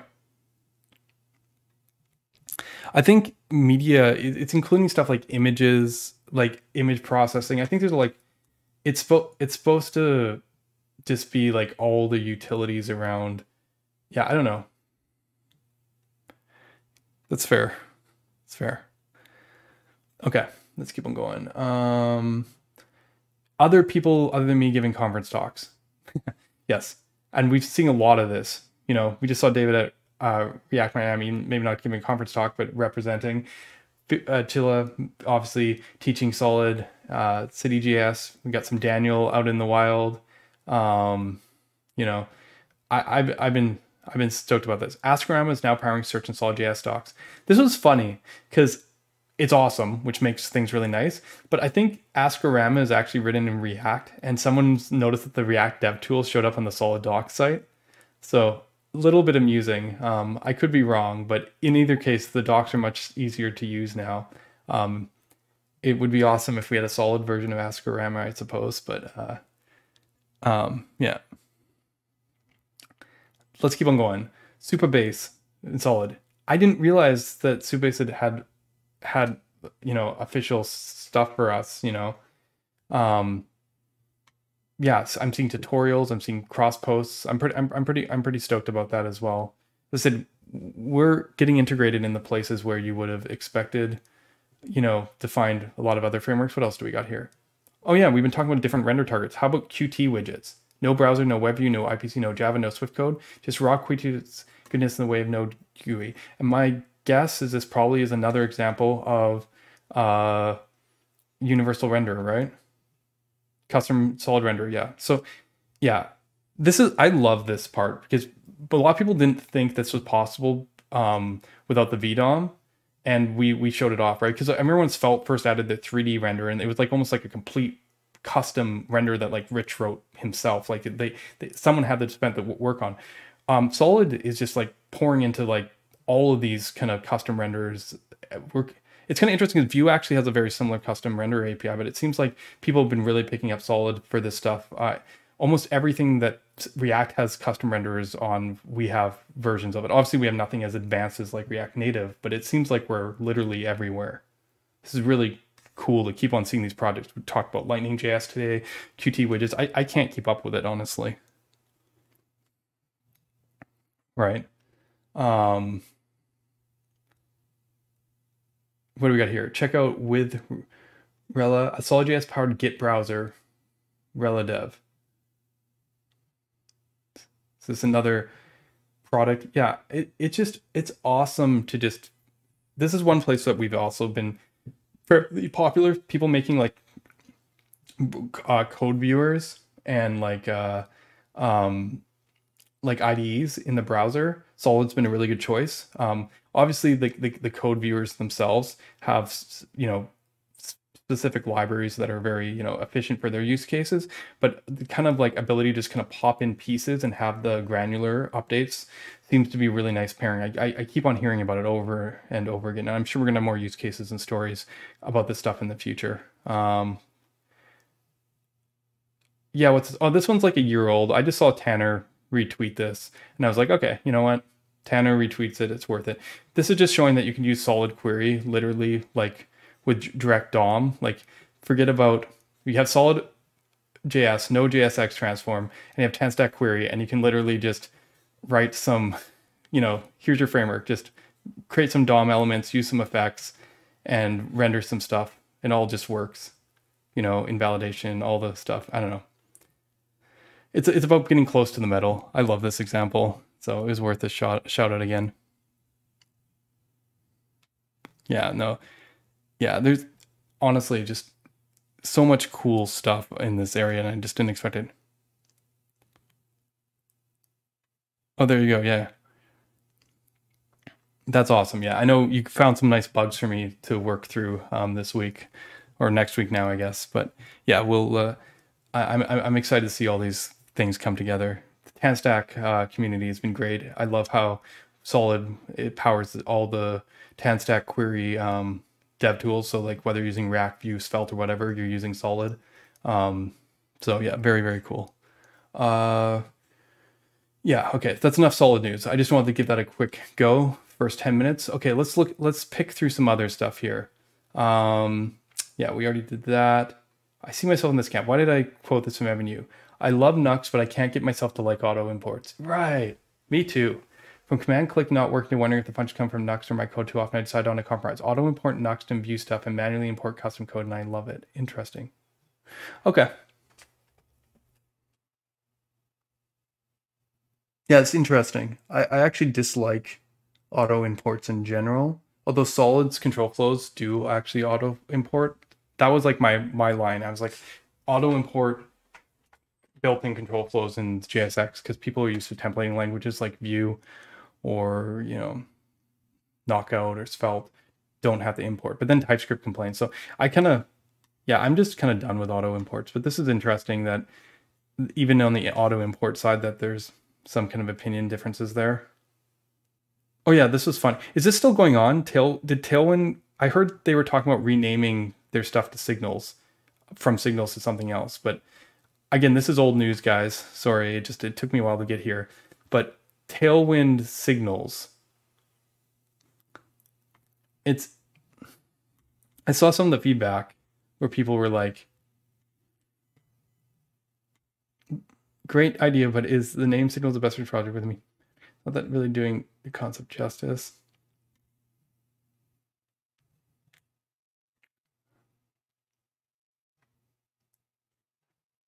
I see, yeah, yeah.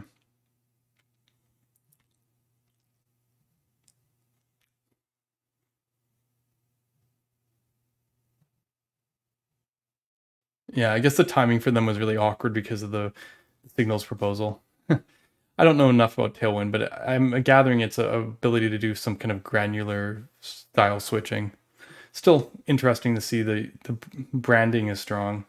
Signals are cool. What do we got here? Building on top of flight control, Dr. Junior, I've built a declarative routing system for both Next.js and React Router. You'll never use... Okay, so is this like what Tanner does for type safety? What is this? I, I, Jack Harrington.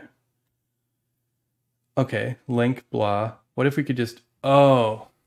Okay, but the, this is just named routes. Ember used to do this. You'd, you'd put... I guess making it a component means that the names aren't variable. Like you don't have to worry about it being like like um name equals and then trying to link that. Okay. I'll bite. It's funny trying to get away from like using components for links anyways cuz it's awkward, but let's see here. It, it obviously this makes the TypeScript way easier. So how is he doing this? That's the part I'm missing. Because he must be still generating code, right? He has a whole video on it. I mean, I love Jack Harrington's videos, so. Doesn't say much. He's just showing you how you can use it.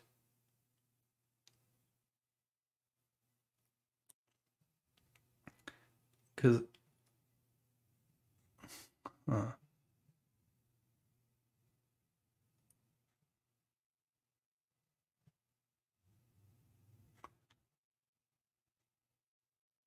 Just trying to see actually how this works because usually the biggest problem with routing is that you define the routes, but then you import everything from um,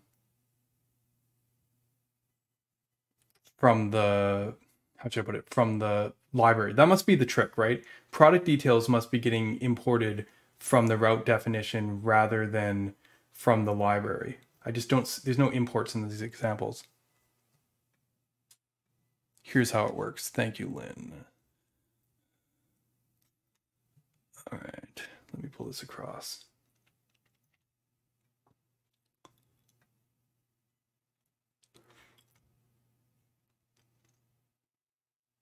Right. Okay. So it's like TanStack router. You you have all these separate make route calls that make the thing, and then you reference the thing directly, and then a back and then he puts it data loading in default info. Okay. Gotcha. Yeah, there's a lot of tension between file system routing and these declarative routing pieces. The challenge is getting preload for SSR and stuff actually gets a lot harder when you, the bundler can't statically analyze the shape to decide these things. So like we're kind of a lot of these things sometimes are at odds with each other. Um, I'm hoping that we figure out solutions to this stuff in general. I, I, I will always take UX over DX though, so yeah. Right, right. Where's the lazy loading components? Well, you could write the lazy stuff yourself, right? What about uh, dynamic asset loading? Yeah, like what about preload tags now that you're lazy loading? Yeah, yeah. There's a lot of reasons why you, you instead of trying to wire all that up, we, we end up with what we have right now. Still, definitely cool. Let's keep on going. yeah, use Signal, a React hook for TC39 signals. I'm not surprised. I mean, we've been able to use signals in React for a while, so they're using the sig signals spec for it. We talked about benchmarking last time. Ryan Florence still muddling over. I think they're like enjoying dragging their feet at this point. I mean, part of it is yeah, they want the right solution. I want the right solution. I've been struggling with this, but I I feel like they're just Remix is not incentivized right now to go to R RSCs. Like they'll go to RSCs if they have a version that makes sense, that's good enough, and they're definitely looking into it. But otherwise, like they got a pretty good system already, right? So it's kind of like I mean, yeah. This they just kind of get to sit here for a while. We'll we'll leave it for a bit, but let's keep on watching. I I I I, I maybe it'd be fun to talk to Ryan Florence or Michael Jackson on stream sometime, or just get an idea of where where they are in RSCs. Because I I mean, they keep on suggesting they may do it, you know, in a year or you know, but it's been a year kind of like back and forth. I mean, they're they're into it, but they're also taking their time. Okay. Um, it's funny, I actually ended up. Okay, what else do we got here before I do my personal page? Last bookmark. Um, Steve, if you're considering building a thin LLM wrapper like Devin or an AI pin, please don't. If you want to build an API, AI product that doesn't flop, do this instead. Uh, this is seven minutes. I probably should watch this video before I pin it. I'm not ready to talk about this. So that's fine. I guess we won't worry about that. Okay. Let's continue. Okay. So what else happened while I was away? Um, yeah, Signals went to stage one. This is actually pretty exciting. I've talked about this on the Jatin stream generally. My honestly, my biggest fear at this point, and not even fear, all the framework authors are really aligned. My biggest challenge is that I think my understanding is that the reception this got, you know, is that people are worried that it's hard to create their own effects and like we purposely didn't include the effect apis we basically built an api uh, a, a bunch of things that would only really be helpful to framework authors and we did it intentionally because making assumptions about any of this stuff would be bad and no framework author is actually interested in building a framework into the browser like i, I think the worst thing for the web are people who think that they can build a framework into the browser because it, it's such a presumptuous undertaking, which is why we stayed away from DOM APIs. Like, it's, it's why I don't want JSX in the browser. Like, there, there's primitives that are important that can let us do things, and then there's like actually like being able to just be frameworkless. If we ever got to that point where we felt that we had the full DX that we wanted in the browser that like matched what we got in our frameworks, then I either yeah, I mean basically that should only happen when we've fully understood the problem and there's nothing new to learn in this space. I don't believe that's true. So, like, I think the biggest pushback we're getting, I'm hoping we just stand firm and we don't cave to to this kind of stuff because, like, I, I mean, it's it's kind of like the web component thing all over again. You know, I it would be the absolute worst thing if we like basically built the framework into the browser and you know just to be like, look, you can use this and then you can use it with web components and then you don't need a framework. Well, as good as that sounds, it's also one of the most oppressive things possible. You have to imagine when I started Solid, a lot of the work that I did was to create unique stuff, you know, because I was like, hey, this is different. And it was, it's already hard to go up against stuff, popular ideas in the in the ecosystem. Can you picture trying to go up against like the standard like it's it's great and all that we've kind of come around to here now, but like, yeah, I don't. I, I think we should tread very very carefully. And whenever any kind of proposal sounds like we're building a framework into the browser, we should be very very very cautious. Um, yeah. It, it's funny. I it's almost like I don't want the pieces to work together too well. Which is odd thing for me to say, but it's like it becomes incredibly dangerous if certain pieces make assumptions on the other side.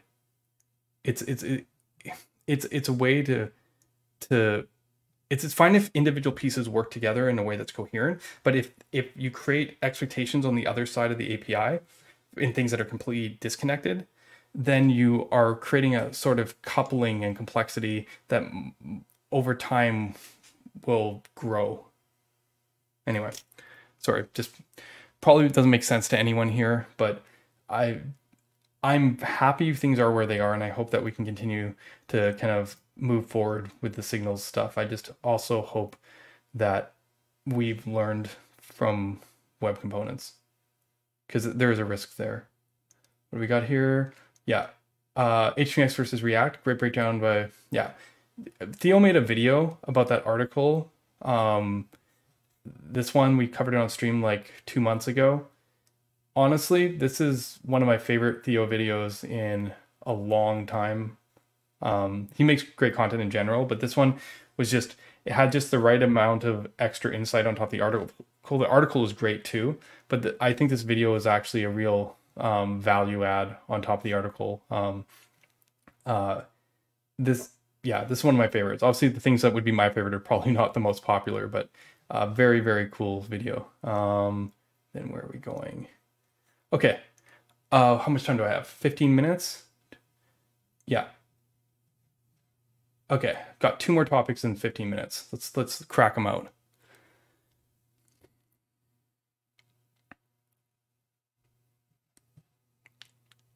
Okay, question number one, topic number one. It's cool that Solid's getting React uh, get mentioned at React conferences. It's funny. This quote from Adam Rackis reminds me uh, uh, almost exactly of the quote that I I kind of chewed him out on when he was like saying, "Oh, you know, it'd be great if I was using Solid for fintech or whatever." And I wrote that really long thing, you know, eight posts, where it's just like that's craziness. But uh, this one's probably from around that time period, and it got used at React Miami. So not it's not on Adam. It's just it's just React is still good enough. I, I love how that's like the headline. Actually, it's kind of funny, isn't it? Like, it's like, can you picture that being like your your advertising line? It's like, still good enough. Like, rather than say something exciting, it's just like we're still good enough. But what what the, the thing here is this is true. Uh, as, as much as I, I want to, you know, kind of talk about this is it would be best for everyone if React came out and just said, we'll make you take you anywhere and everywhere, right up to the top tier, 0.01% of productivity apps. If you need that shit, go use Solid. We're optimizing for the other 99.9% of apps. Seems reasonable. React, it's fine. Sorry. Um, the funny thing is, like, if if we if we're talking about what you need to do, I I, I think, I mean, isn't that the argument for like kind of like a traditional backend like Rails or HTMX, right? Honestly, it'd probably be best for everyone if Rails or HTMX just came out and said, yeah, we'll take you anywhere and everywhere right up to the top tier, top 5% of productivity apps. If you need that shit, use React. We're optimizing for the other 95%. Now, obviously, I'm being a little bit facetious here, but what I'm getting on, on pure need, there's always going to be within you when you're looking at product project there's always going to be like some ranges to work within. And the the funny thing here that i thought is this makes it sound like react is what you want to use for 99.9% of everything. But the reality is if you you just have to go back one more level and see that like maybe react is the 5% or the 2% like there's something on top of react doing that as well, right? You can just, you know, somebody could be like, honestly, probably best if everyone, if um, the vanilla HTML community just came out and said, yeah, we'll take you anywhere and everywhere, right up to the top, you know, the mid tier, top 50% of, like, you know what I mean? Like, you're just kind of going back a scale because from need, you know, most things can do the job. You can always just add a little bit to cover the gaps. Right? You you can take something simpler and just add a bit more if you need to, to optimize something, right? If something's missing. You can always just add on. It's harder to pull back, right?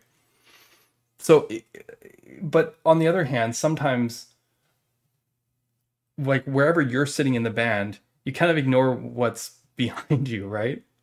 I mean, it make it, it, it, it, or like you know what I mean? Like it's it's it's it's it's very telling. It was just kind of funny because so I, basically said that need and want are different things. There's a time it, it makes sense to settle tons of times. Sometimes maybe you want something else. If you believe more than 5% of web devs want to use React, then you can kind of see the problem with this argument because there's more people who choose to use React than who need to use React. Way more. Monumentally more. So yeah, it, it's it's kind of a it, it, it's it's it, is an interesting scale. I, I thought this was fun, and I thought the HTMX people out there, or even Rails people out there, would appreciate this sentiment because, in a way, I'm not telling you to go use HTMX or Rails. I'm more saying that, like, if, it, like, if you pick any one criteria, you're gonna like and and scope it a certain way. You you can make it look good, right? So like yeah.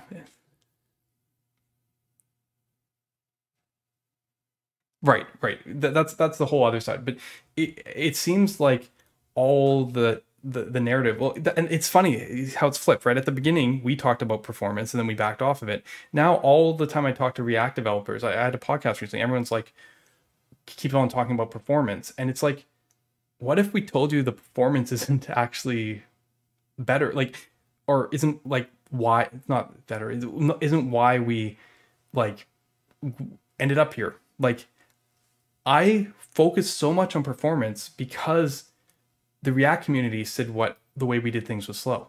They said that kvo had too much memory overhead it couldn't render fast i just wanted the dx of knockout i love knockout it's so funny you talk to mobx or knockout developers you know who used it back at their prime dates, not like later on because they inherited it, but like he used it when those frameworks were like, you know, our libraries were popular. They always have fond memories on. It. I bet you if I asked Adam, I think he used MobX before, he would he would say how much he liked MobX. but like that's actually what we I was trying to recreate. I needed to prove it was performant enough to get past the narrative that React used to bury it. But now that we're past that and like on the other side of it, if the best thing you can do is say that, oh, uh, we don't need the performance, oh, I hate to tell you, there's a whole lot of other stuff there. Anyway, um, okay, last topic for today.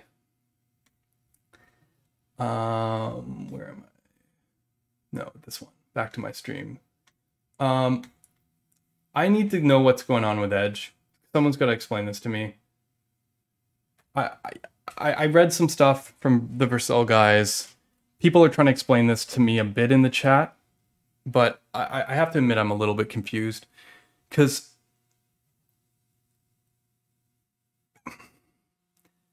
Vercel's like, look, we backed away from uh, edge rendering. It's slow. It's not what you want to do. Uh, but they kept on talking about where your data is located, and then they were like, "Oh yeah, but we think PPR is good." And I was like, "What? Isn't PPR like?" And maybe I don't understand what PPR is, so maybe this is where I should start. Partial pre-rendering. My understanding of that is at build time they go run these next pages or maybe there's like some kind of like incremental static element to this. But like they essentially go and uh you guys hear that buzzing? It sounds like one of my computer fans is just kind of kicked off terribly. It's probably because it's hot in here. But just give me two seconds.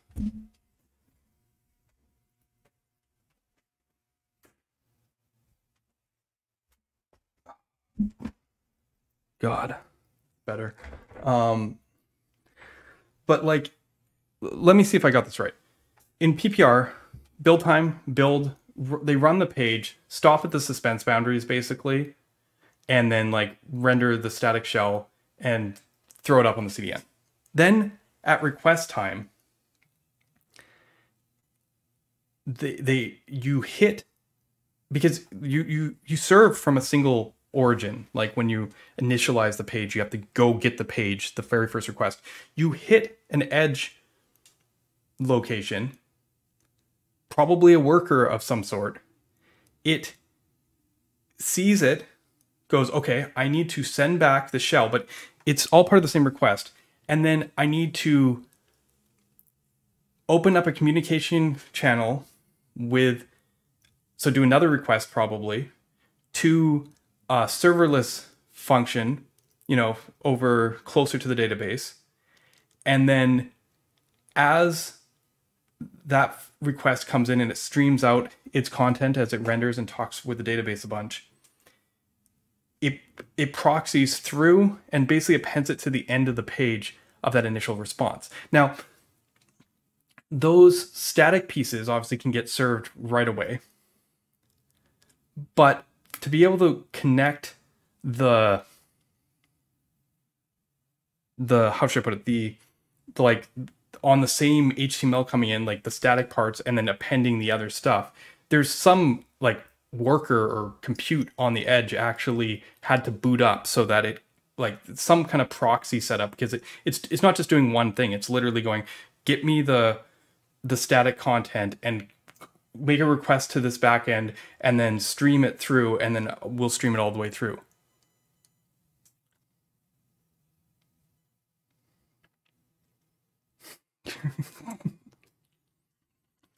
right? But what, what, I mean, like, just really simply here, we have the client who's over here. We have uh, let's use this one. We have our edge server, which will make a different color. We have maybe over here our non-edge server, our serverless function, and then I'll put our database over here. Okay, database. But we basically have these three servers, right? So client goes, goes, okay, get me some stuff. Let's make this white. And then it goes, okay, send back the static HTML, but I'm not done sending stuff. So at the same time, I'm going to request here, which then is going to communicate with our database. And then it's going to do a bunch of back and forth there. And as this completes, I'm going to send this back here and then Jimmy back on the same thing, all back to the client, right? But if if I took this design and I was just designing PPR here, I was saying like I, am you're right. I'm missing one other thing. I should add like a a, a tan version or something over here. I'll have a CDN. So what I did miss in my diagram for the CDN is this did uh, a, a, request to the CDN. So it, if we follow through, it's like one, at the same time we request this, we connect to here, this comes back, sends this back, this here communicates here, goes back, goes here, and goes out. Yay. Right? Now, if I rename these these locations, see right now this one's client, right? And then this is well, this one stays the same. This is edge. This one CDN. This one is server. Let's just call it server. And this one's database. If I just rename server here to API, like, what's the difference? Like, if if I get some static stuff from a CDN or I render it here in you know sub 10 millisecond time range, what what's the difference? I mean, this has to boot something up. Maybe JS is slower to load on the edge load up time, but like this is not just a CDN response. It has to actually proxy through and process stuff and wire it all together, right? Like I, this is why I'm I'm confused because it's it's basically the same model as far as I can tell, except this is sorry, this is server so I'm saying nothing moves between streaming edge rendering and PPR. Okay, so it, it, right, right, and booting up the JavaScript has to be expensive because like.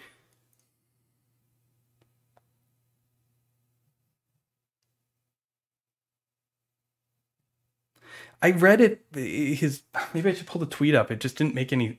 I just read it and I was just like, what?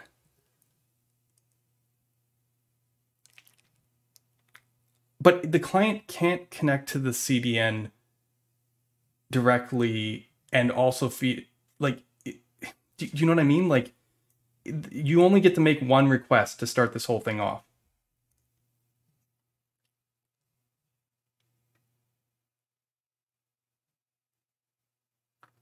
So you're saying that the cdn can proxy through to the server and append the html at the end in one way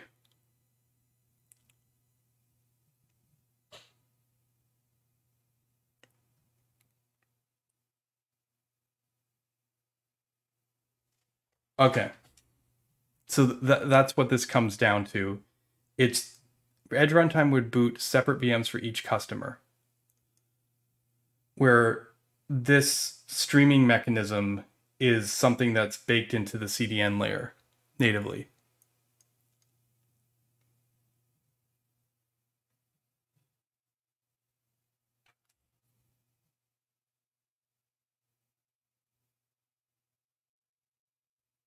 So it's basically always up. Okay, so the okay, Th- this is helpful.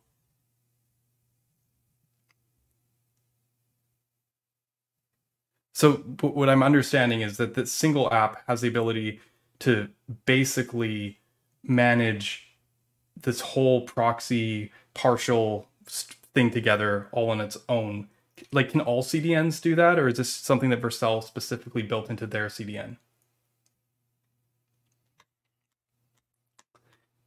Because yeah, I mean that, that that's basically the gist of where my confusion was on this stuff. I, I'm going to end this with one more thought from Matt Biilmann. He was said, in the front-end community, there's a tendency to seek out absolutes rather than balancing. Edge rendering, for example, is powerful, but not without drawbacks. If you're building a full-stack app on top of a database, edge rendering is almost certainly an anti-pattern for anything non-trivial. It's not cost-efficient to replicate large databases. Yeah, I'm not talking about moving databases. However, if you're building a Jamstack approach on top of APIs, then API caching edge rendering can be very powerful. If I was Hydrogen works in Remix, for example, this edge rendering on top of calls a Shopify, we already have a good global cache layer, giving good balance of dynamic edge on top of this. Pictures when you're running off the edges in more limited compute environment, that's fine. 15 knows runtime, blah, blah, blah, blah. Okay. Yeah. So yeah, because re- reading what Matt says, generally speaking, is why I was like still thinking about it this way because like it's it's still all the same pieces. We're just saying that there's a the, the the difference between these pieces are slightly more optimized in a way that um, is measurable. I'm surprised by that a little bit, but I can believe it. I could see it in be in the realm of you know it could be up to like maybe up to 20 milliseconds. I mean that would be significant. Um, definitely if it was like 20 milliseconds difference. So yeah, because the funny thing is without moving anything, this all seemed the same to me.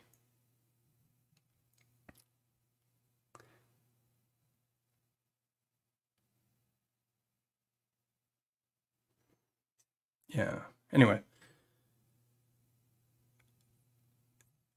You can understand my confusion here because it's it, it does feel like like I've never heard of CDNs being able to like do all that amount. I figured it'd be some amount of compute. Anyways, um, that's it for me today. Um, I gotta go.